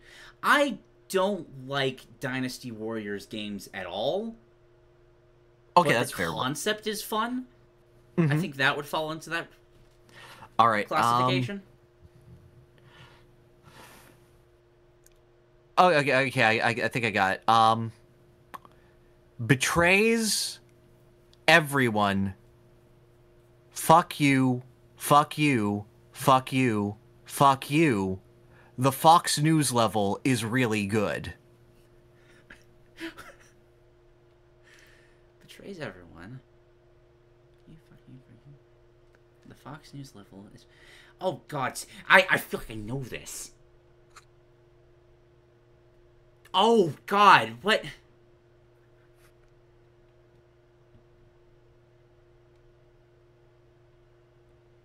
Fox News level that that's rain. a- Fuck, I, you you you said that to because I would know that, right? In theory, Hmm. you have at least played a game in this series. I don't know. Yeah, it's a DMC Devil May Cry. Oh yeah, no, I would not have gotten that one. But that's that's Like, surprisingly, gameplay not too bad. It just is tonally one of the worst things. there's a lot of. Oh, hey, Dylan got it before. Yeah, Well he done, did. He got it. Yeah. Like, eh, is it at all a replacement? No, but now that we have DMC5, am I okay with it existing as this weird thing? Yes. Is it the worst game in the Devil May Cry series? Absolutely not. You know, on that level, I do actually kind of like Federation. Well, liked Federation Force. Like that was a tonally deaf game to toss out there, but as a co-op experience, it's actually kind of fun. Did Tarvel pay you to say that? No. I bet I bet he would have though. Probably.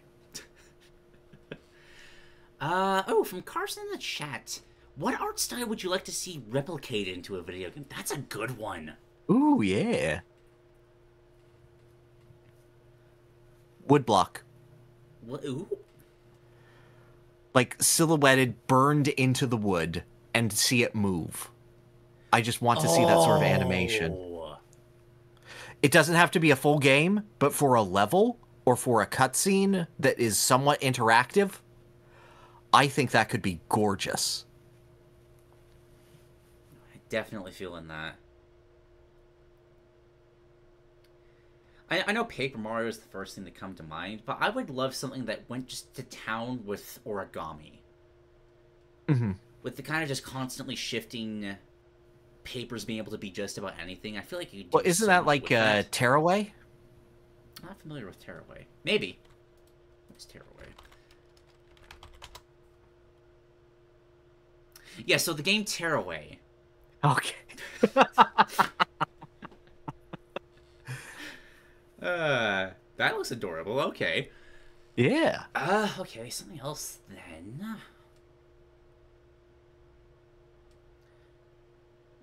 trying to think. Where my. Oh, you know what? I'd really love to see a game based off of, like. So, so you, you've- you've seen Breath of the Wild, the Ritos kind of symbolism and uh, fashion and stuff. Yes. That's based off of actual like Andean culture. I'd love to see something like triple down on that, like the super fantastical colorations with Oh all the mythology of that area. I think that could be really really good. Mm-hmm. Yeah, that, my my brain's just going to different areas of history and being like, oh, you, I, oh, you know, on that level, like some kind of like really old school cave painting kind of aesthetic. Just go for like really minimalistic, almost stick figure esque. I want to say I've seen that, but only thing is, as I- mentioned in I- I chat, like Apotheon, which is more like Greek muses sort of thing. Oh, you know what? I um, silent comedy. I want something that's filmed Oh, like a Charlie yo! Chaplin, where the freeze frames are all slapstick, human slapstick, That that sounds amazing. with the film grain effect around it. At that point, that's conceptualizing a whole game to be necessitated by it, but I would love that. No, yeah, I'm totally down with that. Hundred percent agreed.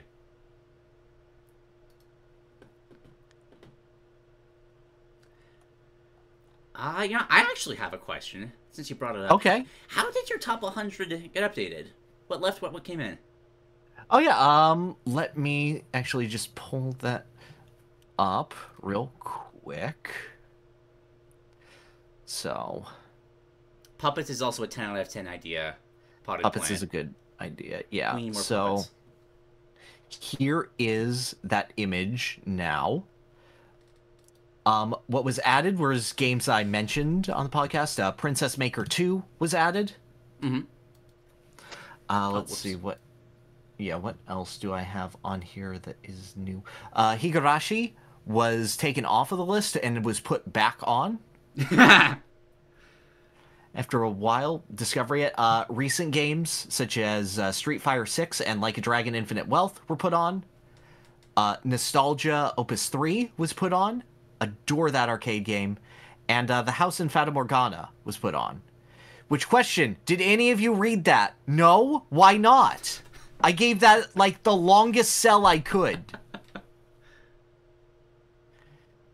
and then games that came off it were mostly games that I respect but didn't like fully love that didn't have an emotional investment in. So those were titles like AM2R, um, Chrono Trigger, Until Dawn.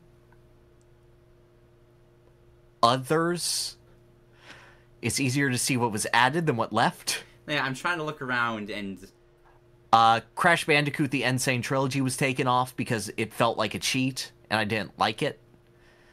To go like, yes, this specific version of Crash One, and also it has the advantage of the other two Crash games. Yeah, like, no, one. if no, sale. i- yeah, if no individual Crash game was going to hang on, then I wouldn't want it to. Okay, nice. I haven't updated mine yet. I need to put Baldur's Gate 3 on their minimum, and I'll probably Right. mess Right. around. with Oh, and I more. tossed Psychonauts 2 on there as well. Oh, Because that was a strong experience. Yeah. Because, like, sometimes I think to myself, am I sure the Psychonauts 2? And I remember the last world, I'm like, yeah, Psychonauts 2. Ooh. That's a weird question, but I adore it. From 3XHS, if you could eat abstract concepts, etc., examples justice, confusion, self righteousness, which do you think would taste the best and why? Um. Hmm. My gut reaction was egotism. Because that is almost always positive, in the strongest sense. And it is the richest flavor. And I love sweets. Yeah, my, my immediate gut reaction was to grab self righteousness, because that always feels like the best of the best. You're being healthy at the same time, too. No, there's self doubt in that. No, eh, I, I can't do that. Because, like, you know when you're eating a health food, you can feel it. And you Well, aren't the thing, enjoying it enough. Because self No, you righteousness isn't always healthy, but it feels No, way. but you know that it's you know that you're feeling it's healthy. It has it tastes somewhat healthy. And that like you taste the graininess of it. You can't like feast on self-righteousness. You need others there. Fair, fair. Um.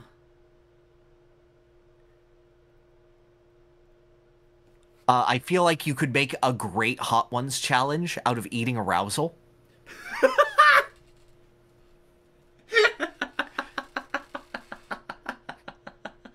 okay, guys, we're going to search this word on DeviantArt and eat all of the feelings that come off of it. Okay. Oh, oh God. Okay. Oh, oh, oh, oh, she's a big one. Oh, okay. Um. Okay, so um. Yeah. Uh. Godzilla versus King Kong is yeah. What the. Fu- oh, you know what? I got it. Acceptance. I bet acceptance would taste divine. That's I think that, that you're doing some real umami there because it would taste both bitter and sweet. Yeah, but it'd be like that kind of nice warm hug you get from like a chicken noodle soup, or like a grilled cheese and tomato Oh, soup. chicken noodle soup is bad. But- What? That's just like uncultured ramen. But it, but it, but, but when you're sick and they give you the food. I just ate rice and peas. It tasted better. Ugh. All all you need rice, peas, and salt. Okay. I suppose the salt is the Yeah, major contributing factor. and there. butter.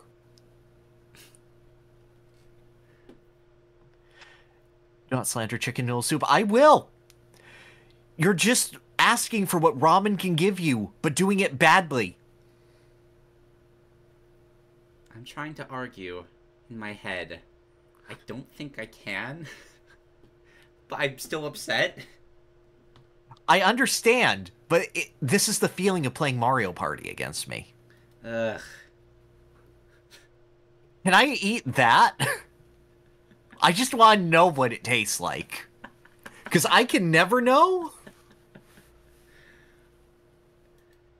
Just that specific combination sounds great. No, that's fair. That's fair. Oh boy, we have been uh, we have been talking for four and a half hours. Do You want to call it there? Because I Do you have one more? I want to do one more. I feel first, strong. First person in the chat to throw one more out, I'll give you that one. Exactly. Count it down. Ten. What's a lost media you most wish to have? That's actually a fantastic question. Actually. Oh, that's a great question. Damn, you had that like on cuff. Strong. Donkey Kong Racing.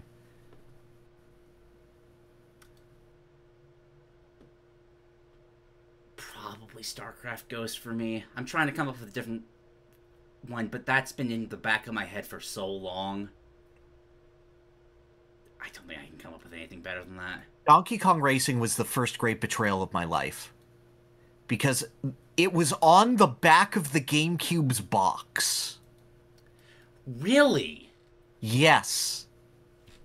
Donkey Kong Racing GameCube. But yep, that's it's a frequently searched title. Yeah. It's also putting me in Instagram for some reason. No, yeah, Oh. it's just right there, It's there. right here. You could ride on different Rambis and Zingers. It was the most beautiful game I had ever seen. Huh. That's fascinating. Isn't it?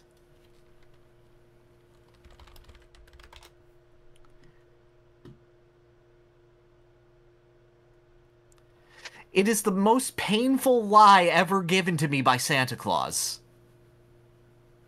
Yeah, I'm I'm I'm sorry, that just sucks. Oh, you know actually no, I got a bigger one. I wish I could see what Guillermo del Toro's version of the Hobbit movie was going to be. You could just make like a top five out of Guillermo del Toro. That's true. But yet, knowing how Peter Jackson got brought in at the 11th hour and how just rushed and a disaster the production of those movies were, Oh, I would have loved to see full on Pan's Labyrinth The Hobbit.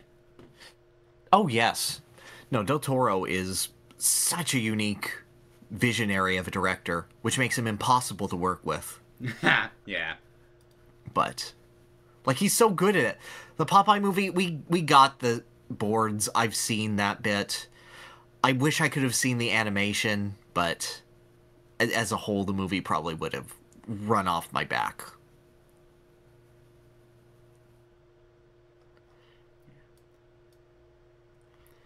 All right. So that's was four and a half hours. I feel sticky. It's been been talking for so long. Starting to get to that point of weather where it's going to be very uncomfortable sitting in a locked room with a computer on for a while. Fun times. Oh yeah, no no no. That that's just work, baby. Isn't That's it? life. Indeed it be.